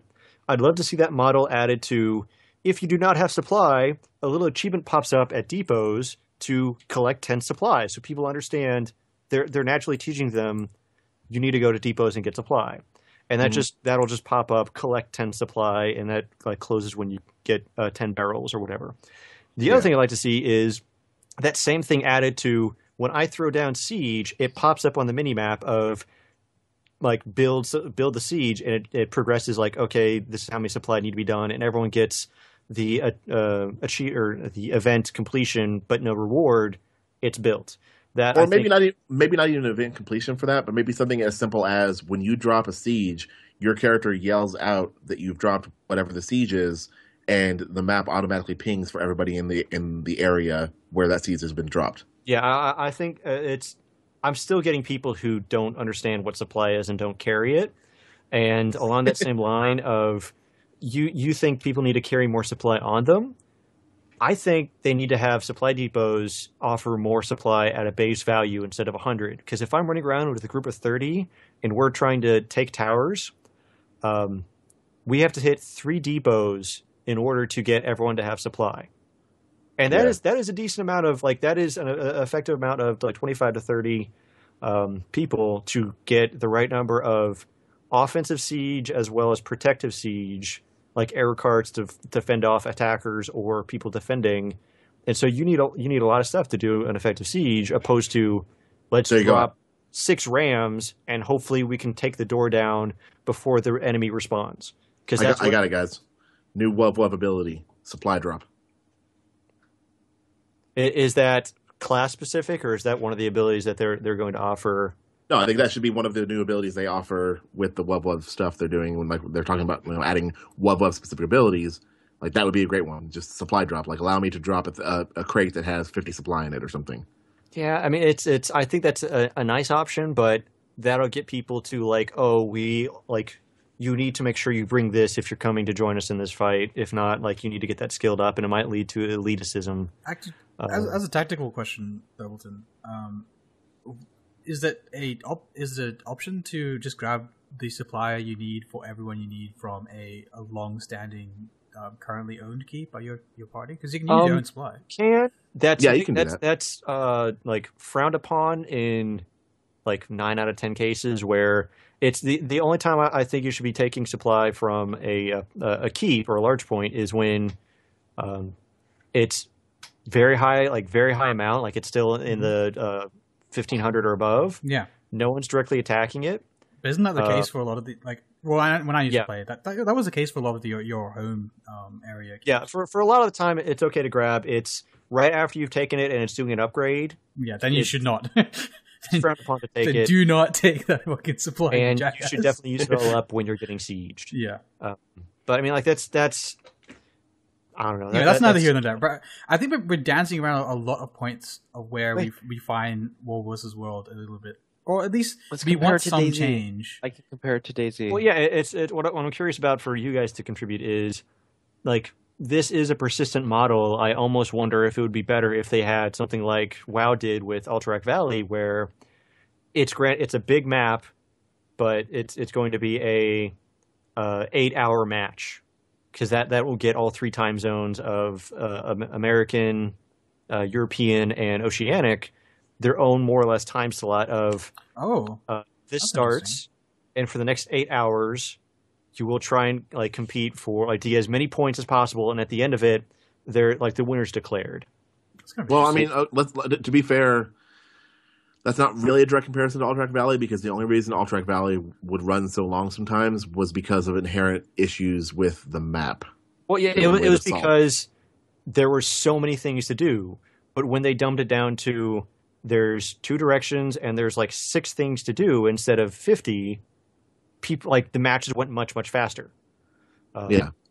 So which which But I'm, I'm, I'm just thinking like like the eight hour match thing though. Like the problem with doing that, like I think the reason why they went with the the kind of persistent week long wub wub as opposed to the eight hour match thing is is as a player coming in and doing let's let's say playing it for half an hour or something, um, you don't really get the feeling of of the the benefit of the win for not being there. You feel like you need to be there for like the full fucking eight hours to really get your benefit out of it.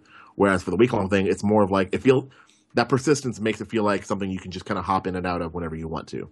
Which, yeah, but the downside of that persistence is by design, they want to make it so that it's like, I, I to say, like, most of the time, nothing exciting happens because it, it's built to sort of like, we have the breakout events, we have these massive keeps that are very, very hard to take.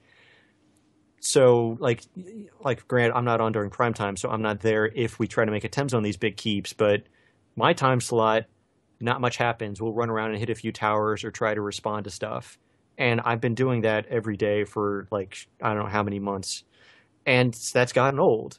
And so um, with games like Arma, well, Ar- is Arma a persistent world? I know DayZ is. Uh, DayZ, some uh, servers run persistent, like It's like that. That's the model Yeah. of. Let's See, this is this is what I kind of got leads to my question. In your opinion, what is the magic number for enjoying World versus World to the, the fullest? Like, For me, it was what's like the under magic ten number people. of people? Under ten people, right? Yeah. So it's the same with DayZ. DayZ, the the magic number is first make sure you're having fun at the individual level when you're running alone. That's very important. And then secondly, at the squad level. So under ten people, it's a close close group of people you normally run with. And in my opinion, re, like getting that magic number means everything in even like big world versus world games because the point is what they should really be doing is having that individual doing whatever he wants in within that group and that group achieving their objectives but within like a greater framework so a cog within a gear within a machine How I does- think that how would be a lot does of fun. DayZ do that? huh well How the does point of DayZ DayZ, has is a massive map. There's no machine that is up Yeah. to the cog level or Yeah. there's up to the gear level so when you have a sc- but the thing is because where it's called world versus world has a lot more people and it's i think my problem with world versus world is it lacks organization and structure and the only way to build that is between players out of the game so Yeah, world, that, that's or- the other annoying thing is the squad system is completely Right. shite. the thing is Uh, when- yeah, world versus Yeah. I, world I like if if they improve that, I think that would definitely benefit coordinated group on a 20 to 30 man level instead of everyone balling up in this 50 man zerg that can go from 50 to 10 very quickly. because within that Zerg, there's no coordination amongst the Zerg members other than let's follow where the Zerg goes. Yeah, follow, follow the blue icon like Right. a, a fly to a zapper. I think the best way Yeah. to do it is small squads that end up building up to a big Zerg, but they're coordinated, and that's like the, the. I think they should build it more around having people run around in groups of ten or less, and then maybe build those into bigger groups rather than going from top down. Because at this point, it's really just top down. It's follow the blue dot icon rather than let's build our squads and then take orders from certain people. And I think because it lacks that sort of organization, there's no focus to really what you're doing unless you're connected with other people. And I think And- that's my biggest problem with World versus World. Here's something that like biggest faults are. Taking from what uh, Noob said, as well as like, I would love for it to be small group thing of like groups of five to ten, uh, several groups of them like working for this greater reward. Um, but like, if you wanted that in a DayZ fashion, you need a much bigger map because the maps right now, I think Borderlands is a bigger map than Eternal Battlegrounds. Speaking I think of it has less to do with the map fucking than crazy ideas, um, I, I, okay, so what do you guys think of this? This is this is one of the crazy ideas I had earlier in this episode. But I, I, I kind of dismiss, dismiss myself as crazy. Um, what if World versus World wasn't just one set of maps? What if it was an internal best of three in that there were three versions of the entire set: Borderlands and um, Eternal Battleground. And so you have three servers fighting over those three maps, but that is stacked three times. So you have to win two out of the three, or a worst case, if everyone gets one, or in, in, if one person gets all three, whatever. But there's actually nine maps in total, each just stacked in one another, and the entire the entire thing adds to the victory condition. Because that will But the So question you're is, basically saying what more does that maps, change really. for the average person playing World versus because what World? will, And- that'll change it'll it'll reduce It the amount of concurrent players on a specific map by a third which will break everything down to how it was in pretty much the betas where you but wouldn't you, have so people Are you saying three of the same maps? well yeah just like the He's same things like, as now but stacked If three you times look at yeah, if you look at now, there's there's Eternal Battlegrounds and three. Um, there, there, there's a home Borderlands. Borderlands for each contributor in Yeah. EB. Yeah, Um, he's saying that times three. yeah so So essentially you're talking about for a single matchup between out three players. servers exactly I would be you're okay with that, except it would end up it's- being let's get into too- a ball of 50 and take everything, Yeah. But and you then these couldn't. 10 defenders are going. but you couldn't because you have to win two of the three to be the un- uncontended victor of the whole week set. You have to actually own, like, you have to be the, the highest scoring in two of the three of the stack to win the whole week set. So if one I don't, Zerg know, I, I, I 50, don't, I I don't feel like the I don't feel like the solution is less players in WoW WoW. I think That it seems like the. I, I, I, I Um, think that I think I think instead of less players. I think it should be better better methods of communication and coordination. Right. And It, there's no infrastructure for coordination in WoW. It's simply and, and that's part of the reason. That's yeah, that's part of the reason why I think that, that, that you know these systems that they are potentially adding in that could motivate players to do certain things will help a lot with adding, like I like I said before, not structure to WoW, but just things for people to to follow and to do as opposed to just following that blue dot, like you know, like Thurb described. Well, and and it's something else that sort of bounces off all of all of our uh, ideas. And and it's cynic. I think I think you'd be the best to like shoot this down. Is uh, just because you don't like people idling. If I, like if we're attacking a keep, there's no, like there's very little motivation to after the outer door is gone and ever, like a- after the inner door has been breached, Mhm. um, to sort of stop people from coming in behind us and clearing any siege we placed the main motivation is to keep pushing inward to where the keep lord is and to where that reward is. right. Um, basically, the saying is if like if I'm one of like ten people who are at the door, uh, the outer door, st- like fighting the people streaming back in who have respawned from nearby and are running back in to try and help like stop them, I'm gonna end up dead and with no reward. Or I can just follow the Zerg pushing inward and cap the keep. Uh, do you think it'd be like uh, after you've taken the outer door, like a circle appears of like defend this point. If you stay in this point when the keep is captured, or if you stay in the point long enough the during the, same attack, rewards as in the keep. yes. Um, I, I think I think if they spread out the like if they if you were nearby contributing when a, a point was taken, you will get, you will get the same reward as if you were in the uh, final room capping. Do you think that's a good model, or do you think that can be abused by people who are farming? Uh, what do you think It'll about that? Do you definitely like- be abused by farmers, but the current thing is Mm-hmm. also abused by farmers because if you if you if you see the X's on your map, it's the cross swords on your map, and you, you see them at a keep, you can you just pop in and see what's happening, and if they're taking the keep, you just kind of it's it's it's a Zerg thing. Like, no, I, how many people are just running around the map aimlessly aside from um far, like straight up farmers? They're, they're, Yeah, I mean, like that. That's another thing of people have said, well, why not just get rid of the orange swords? But then you get people who are like more going to be asking, where's yeah, the Zerg? where, at? where do Just- you what Yeah. you do? There's no communication other than that blue icon, and that might have ten people. That might have fifty. Yeah, I, I like I like I think- the idea of like know. ma- like um defending your entrances if you're keeping a keep. I think, yeah, I think one thing that would help a lot, really, though, is is this is kind of the case across the game, but I think in in WoW a change would um, it would benefit WoW the most is making it harder to get that gold level completion when doing events, because then an event like Thurb is talking about, idlers won't get shit out of it Right. because you you would be required to actually fucking do something and and I, like I said, I think it's a problem across the board in the game. I think it's entirely too easy to get a gold. Yeah. I mean, the, there are a lot of times, even just in PVE, where an event will happen, and you could totally go over and just hit like five or six dudes and then Gold. move on and go do some other stuff, and then five minutes later you'll get a gold for that event you didn't really participate in. Yeah, I mean, like I I'd like to see the rewards for taking something more spread out. Of like, okay, once you cap this this door, there's a lieutenant behind it, and so you're going to get a little bit of reward for doing that. And then I'm okay with letting the rest of the people go for the main key because I know I've gotten something for it. Yeah. Uh, but yeah, I think just just in general, I think that Thurb's idea of that circle is a good idea. Yeah, I but I think that before that that idea could be implemented, they need to um, change how change what's required to get you know gold, silver, and bronze level of participation.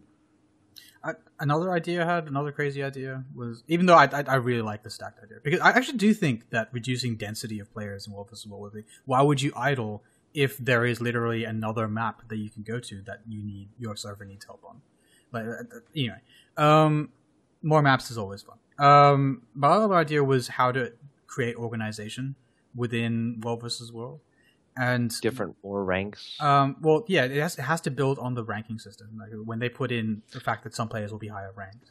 Um, I think because they did a big disservice by adding one top general, Yeah. and then not adding anything in between. agreed. Well, That's- and like it's it's the rank system and all that will like get more people into the game, but the overall issues that I I have with it of just like the the, the Treb game that that is the meta, which Right.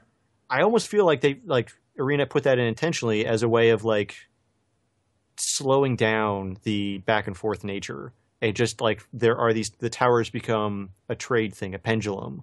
right. Um, They should add a bunch of like hate rooms in the pendulums. tower so people can hide. I, I'm okay with hours to clear pendulums. I these just like them to be more than one point. Yeah. Well, yeah. That that's the worst kind. Like Um, I, I would love to see taking a keep as a multi-stage process, Mhm. and like taking a tower as a two-stage process. Of like, yes, the outer gate's down, but then you have to get through the barricade, and people can make a last stand rather than just bailing. right. So, so yeah, my, my yeah, ideas were right now. Yeah, once that once that gate's down, everyone tends to just run away. um, I- I'm surprised that we've gotten this far, and they haven't even considered um, putting friendly um, sie- like siege weaponry on your map. Or um, on, on- on this in this case, like because my idea was uh, the top levels of players in the game. Um, what they if they open a specific menu, what they see is the whole set of Borderlands, just like as if you hit M, and what they can do is they have say a, a pool of 10 points. And they can click on a point on that in on that diagram right and invest those points. And that's essentially voting. It's voting on where you want like the hotspots of on the map that you want people to attack at any given time. And so um, what what you eventually have is a bunch of people. You, they see the world versus the world map, and they all vote on say specific like two different areas.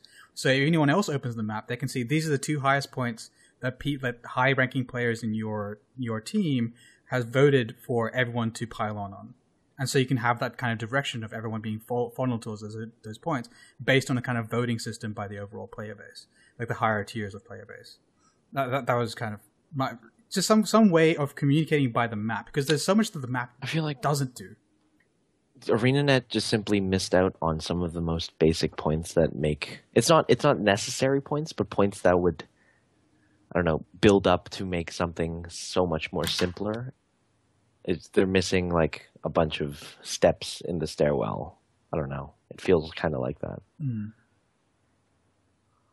Anyway, Regardless, I- I, I think mean, like, I it- think they did too much of like a top-down approach in terms of like organization. They need to build stuff from the bottom up, so it encourages kind of why I people loved to stick alliance battles small back when that first came out because groups of Right, four because- in alliance battles. yeah groups awesome. of four right because it's groups of four running together and then between those groups they'll communicate yeah rather than hey there's a blue icon on the map let's all gather around it Yeah. because It- it's it's there. They took like a few steps into like the, system, and I think they rely on people to actually communicate.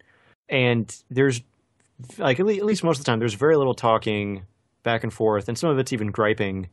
Um, it, it- it's if they want people to, to like to spread out in this fashion, or I, I'm not sure. It's if if you look up the video for World versus World, they they don't really explain too much other than it's a large scale PvP battleground, and I love that they have a picture of trebuchets point blank against the wall attacking Stonemist. Not even far away. They're just right next to the wall. Yeah. You know, the more I think about it, the more I agree with Cynic in there should be less players on World versus Yeah. World. I'm totally I- up for that. The the more manpower is valued as like it's it's scarce, Mhm. the more people realize they need to organize and actually do shit together. Yeah. But uh, when everyone's zerging around because there's so many fucking people, Mhm. they they don't see the value of small squads And building together with an a organization. surplus of Well, people, it- you have people camping positions and, and idling and stuff like that because you do have a surplus of people. Imagine if you were like playing Arma and there was just one blue icon on the map and like nothing would ever get organized. I think the problem is the lack of communication, the lack of organization. I think they could do a lot more to fix yeah, that. because Yeah, anyway it- they. it's- Oh, sorry. Go, go ahead. Well, it, I mean, like th- there's there, there's sort of like half in the direction of people can do their own thing and all that, but then it's the other half the direction of the tools that are in the game right now only benefit and and the way the game is like is structured only benefits everyone going into this massive ball. Yeah. Right. and they arena has like not fully stated this is the direction of, of what we're wanting um like it, it- and even even that like uh reference i made earlier of they wanted to make it a sort of helms deep vibe they don't directly go out and say that other than just in like a couple of interviews uh, from before the beta Right. Helm's Deep Dives look good in movies, but they don't play well in video games. But they I did feel like. sometimes. They, they did work. Sometimes. i mean like i would be okay to be on the defenders in helms deep and eventually lose that shit so long as i got 50 kills for yeah. losing that shit As long as you beat Gimli. But and um, that's very hard to do yeah, but uh, there's the idea of more th- maps increasing player scarcity Right. underlines some of like the the basic teamwork structure that make games like this fun, and uh, also like undermines the reasoning for going to Zergs because Also if there are more maps, then there's then one Zerg does less in the grand scheme. Well, it doesn't have to be more maps, just like a bigger map. Because if the map's big enough that um, a, a group of 50 cannot go from one side of the map where they're attacking to the other side of the map Yeah. to attack another point or defend a point, there's like there's a reason to split up. Yes. Right. Um, or, or if they make it so it, it's easier for small groups to like if I would love to see towers um, not be able to be upgraded to be fortified. I'm pseudo okay with reinforced, but just sort of a way for a 10 to 15 man group can take two towers like before a 50 man Zerg can respond or something. Right. I mean, right now it's you could split it up like that, and then a big Zerg can just wipe everyone out before um, they anybody gets successfully to take a tower. So, like going back to the alliance battle analogy, the point of alliance battles was if you zerg up, you can win battles, but you will not capture the points. You will not and win you the will war. Effectively, lose the game. Right, you will Yeah. lose the game because you simply can't cover the ground, Yeah. and because there are so many people, you just have three balls of zergs running around that can usually usually access like the big battle points of the map that really matter and Yeah. that are like I mean, from what I've changing the flow of heard, the battle. tier one is basically just people running around in giant Zergs. Yeah, and so I I I would love to see an increase like a player scarcity. I'd like to see whatever way you you introduce that player scarcity without reducing the amount of people on each server, like whether it be like stacked maps or just bigger maps or just more maps or Like whatever. incentivize for people to run around in small groups away from the zerg. yes. I think either by rewards by like if people in your party get kills, maybe you get bonus assist points. because back in the day, like, like, back in beta, some the funnest times we had were the big Zergs were internal battlegrounds, so we grabbed a small group of fucking crazy people and swam across the world in like crazy in the middle of nowhere parts of the enemy's borderlands, and capped behind enemy lines and shit. When no one else was there, we I'm- just got shit when no one else was looking, and, and, and that, that kind of feeling of being a commander. I'm squad. not saying I'm not saying Yeah, it- it's- the zerg entirely because that zerg is necessary to win Yeah. battles and that's a part of the game. But Yeah. don't make that the only thing. Mm-hmm. I'd, I'd like that Zerg, um, like that that idea of everyone spread out. But the thing is, is you you will probably end up getting that feeling of everyone's going to want to go to like group up as large as possible, um, because most people on their own, like just getting into World versus World, don't know the process of sneaking around, taking stuff, even in a small five to ten group. Right. They're going to want to just look for that blue icon. Um, But ha- have we gotten to the point where, where we're getting a huge influx of new players into World versus World? I'm not seeing too much of it, but that's I mean I'm only playing on one server. Right. Uh, I I think this is go yeah it's like we we are approaching the near the three and a half four hour mark, so I think we're going to wind down soon. No0b0rAmA's heading out. Um, I, I it's I think this is going to get more people into it, but I think it's just going to keep the same metric going of um, like towers and, and, and whatnot, and rarely attacking keeps. Uh, like if if somebody has enough to attack a keep, they're going to own the whole map eventually, probably. Yeah. Um, just Because because like that that yeah. that time of day, there's more people on one side, and it's not. I don't think it's too fun for the defenders. Momentum is totally a thing at the moment in. World. Momentum And- is totally. I would like to see that changed. Uh, I'm sure a lot of people do like the metric of just attacking things back and forth. But whenever I see people like uh, making an attack on Stonemist or a keep or something right now, it's just we need to attack with as much as we can as quickly as possible because if we make this drag on too long, it's not going to work. So, and so we I guess in the way to wind, winding down, we can just like kind of focus this a little bit. So, what do we think of the changes they're actually making to. World? What- what- Which of these do you think is worth talking about? Are there anything here that you think will, will significantly help what's happening? I, I think they're they're good changes. Um, I mean, like the I think the providing strong incentives for specific objectives and short term goals is a good thing. Whether or not that's the thing in the right direction, they haven't stated. What does that Um, mean?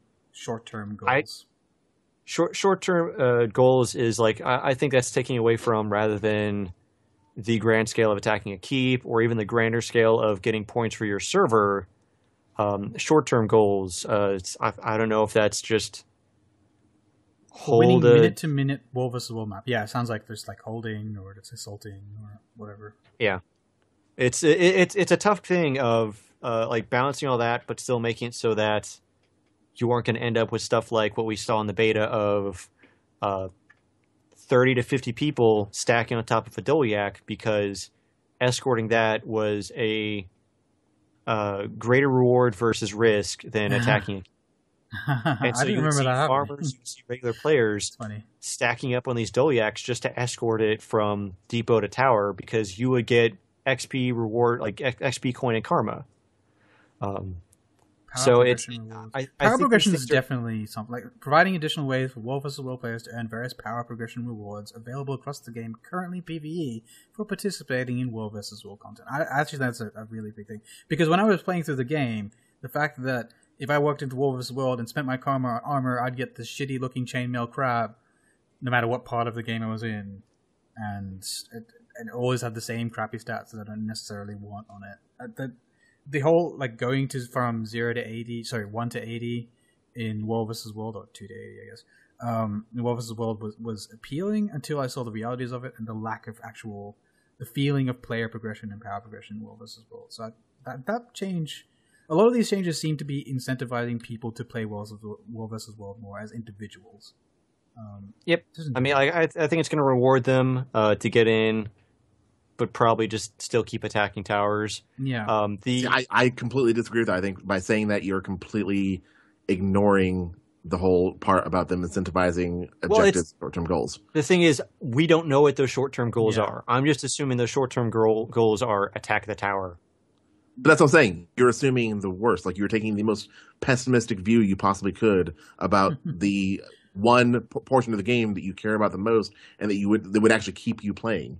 You Hmm. you are you do realize you're talking to a person who is sold on World versus World and like delved into that wonderful world that it is, and then just like oh, it's all just this like very easy met- meta game that like balances itself out. Right, and, and it seems like So they're I- trying to make steps towards making I am a bit cynical at it. ma- ma- like doing something to change that. And I, I just I don't think that taking the the immediate well they're going to fail at everything um, attitude is is necessarily the right way to go. I guess or the right I don't know. I mean, I, I don't think they're going to fail at it. I think they're going to successfully bring people in, but the issues uh, that that burn me out on the on the game are not going to get addressed at least in this update. I don't know. Uh, See, I, I disagree. I, I I personally feel like there is a chance that those will get addressed with this based on the wording that we're seeing.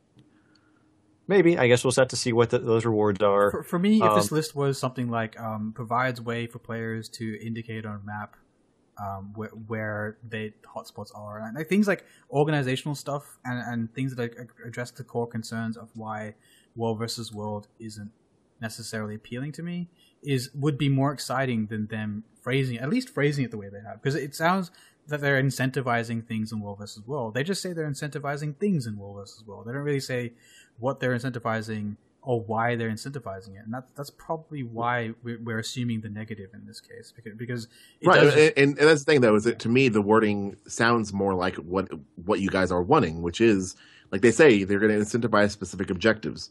Now mm-hmm. they're not saying they're not saying we're going to incentivize taking towers. Right.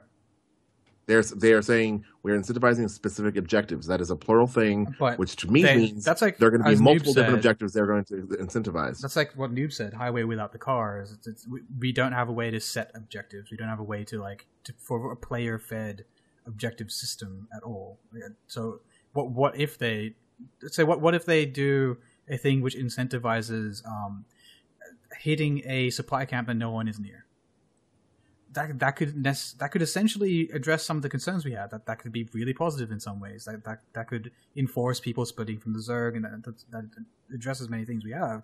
But there's also a flip, flip side to that. It's like, what if you what if that person was needed elsewhere? What what if, what if we needed him? Well, I think I think. Well, I guess when I when I see um, something like like that wording specifically, what I look at is from the granted limited experiences I've had in WoW since launch um, there are events that will pop up when things are happening. Like when I was playing it today, I was at a, a keep. I was actually just running around doing world completion, um, but I happened upon a keep that was being uh, um, attacked, and the event pops up saying, "Hey, defend this keep," and there's a timer on it. And when that timer runs out, you get your reward based on your um, uh, how much you helped. Yeah. Um, I, I see these um, incentives for specific objectives being things similar to that, but the idea basically being there are, you know, like you said, like maybe like hit up this supply camp or you know attack the supply camp, but the only reason you're getting it is because of maybe where you are located on the map and uh, um, in regards to where different things might be potentially able to so, happen. So utilizing like gonna, dynamic not, events more as opposed to yeah, like like you're not going to be getting like you're, you're not going to be on the southern end of the map, and suddenly an event's going to pop up saying, "Hey, go attack this." You know, tower up on the northwestern corner of the map. Like, I don't think that's the direction they're going to go. I think the idea is to move players around the map, not to not not not to send them on a cross country chase uh, uh, for for this event. It, it's I think it's really going to be a lot more um, regional based. Yeah. Again, based on what's what's captured, what's not, you know, that kind of thing. But we're all I, speculating. Like, so, so I, I yeah, it's all speculation. Yeah. But I, I, feel like that's the direction they, they kind of need to go with. They it. need to go. Uh, the the other thing that like it's we, we talked a little bit about it was the the progression ranking system. Um, basically, it, it's the reason why I'm cynical about that is with the current ranking system of regular players and then the commanders. That is not the best system either because like I've I've had situations where people will come like uh, they've come into chat saying, "Okay, I just hit 80 and dropped 100 gold for a commander icon. How do I play this game?" Huh.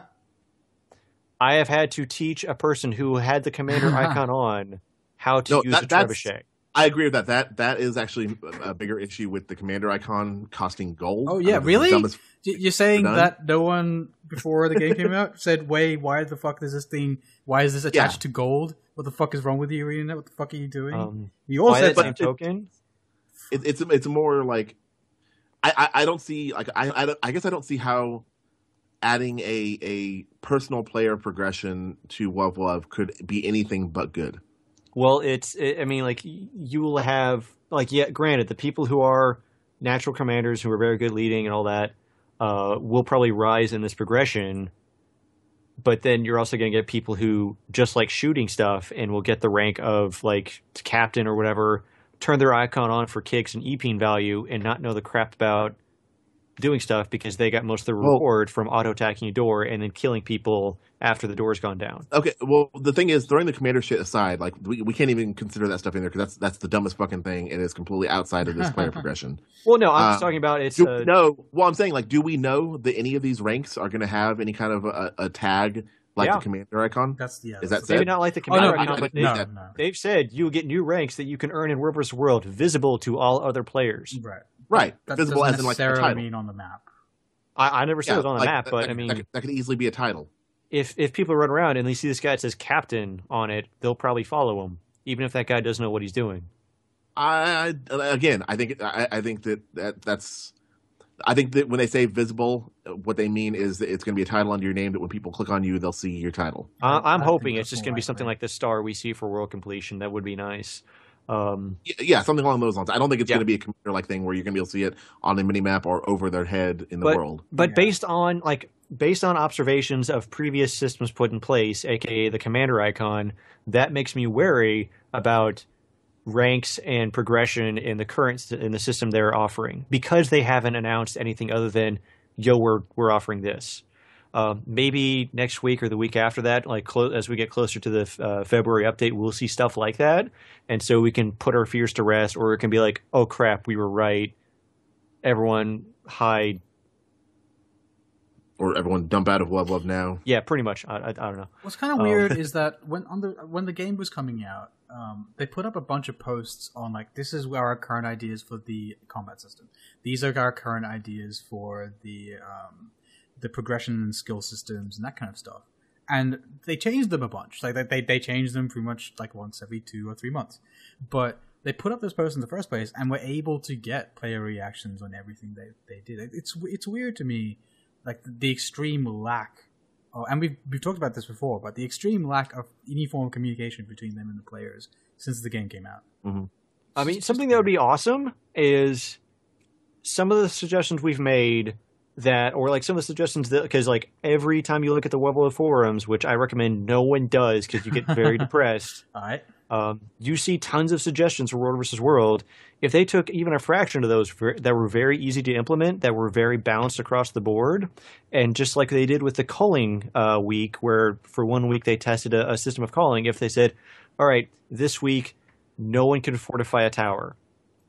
or e- Does this does this change the element of the game Oh, in a good way? Like that'd so basically, a, a, a muta- um, every week there's a mutation. that would be Um, interesting as fuck. Like that would be a way that to show that hey, we're testing these things, we're listening to you guys, Yeah, we're seeing if this works with the the community, other than this veiled cloak of yeah, we're working on stuff. You're going to see it in two months. We'll we'll tease it every now and then, but we aren't going to say anything about what precisely it is. yeah, And that changed from before the beta, like before the game was released, Mhm. of hey, this is all the things we're announcing, legitimate things, tangible things, to yo, we'd be working on stuff. Yeah. Or I guess more importantly, it was the communication that really changed. Where um, during the beta and and you know pre-beta and everything, basically pre-launch, um, they were really out there communicating with everybody, and there was there was a kind of a there was kind of a dialogue back and forth between the player base Yeah. and and and ArenaNet.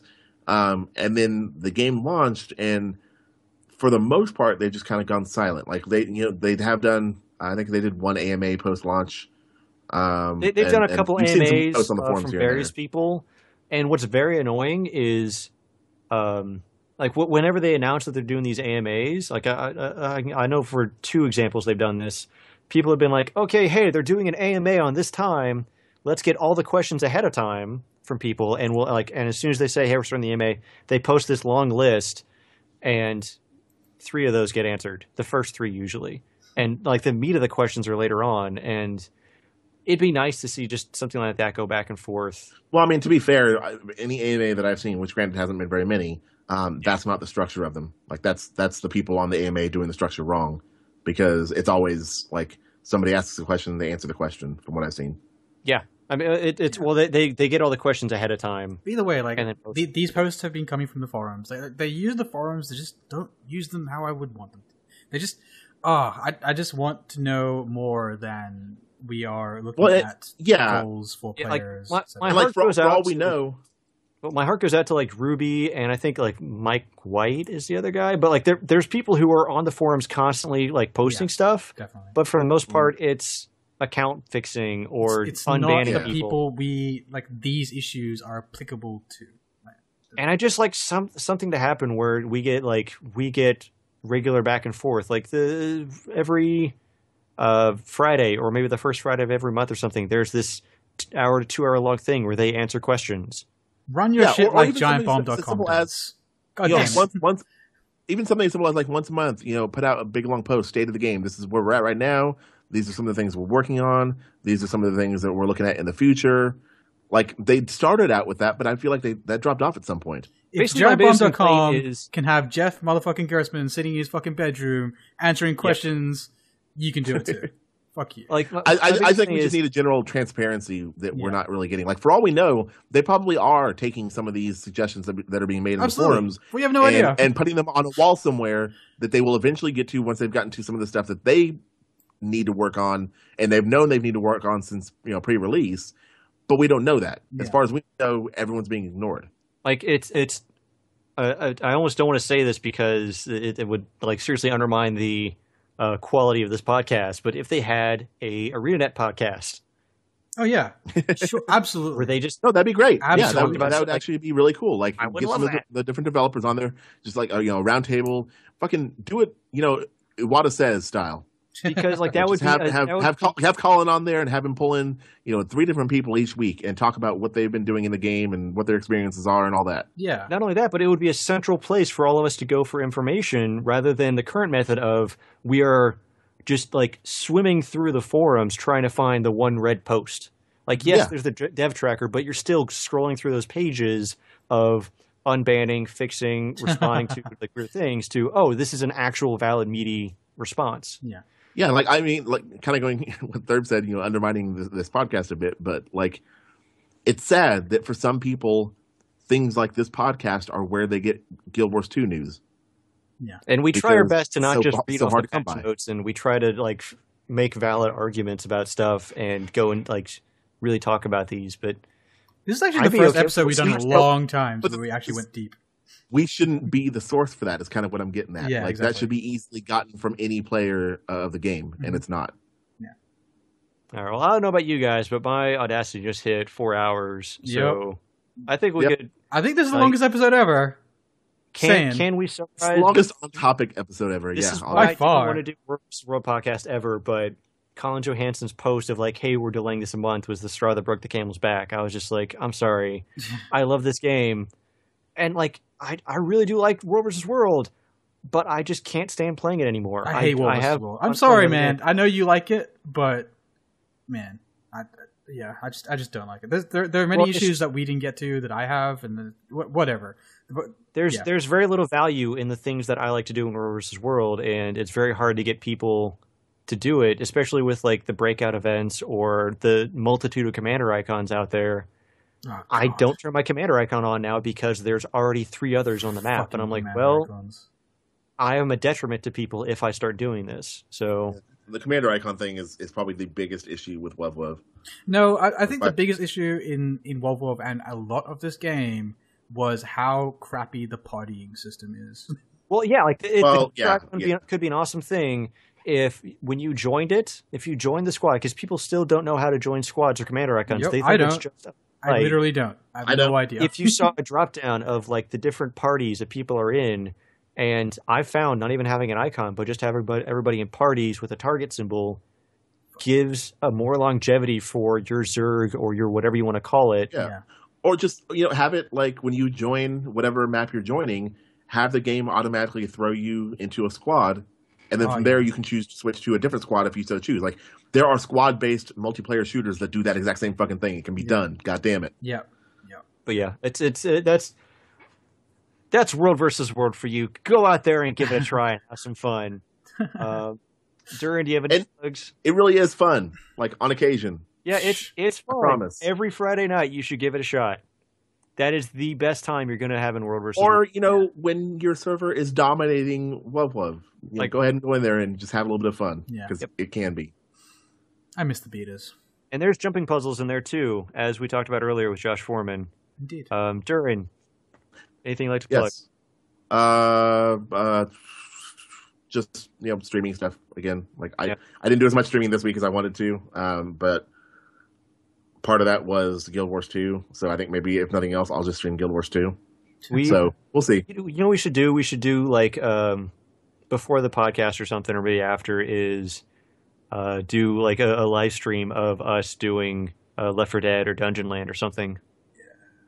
That'd be a fun thing. Something put on the YouTube channel. Du- Dourin, have you updated that YouTube channel? Because we've gotten random subscribers. I maybe have not updated the YouTube channel God in a it! while. You, I you really get on that. fucking YouTube channel. I don't think I've updated it since January, Yeah, like I- the beginning. Oh, you actually did. So, so it's updated till January. I no, I mean like Oh, Well, okay. yeah, because like last, the last one that went up, I think was the uh It, it is the one Christmas. after Josh Foreman, I think. was Oh, it the one after? Okay, So we're like six behind. God Yeah. damn it, Dourin. Damn it, yeah, we're really Dourin. Behind. Seriously, dude. Seriously. Uh, uh, Um, I wish plugs, FFmpeg. was- That's all I gotta say. My plugs. Is that? Like, oh, so much easier. do you have a new computer now, or was it uh, just a? no, no, still the same one. Right. I hope to have a new one, but I don't know when. Yeah, I, I, I need you to start getting FFmpeg working. God damn it. Anyway, my plug. Uh, Yes. yeah. What do you got, Cynic? My Self-confessed plug cynic. this week is: Hey guys, everyone out there, read a book. read, read some more. Uh, yeah, I, I, I've I I remember the discussion we had at the top of this episode, and I, I realized how much I like. I've grown to like reading more now. Now that I have less like average time on my hands, like I'm usually doing something whilst listening to an audiobook, or just before I go to sleep at night, I, I, I read and stuff. It's yeah, it's pretty great. It is pretty great. Video games are cool too, but yeah, there's something awesome about reading a book. It's more satisfying to me now than most of the movies I've watched this year. So. Yeah. Oh, also that Paperman thing you can watch on YouTube, so you can hate it like Dourin does because he's evil. It's, it's fucking Disney magic in real world doesn't work. No, So- but it's Still- it's a good improvement. It's it's a excellent Yeah, it's it's it's good. It's it's just it's not. fr- from a technical standpoint, I guess, because like watching it, thinking it's 2D, and then later knowing it's all done in 3D was It's it's it's hard crazy. because apparently because they put it. So just to be clear, like one of my favorite experiences from movie going in general in 2012 was a short in front of Wreck It Ralph, the movie called Paperman, done by Disney. It's up for um, the Academy Award, I believe, for best short of 2012. Um, they've posted it on YouTube.com. If you just search for Paperman, you'll find it there. It's got, I believe, it's the one at the top of this. Um, but it's like a it's a full-on animated movie but done in 3d in a 2d style and it puts cell shading in video games to absolute shame it shows you what I'm gonna pixar can S- do uh, cynic. Oh, I'm gonna say Disney you should probably post that in your links Yes, because last I checked, it was still a unregistered video, meaning that you have to have the link to find it. I searched for Paperman on YouTube, and it just showed me the trailer. oh no yeah i'll put i'll put that in this show So it's it's made like six million views without being a scene beyond video, searchable without being searchable um, which is awesome. yeah, which is fantastic. Uh, so it's, it's the problem is it's in 1080p on there, um, so that kind of ruins some of it because it's a, because by definition it's clearer on your television or monitor than it would be in theaters. You can kind of see the edges a little bit more, but yeah, no, it's totally watchable. It, it, it's yeah, it's, it's amazing. It's like the best music video that isn't a music video in my opinion, if you can live with a little bit of Disney magic. So I'll put that in the Thurbleton, what are your a little bit of Disney magic. yeah. Really? It's, yeah, it's the last like five, like 30 seconds or 40, 45 seconds. Sentient airplane, paper airplanes. You're is a little ruining everything. Magic. God damn it. Disney's ruining everything. uh, how could you I mean, hate on they weren't the And- first and ones to like uh, animated paper, only because J- Japanese. I remember Japanese anime did that too. I- But anyway, I guess uh, my plug is I'll, I'll play my uh, stream again. I've been a bit more active on there. Uh, Twitch.tv slash Thurbleton. Mhm. Um, I just realized that I can't see any replies to the Lincolncast Twitter, which is at the Lincolncast. we got Because weird follows. Like some people You- started following us, but Really? no one's replied. yeah, fine. I mean, like, i- haven't i- posted it. if you have any comments on the discussion we had today, either for or against, um, if you can, put it in Twitter. Uh, if you can get that short paragraph, hopefully that's not just hate rage about our arguments against World versus World. If you have something Or- more, more meaty that you want to contribute, you can email us. Um, uh, Cynic. The lincolncast at gmail.com. Also, Thank you. if you've listened And- this long, put turkey, turkey, turkey in either the email or any post No, no, no. We have- anywhere. We have to change it to something different because like people expect turkey, turkey, turkey now. but no one posts it, so it's fine. It's the thing. It's the thing we do. All right, all right, we'll do. T- all right, Yeah, turkey, turkey, turkey. Um, put turkey, Yeah, we turkey, turkey anywhere. Just or- communicate that turkey, to turkey. us. Turkey, turkey noob. Turkey, turkey, Turkey, noob? turkey noob. turkey, turkey noob. I like Alright. it. Either like turkey, it. turkey, turkey, or turkey, turkey noob if you're more inside the random school that is the Lincolncast. And Um, if you do, and if Dourin or Cynic are on, because they are the ones who know the logins for that those things, we'll mention your promise- name on, I- pod, on the podcast. oh yeah, I we'll will mention check you. email There you recording and see if, If you- if you- puts it in. Pro- Anywhere, anywhere, the Twitter, the, the Gmail, so at, at the Lincolncast Not the Twitter. Facebook. Not the Facebook. Not the Facebook. At the Lincolncast on Twitter, the Lincolncast at gmail.com, or the threads we put up on giantbomb.com in the Guild Wars 2 forums. If you if you put turkey turkey noob or turkey turkey turkey either the, either the, anywhere, we'll mention you in the podcast. Definitely. All right, and then um, Giant Bomb, real quickly. We are Yeah. officially in the dead zone of giantbomb.com. Hi. Oh yeah, They are transitioning to their their new site. New so website's up. Yeah, giantbomb.com is gonna have a brand new website for anybody who doesn't know. Um, I guess uh, instead of since I don't really have anybody to uh, shout out for this week, um, I will instead give a tip about World versus World to anybody who wants to know. Um, most people know by now that if you put a arrow cart or a catapult inside a tower, you can more or less just aim it at the door that the attackers are hitting and wreck them or be very That's annoying to them. Oh no no. I mean like that's you, you just you hit the door and the AoE splashes to the other Yeah. side. Yep. Um, to counter that, you merely put an arrow cart. Uh, let's say you're attacking, you put it right next to the door, and you can jiggle your camera so you can see over that thin ledge between door and wall, terrible. and you can attack the arrow cart that's attacking you. nice. nice. So that is my pro tip. Uh, so before you put the, the I don't know what you're talking down, about. put a- What's totally balanced. I know so many ways to cheese things. Fuck It's it, it's Lobo. crazy. That's that's what I've been doing. Asymmetrical fighting. Used to be so awesome, from this entire Used to be podcast, awesome. what we can take away from this is everyone who enjoys PvP should just go play structured. Tournament structured. That's that's the other thing. Tournament Is structured. really just Even take a break from World they're still great. World until March and just play some some structured PvP in free tournaments. Man. Because Okay, You know, if you really get really get into it, seriously, that shark rank is that like the shark finisher is the coolest thing I've seen. Man, Oh, I need to play more structured. structured is Uh, great. We are at four Yeah, that's- hours and twenty minutes. yeah, Yeah, I- I, I think it's just like every- everyone have a good good night. Next week we're doing a Scotch whatever. Cast, by the way. We're talking about stuff, probably. I Oh, talk yeah, about next fitness Yeah. And dieting. Fitness, and fitness, scotch, and PlayStation. Yeah. Yeah.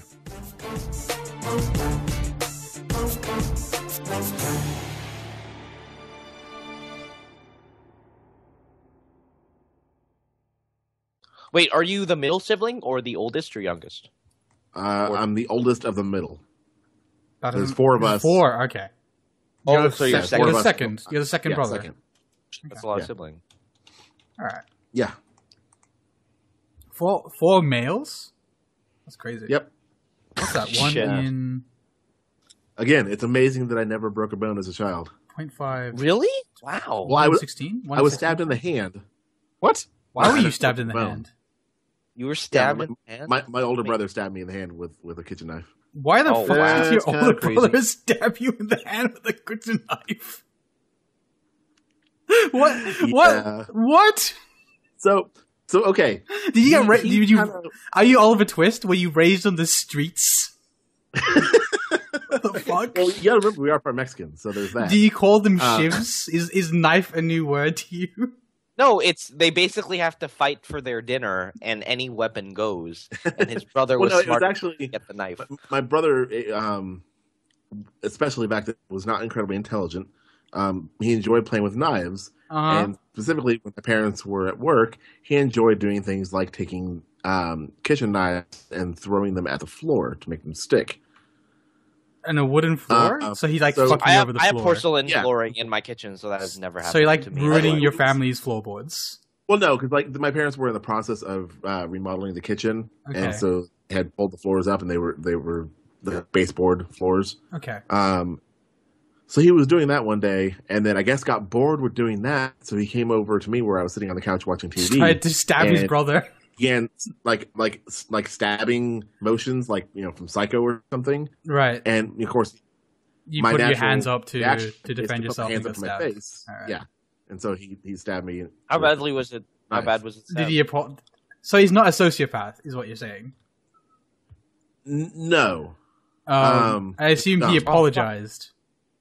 Oh yeah, he, he yeah he felt fucking terrible. Okay, yeah, that's Uh, fine. it was- See, it the image bad. what, It that was- I conjure when someone says "my brother stabbed me in the hand" is sociopath. So Yeah, it wasn't like it went like all the way through either. Like Okay. it went in and back out again. right, Um, but it was bent, so it kind of made like an S shaped um, uh, scar. oh right, okay, And took like about five stitches or so. Like it wasn't huge. okay. Is it still there? Oh yeah, the scar's still there. Yeah. See, I have a story from my childhood, from when I was in like uh, preschool or Mhm. like junior kindergarten. Yep. I was trying to stab this kid's hand with a pencil, right? Um, Why were you trying to stab this kid's hand? Are you a sociopath? Is that something you didn't Um, know about you? Funny story. Two days ago, my English teacher made our entire class take a test about like psychopaths and like if you close, if you score closest to thirty, you're a psychopath. Okay. Apparently, I had the highest score in the class. What's your 20, score? And that was like 20. Twenty out of thirty, and that was significantly What's higher the test than the about? average. Why are we not Everyone's recording kind of- this right Oh, now? we're, I'm recording this. This is Um, definitely going to the, to the I'm recording. post show. I'm recording. This is going to Um, the post show. but- What?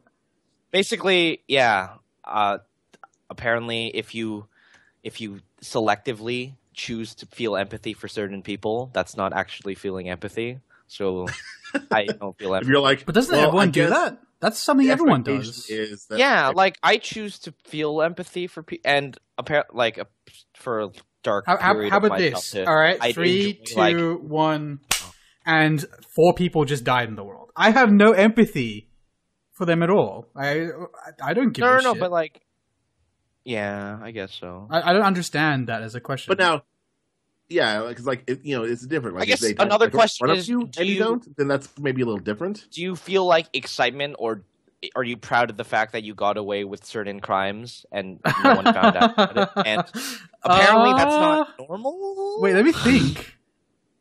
No, That's- it's it's like there, for like a very dark period of the majority of my childhood life.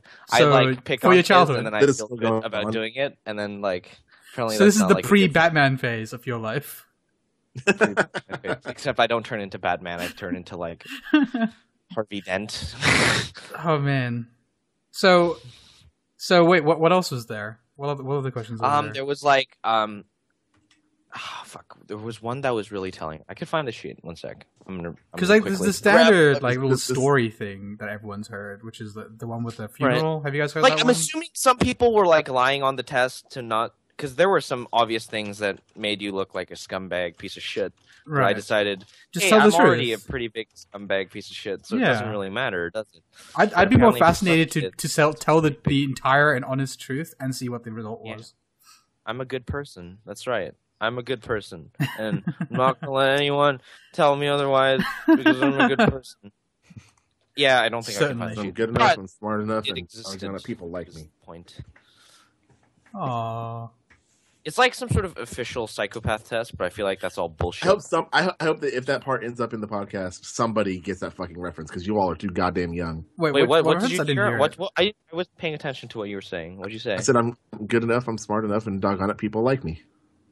Uh, that sounds familiar. Is that from yeah, Star it's Wars? familiar. No, it's not from Star no. Wars, you asshole. Why do you think everything's from Star Wars? Because Star Wars Chambers, that is Star Wars. Because as far as noob concerned, if it is not government related, it is Star Wars related. What? What are you talking? I hate the government. Okay. I All right, no, You I'll work talk for the government. later. I'll take. I'll talk about that later.